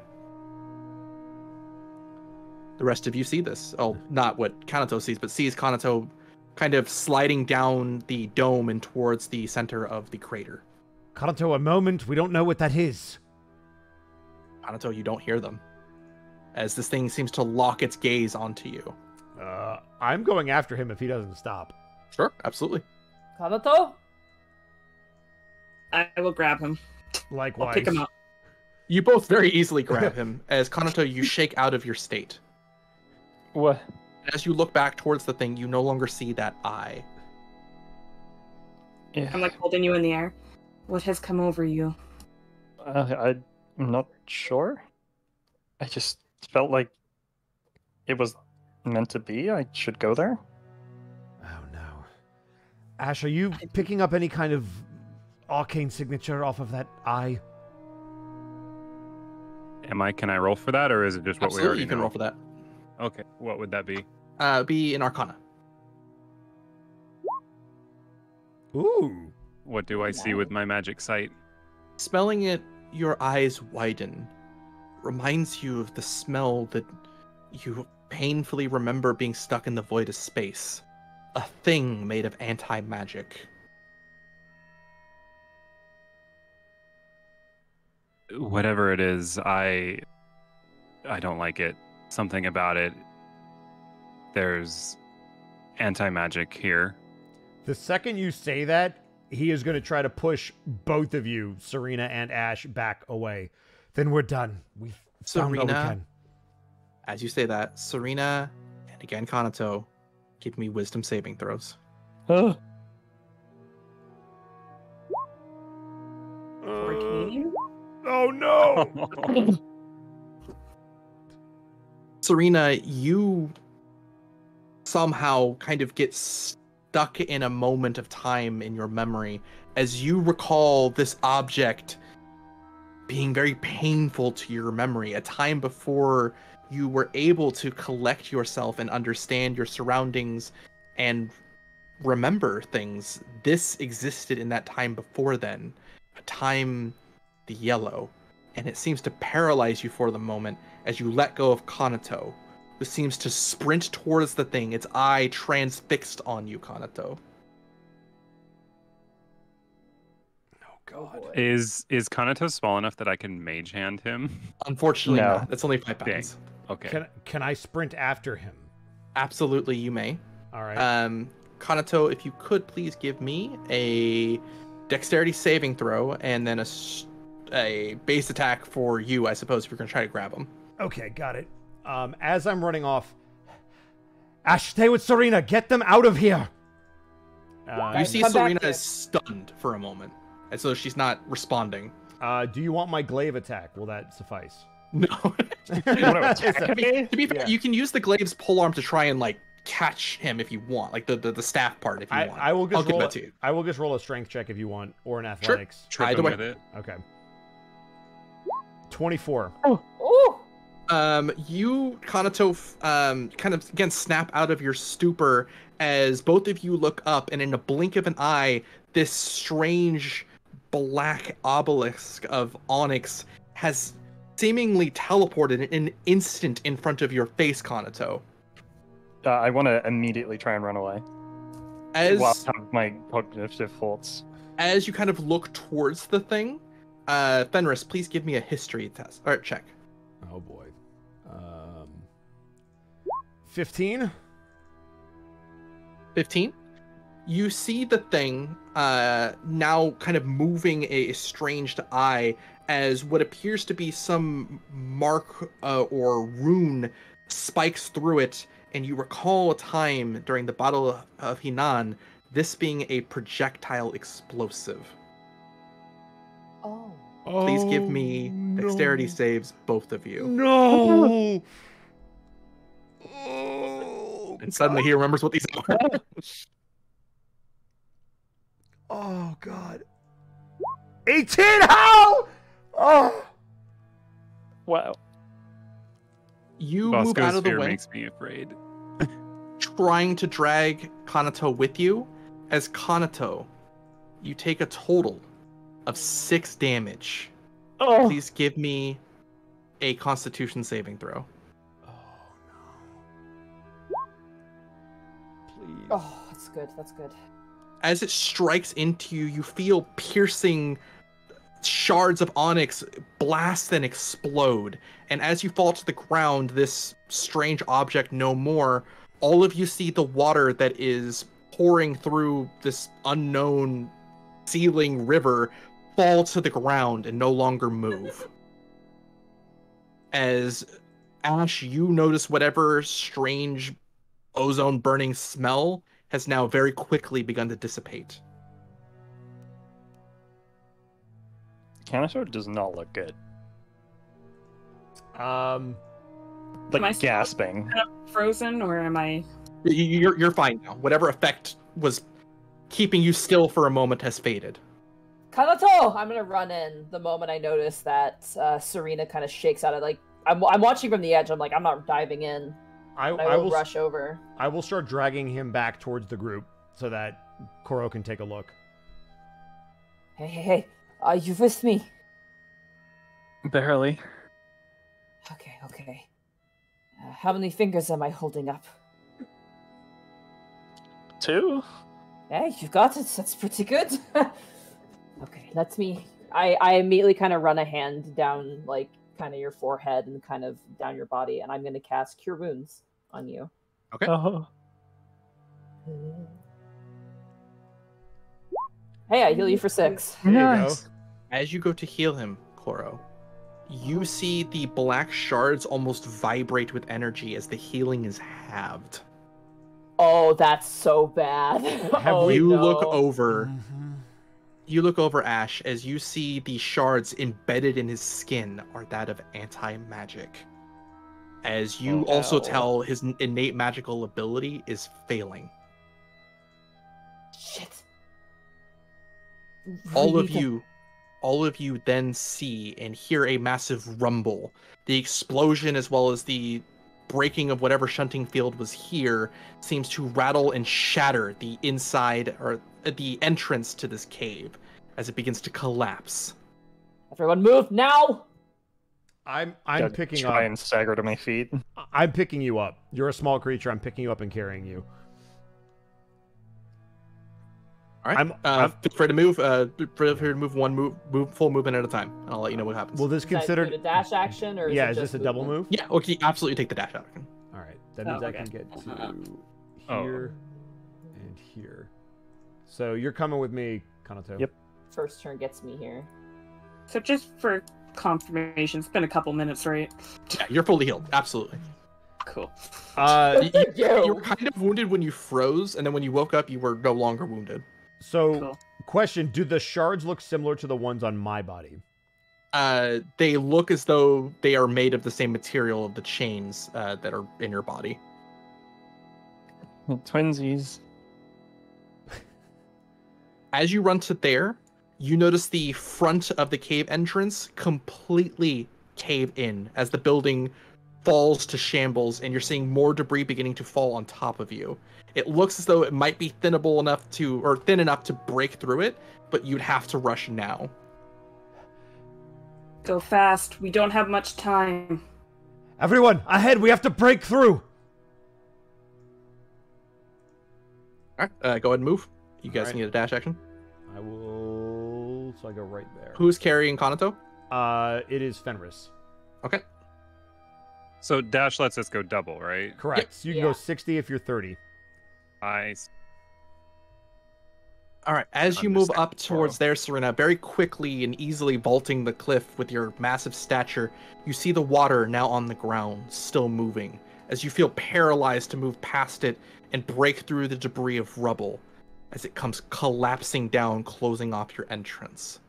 Oh shit. You all begin to cough and wheeze for a moment, trying to figure out a way out, until a few moments later, you hear, You guys all right in there?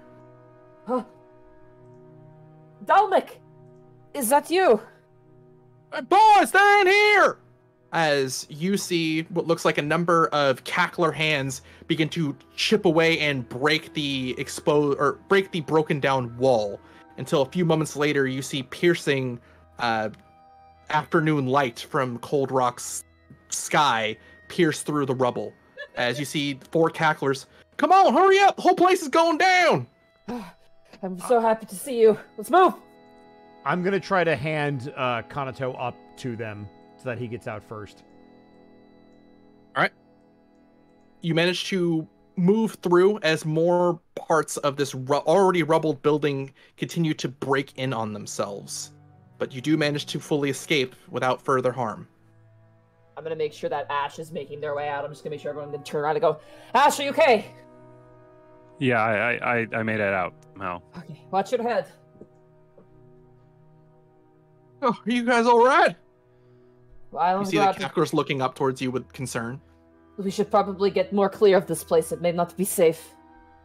All right, uh, uh, uh, there's a tunnel here. Leads you right out of the cups. I imagine you want to get out of here as soon as possible. Yes, and you should be very careful as well. Thank Uh, you for saving us. I owe course, you one. uh, uh, we're not allowed to bang our hands, but uh, uh, glad we could help. You're good kids. As I'm being carried, can I quickly attempt to try and cast mending on like my clothes a little bit? Go ahead. Yeah, I mean, does it work? Uh, give me a d20 roll. Oh no. Oh boy, this is this is this is bad. this is Kanato's very bad, not at all good day. It doesn't seem to work. Ah. Oh, yep. Man, Your dad dies, you get evicted, and now you wow. Oh, Gosh. Oh, goody. And Eevee and Xan are friends? Yep. Well, they used to be. I don't know anymore. We'll check. As you all manage to, I imagine, shuffle as far away from this place as you can, as quickly as you can. Uh, you see that the thing that seemed to harm Kanato isn't doing any further damage, but also isn't doing him any favors. Would you guys like to head straight towards the Market 3, or where would you guys like to go?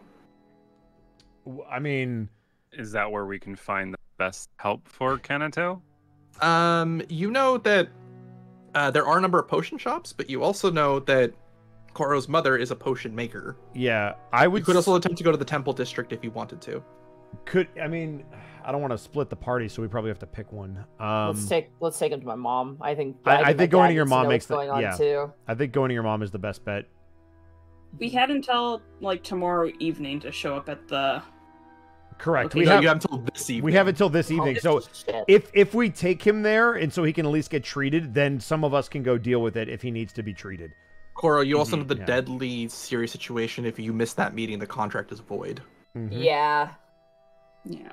I don't have to attend, right? Someone else can go cover for me. Let me take him to my parents. The rest of you can go resolve the contract. Do we know if the devil contract will be null and void if he's not there with us?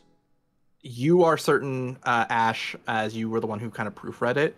Kanato, Kanato needs to be there, Shit. as Kanato's the one who signed it. Yep. house. We'll like- we'll drag them over to Kanto if we have to. Uh, you, however, Koro, you're certain because it's kind your house is kind of on the way in Bannerlands. You could stop by your house before going to the Markets Three. Okay. Push comes to shove, we could try and get the guy and bring him to my place. Yeah, exactly. As well, that's another option. Yeah. If it's on the if it's on the way, stopping doesn't mean too much. But here's a question above game for you, Xan. Because I'm afflicted with something similar, I imagine that I know that this is not really something that anyone's been able to treat yet. Uh, correct. Oh, this is fun. Yeah. if I might make a suggestion. I Listening. I do not believe that even Koro's mother, as skilled as she is, will Excuse be me, my mom is very good at healing people. I mean, with all due Okay. respect, I, I, I have not met anyone that can handle this type of affliction.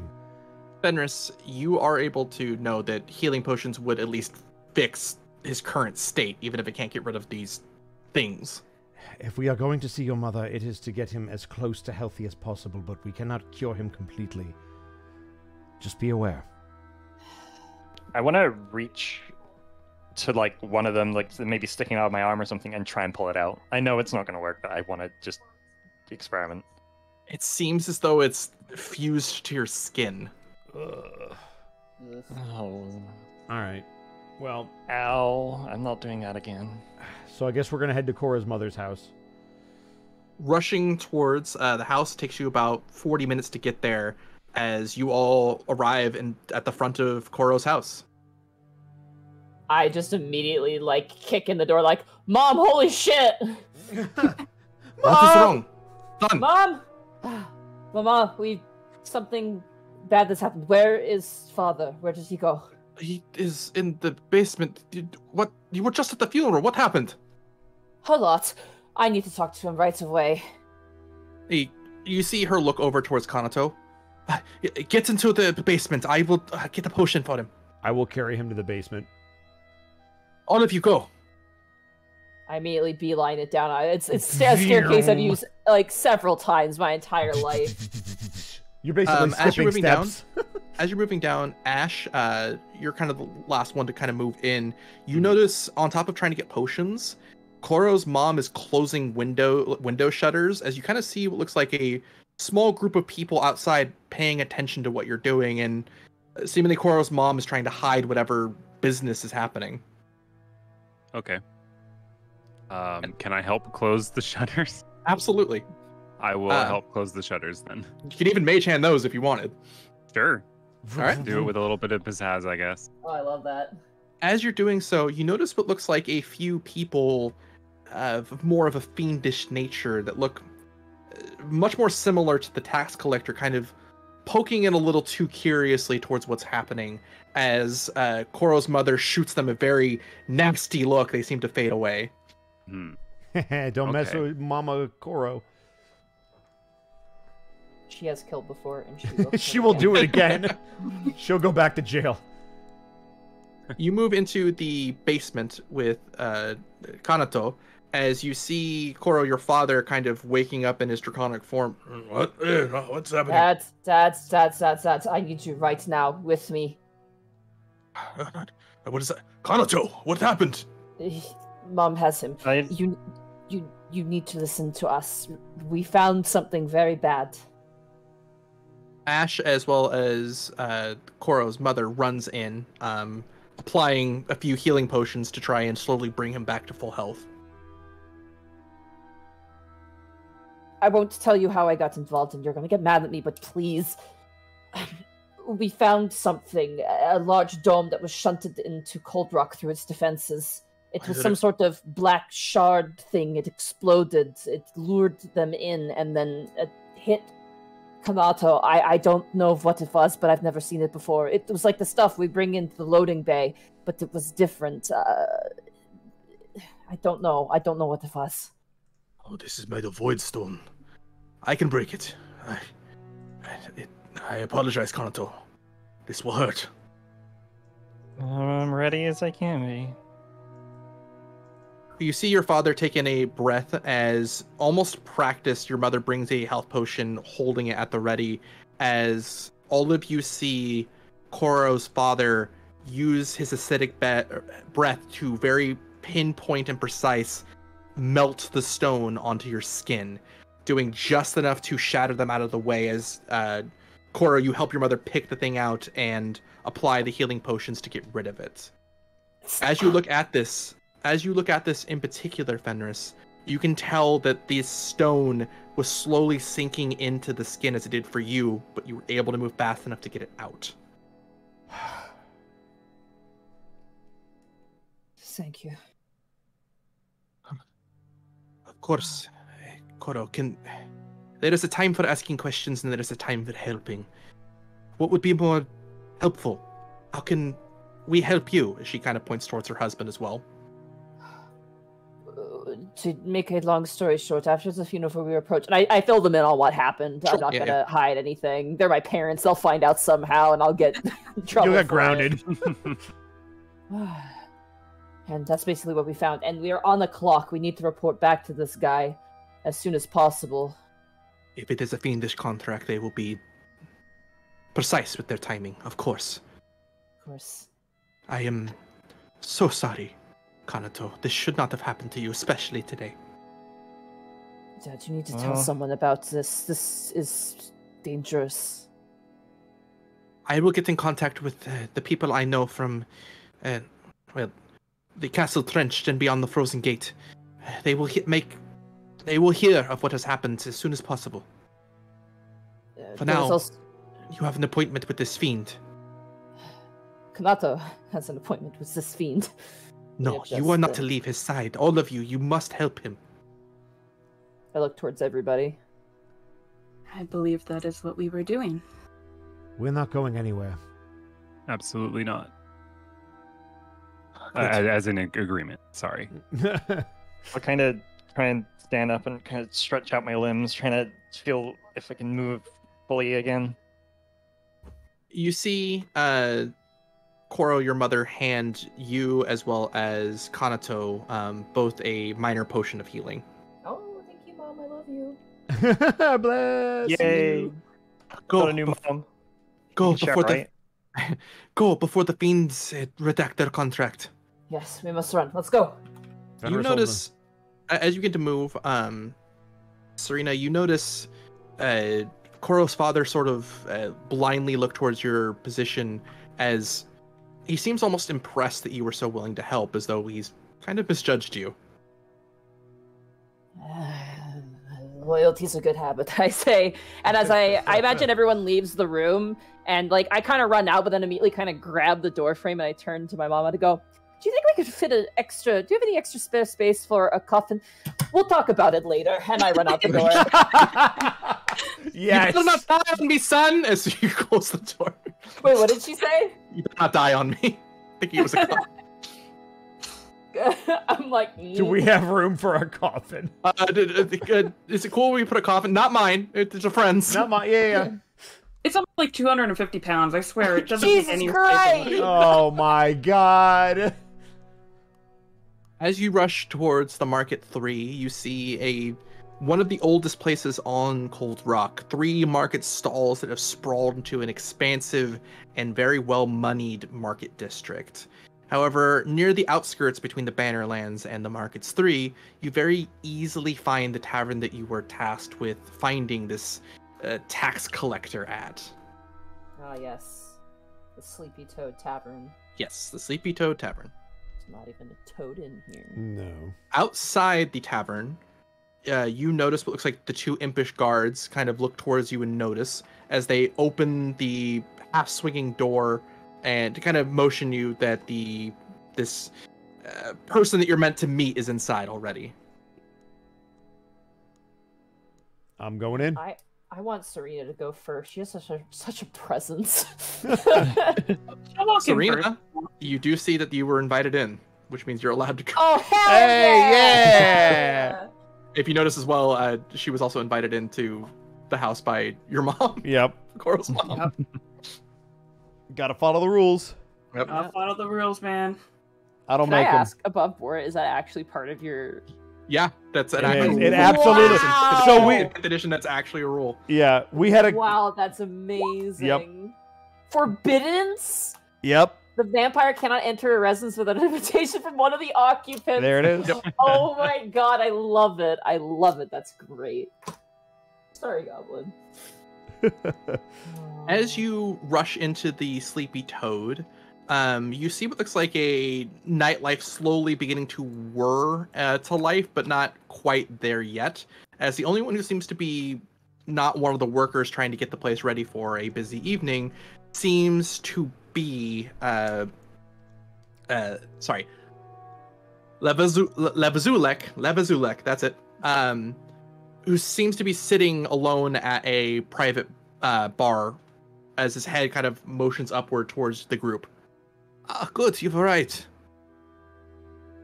Not without trouble.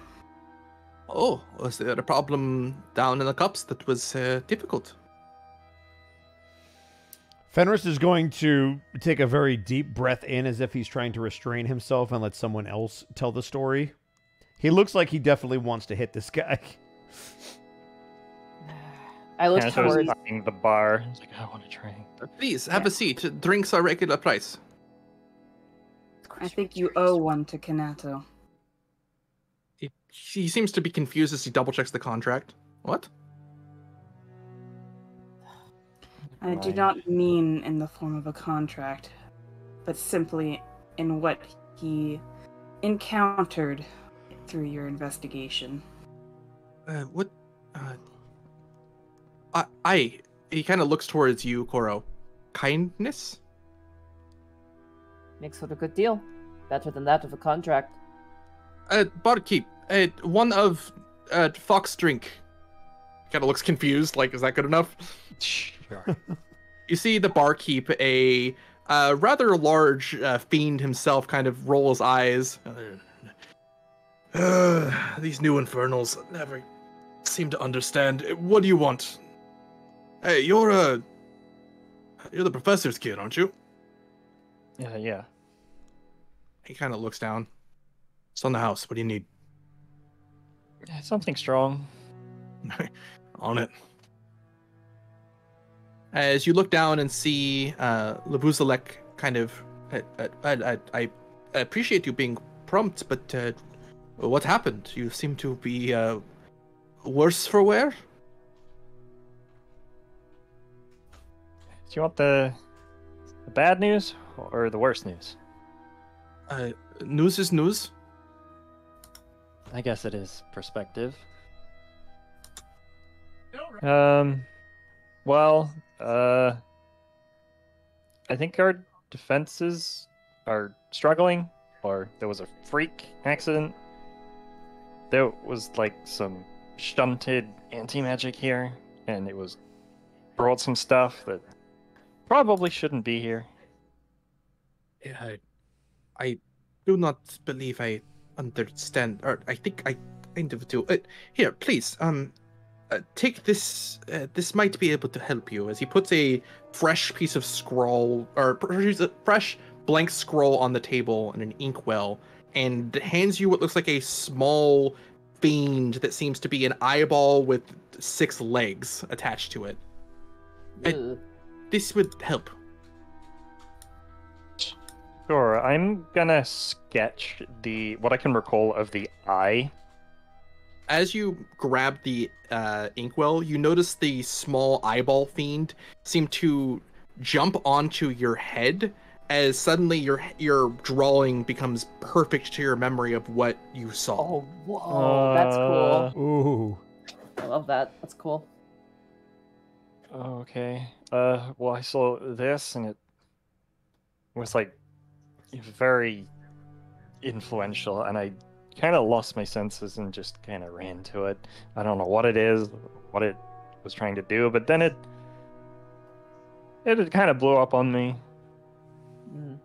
However, it got in here as well. It came with friends, and I'm gonna pour out the skull that I collected from my sack onto the table as well. I see. This is quite troubling indeed. But from the drawings, it looks as though you took care of it. Okay. Care of itself. Oh, that's good. Hopefully, no more undead will uh, plague that part of the cups. I will tell the authorities of the good work you have done. Uh, Kanato, as you see a heavy, stiff drink has been placed in front of you of what smells like sweet grog. Ooh. I'm gonna uh, definitely take a, a, a hearty gulp from that. I will uh, contact uh, my authorities and let them know of what you have seen and what you have done. I'm sure it will go uh, good ways at uh, clearing this financial mess. I, again, I'm told to say I am sorry for your loss. I will try to understand what that means in the future. Hey, So, that's an excellent start. you and I both know I'm not getting that money in three weeks. So, if any other opportunities to delay this come up, please let me know. I will. I will try to. Kind of looks towards you, Kanato. Be kind. Well, you're doing a good job so far. He stands up, um, brings the contract back from seemingly nothing, seems to null it out before filing it away in a a uh, a bag on his side, uh, kind of taking a breath. I will be in contact as soon as I can and let you know what the authorities say of the situation. Uh, thank you again for your prompt ventures. Uh, I am sure we will see each other again. Just to test it out, can I attempt to like cast mending again? See if I can fix a like a patch on my clothes anywhere. It's delayed for a moment, but it does work. Oh, that's good at least. Uh, anyone except Kanato, please give me an insight. Oh boy. Um, Koro, you're going to have advantage to this. All right. Soft 20. I'll take the 18. Koro, Do you not want the 8? Koro and Fenris, you both notice something strange about the tax collector. You both seem to notice uh, each other noticing something strange before it deduces that uh, some the tax collector seems to have been hiding something, as though something worries him about the information that you revealed more than the obvious. You also see the small eyeball thing unattached from the top of Kanato's head before following uh, following the fiends outside the door, and the imps seem to dissipate into the crowd. Hmm. I'm gonna immediately like rustle my head and try and get the feeling off. Ugh. D- don't let me do that again. That was so. It's not like I let you try to do it in the first place, to be fair. Well, I didn't know I was gonna do that. I, don't think any of us you. did. You see a the massive infernal barkeep kind of move forward. His skin, uh, deep purple, is uh, from his shoulders protruding a number of uh, strange bone-like protrusions, holding a few uh, hand rags to wash cloths. As he places a massive food platter of what seems to be fish of some kind. Dig in. It's on the house. Fenris is just going to look over to Ash. As your ears Ash. literally become. Ash is like eyeballing it, like real good, but is trying real hard to let Kanato pick what they want first. Aw. As you do, you see what looks like a Thri-kreen, or Thri-kreen uh, bard seemingly walk into the front of the tavern as they begin to play a series of tu- jaunty tunes that are known quite well within uh, Cold Rock as really more uplifting and estranged tunes. This multi-armed creature seems to be a one-person band. Um, I will say Kanato as well as Koro, you recognize this uh, Thri-kreen bard as a one-woman show lucky named Lucky Lane. Nice. Very quickly That's as well, uh, you see people beginning to come off of the night shift from the shunted mines, uh, pretty heavily worse for wear, working 12 hour plus days as they begin to drink a very common, uh, not sweet grog, but ale, simply referred to as Angler's Ale, something new edition. You also, uh, Koro, see your father has kind of frequented taverns like this where people are playing a game called Hulma, which is sort of like a, a checkers or not checkers, like a marbles game, uh, where bets are being kind of brought to and forward. Um, and if I could also get a history check from either, uh, we'll say Fenris or Serena. A history check, you said? Yep. Go ahead, Serena. I'll let you have it. Unless we Oh. can both do it. My minus one, 13. I mean, do you Why have not? better than a minus one? Is it for both of us or just one of us, Xan? Both of you. Okay, cool.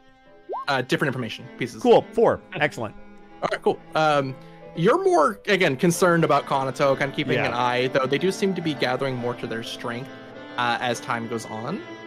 Uh, however, for you, Serena, you notice what looks like a number of Yuan-ti uh, walk in, almost slithering in, uh, wearing a number of iconography of pirates that you recognize as Sidewinder's crew.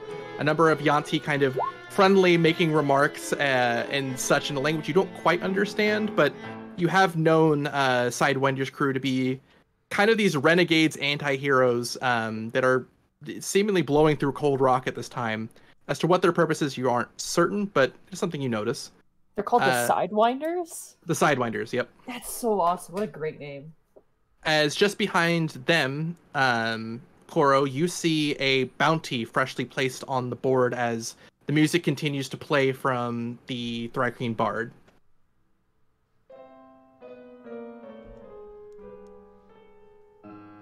Aside from that, you guys are able to eat and drink, investigate, or talk as you wish. Question: Would I know the name of the bartender if my if my father comes here all the time? Uh, yeah. Uh, his name, right? I went through random uh, devil names. His name is Zorp, Z O R P. Oh Nice. my god, Zorp. He's the owner. Uh, you don't know who the owner is. He just seems to be a bartender, All right, cool. Zip but he's zap always here. What was the name of the bar again? Uh, the Sleepy Toad. Thank you.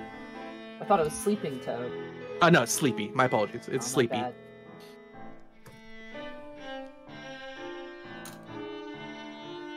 Putting Zorp in my list of characters that we know now. Underlined five times. Very important. Yeah, I was gonna say I've got Or- so many names and we're in session one. As you look over, um, you again seem to notice this uh, small bounty board on the side um, with a fresh bounty, again readjusted by some bar patron who kind of laughs at it. Um, as both Koro and uh, Kanato see a pretty sizable bounty placed on the board. 800 platinums worth of bounty. Yeah, I was gonna say, is it ironically the exact number that we happen to need, perchance? It reads Wanted, Captain Crush. Wanted for grand larceny and serial blasphemy. 666 platinum reward. Oh, Alive or banished. Banished. Oh shit. well, we don't have that level spell yet. Hmm, Well, 600. This could be worth looking into. Does that name ring a bell for any of us, especially those that are like from here? None of you have heard this name before. Okay, Can you can you do you have that in text so I can write that down in my notes? Yeah. Captain Crunch. Crush. Crush. That's what I said. 660 platinum reward, alive or banished, wanted for. Yeah. Oh, Thank you. Is there co-captain Gulp? Is there a picture of them or is it just text? Unfortunately, I couldn't get a. Oh no, there's no picture uh, of them. It just seems to be in text. Okay. I couldn't get a picture of uh, them for for this, so it's just in text. I'm gonna draw them on the poster in the. Did you say there was a picture on it? There's no picture on it. Ah. I will say the the reward of 666 is an oddly specific number of platinum. yeah, yeah, don't don't look into that. Yeah, okay.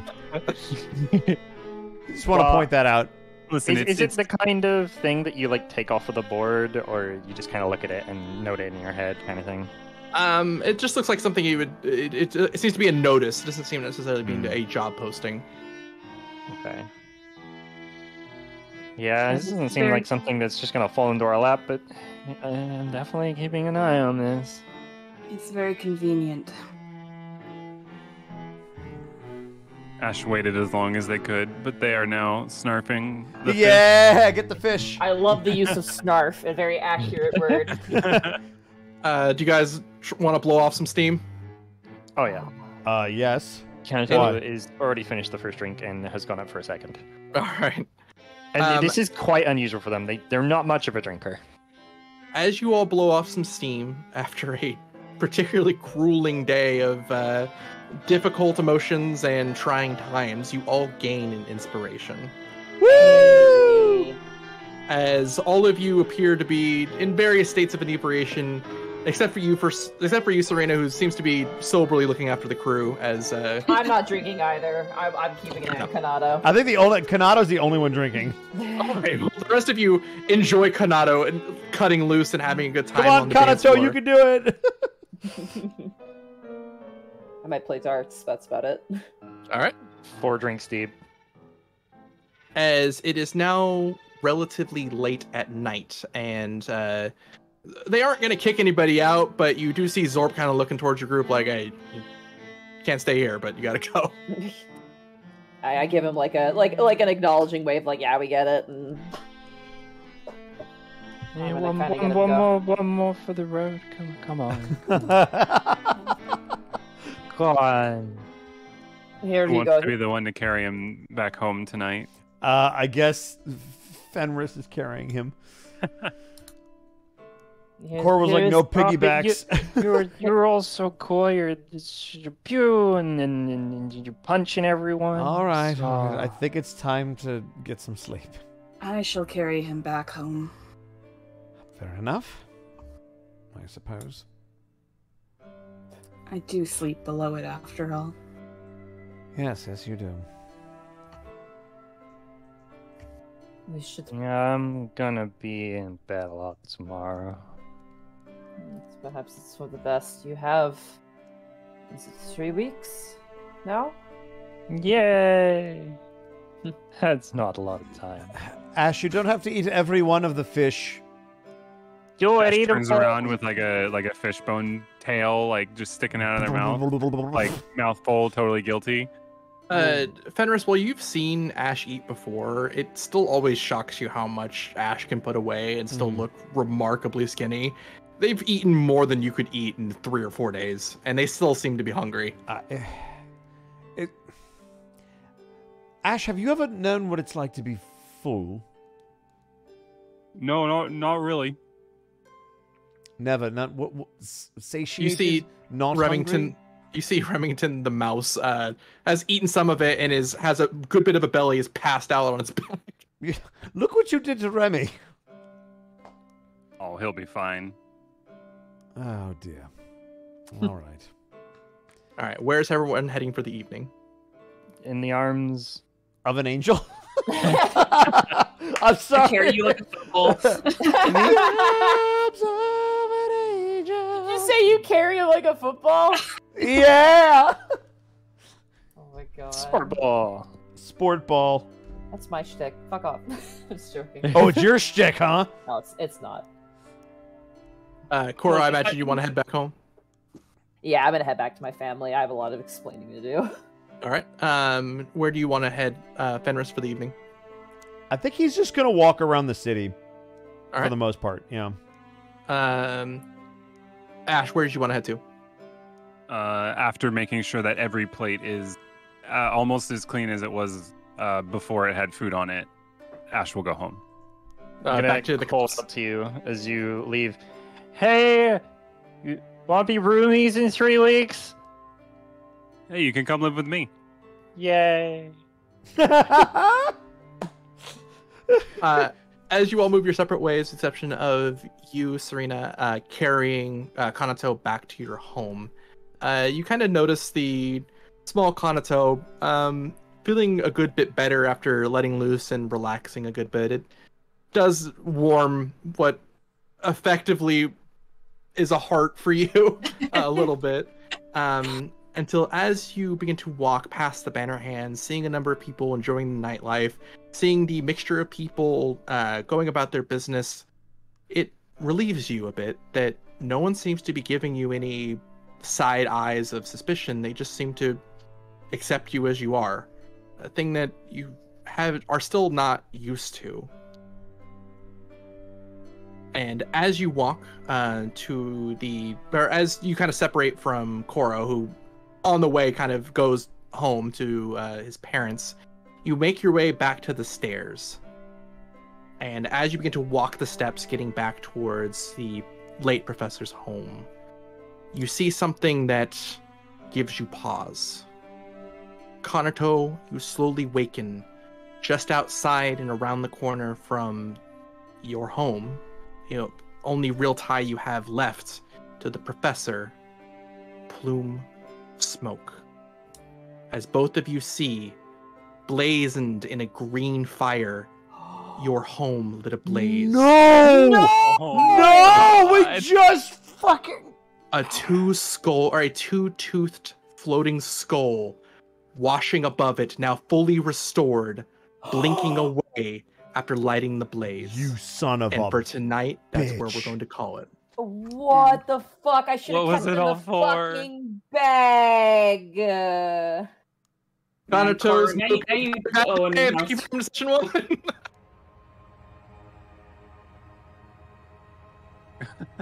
But let, tell me, is the basement okay? Is my coffee? oh okay? my god.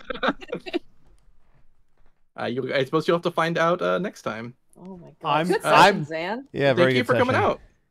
How could Uh, you I'm so. Eevee. I'm sorry. I promise it gets better for you. Wow. Yeah, Wow. they're friends, by the way. That's how many L's is that? That's one. Two, that's four L's in one session.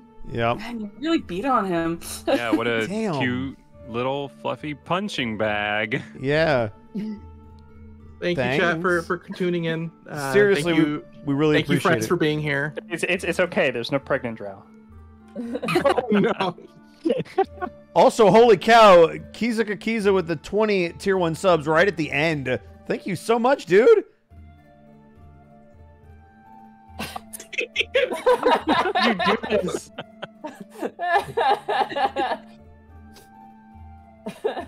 He ah. posted that like fucked up, like taxidermy looking box. I love that it's sitting on a chair. oh my gosh. This is so good. We should go around the horn real quick, though. That was amazing. GTG Maximo, thank you for the 100 bits. There's the Xan ending I'm familiar with. Yeah, man. I don't know if I missed this. Also, Neko on Parade gifting a tier 1 sub to Kizuka Kiza. Thank you so much. Holy cow, man. Uh, all right. I'm just going to do these around the horn. Artsy, where can they find you? Uh, Twitch.tv slash artsy. Tuesdays, Fridays, Sundays, I think. Nice. Uh, Shay, do the thing. Um, I mean, I'm here, and then I'm in a different game on Thursday, and I'm there, All right. and that that's about it. Yeah. Nice. Yeah. Mon- Monty, you also do a game on Thursday, don't you? I do. I run it. Uh, Nice. I also uh, streaming on Fridays and Mondays. Finger guns. Nice. Uh, Eevee, I'm so sorry. Where where can they find you, sweetie? Crying forever. Yeah, that's fair. Honestly, that's fair. God, that Uh, was brutal. Lots I, of I, like, places. I warned Eevee. I'm like, this is gonna be heavy. I'm sorry, but it gets better. And he was I like, didn't I can feel handle it. I didn't You break handle and it. said, There'll be no more heavy. well, you know, like a liar. Yeah. But um, So I the good know. news is we don't need the platinum anymore, right? No, we do. We don't have the house to give them to pay it off. Well, there is I no more can't- house, so the insurance policy will pay it. Sure. No, yeah, yeah. There you go. Ye old But the insurance. homeowner- now for our sponsor. Cold Rock Home Insurance. God. and last but certainly Uh, not least, oh, go ahead, Eevee. Sorry, I didn't realize because you weren't done. Halo Tuesdays, There you I go. streams, Xan streams, Heartsy streams, Fosco streams. Check Yep. out all of us. We're, We all- we're all we pretty stream. funny. We all stream. And then Mad Mage on Thursday on Monties. Woo! Woo! and probably Pokemon at some point this week, maybe Wednesday. Hey, all right. Yeah, maybe we might do. Yeah, we say just. Yeah, you're going on a trip, so Friday doesn't work. It's it's fine though. Even though I'm on a trip next week, I'll still have access to a laptop, so I will still be able to play.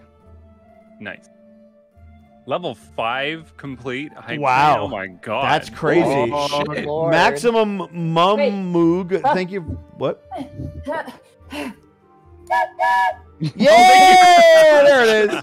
Uh, thank you for the 200 bits. I miss sealing the high heavens with everyone. Hopefully, you can find the gifts I left where I went. I, I would love to see that.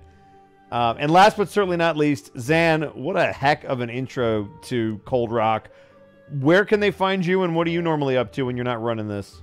Uh, you can find me on Twitter at Zandy underscore Grim if you so choose, and for long as Twitter lasts. Uh, but we don't want to talk about that. Mhm. Uh, tomorrow I will be streaming MechWarrior Online on this very stream um, from about 1.30 p.m. to a time of uh, when I want to stop, or a time to do Halo, which I'll be on with you guys 7.30 on this channel still as well, Mhm. uh, as well as at Bosco's, because we all kind of do multi-stream thing. Yep. Um, no unexpectables this Wednesday. Ugh. Art stream. Art There's stream an this art stream. Wednesday. We got art. Stream, yeah. There will be art. Same same time, right? Yeah. Uh, yeah. Start 7 p.m. start time. There you go. Uh, so I'll help out with that. Um, that'll be fun. And then Thursday I'll be on Mad Mage uh, with Eevee, Shay, Monty's running it. Um, I think I'm beating a demonic clown to death with a bucket, if I recall. yep. Better Nice. child. That'll be a good time. It time. literally has child in its name. Oh boy. Um, and then aside from that, you can see me back here next week, same time, with all of us. Nice. I'm so excited. Also, I we have too. now a, a new enemy for life, which is that fucking skull. That fucking skull needs to die immediately. Oh my god. you should have God. learned from our Mad Mage campaign, like honestly. yeah, Yes. but Koro Well, doesn't know shit, man. Yeah. I was getting so upset when the the skull. I was like, it's gonna fucking come back, and we're gonna have to fight it again. And then Yep. Lo and behold. It it did something before we could fight it again. How did it Yeah. know which house was yours, man? Did it just It, go around? it- listen, I, I it's got a purpose. I'm sure we'll figure it out. Yeah. Uh, Heiromir, with the 100 bits. Try new Angler's Ale, the Homer's and Insurance Edition. We cover only your drunkenness. Great. And Thanks, Heiromir. Z- Xan, any last any last minute words before we raid somebody? Uh, thank you guys so much for for joining us. Uh, thank you, players, for being here. Um, Thank you I, for I know running. this was very much a downer intro when I'm usually uh, very upper intros, but I, I promise. I that we'll- love. I just want to point out. I talked to Xan, and Xan's like, you know, I'd like a change of pace. I wouldn't mind like a nice uplifting game. And then we start this off, and I'm like, you sure, Xan? Are you, You sure? really? What? Focus and family. It's Things- You great. gotta start. You gotta start. with Wholesome that fun. can Uplift. Fair enough. Right? Fair enough. Yes. Oh, you have a boy. loving family, Monty. Yeah, it's, yeah, it's great for you. I'm the only one taking W's, but at the yeah, same time- basically. Hey, I, I have a cute pet rat. You do. You have a cute pet. Monty's over here like I got a cool family. Meanwhile, I'm all scarred up. Shay's dead. Eevee got jacked up today. Like, what the fuck? Kanato has a seven foot five. Was that it? Seven, Seven foot foot six. Seven foot six. Apologies. A vampire friend. I think it's a W. I think it's a win. Yeah. I it's a win for all of you guys. You have a seven foot six vampire, you know? Yeah. Yeah. But You're God. you're what is it? So- Three and a half times my size almost.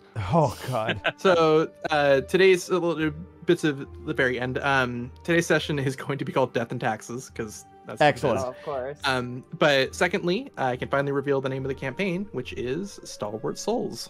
Hey, Ooh. stalwart Hey. souls. Hey, there's why there's nothing. Okay, I was wondering if something was going to be at the top. Yep. There we go. Uh, thank you, Ah. GTG Maximo, for doing the art on the map. Uh, Thank you, Oh. Heartsy, for doing the overlay and uh, getting little icons for the players. And thank you, BrachyZoid, for doing the, the PC art. Yay. killed it. Yeah. It's super good. Oh, Oh, it's good. Bracky Um, was in chat earlier. I don't know. if Bracky's he's still here. Yeah, they're still here. Is Brachy Yeah, still? he Yeah, was talking about. Yeah. Electrum earlier. There's Brachie right there. Sorry, Also- sorry for all the revisions. Oh boy. Bracky's used We to it. He's quick. He's a professional. Yeah, he knows what he's doing. Dude, Bracky and Citric are in the same place at the same time. That's breaking me. Is that Uh, allowed? it's not. Uh, Mark, thank you for the hundred bits. Hey, nowhere to go but up from here, right? I, I, I presume so. You never know what his ant campaign. You think you're at the bottom, and then he cuts the bottom out from under you. Uh, But yeah, let's let's raid somebody. Xan, do you have anybody in particular you want to have us to? anyone to raid. So I have a recommendation. He's a he's a friend of the channel, Unexpectables. Our buddy Sci-Fry is streaming Street Fighter Six. If we want to hit Okay. him up, Yeah, let's Uh, do that. yeah, you have to post it for me. yeah, I got you. Uh,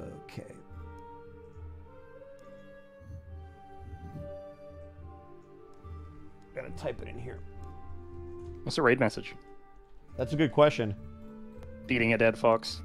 I was gonna say poor Oh, Eevee man. What does the fox say? Nothing. Not a damn thing. You beat him just cry. senseless. Okay, it's Eevee's turn to add a language proficiency into his character sheet of crying or sobbing. I, or I, I, something. Don't know why. It's a bit more than crying. That's only a few seconds. I will see you either tomorrow or next week. Goodbye, everyone. Goodbye. Goodbye. Bye bye. Raid message is pain. Oh, just Hey. just Just just pain. pain. Pain. All right, see you guys next week. Bye, guys.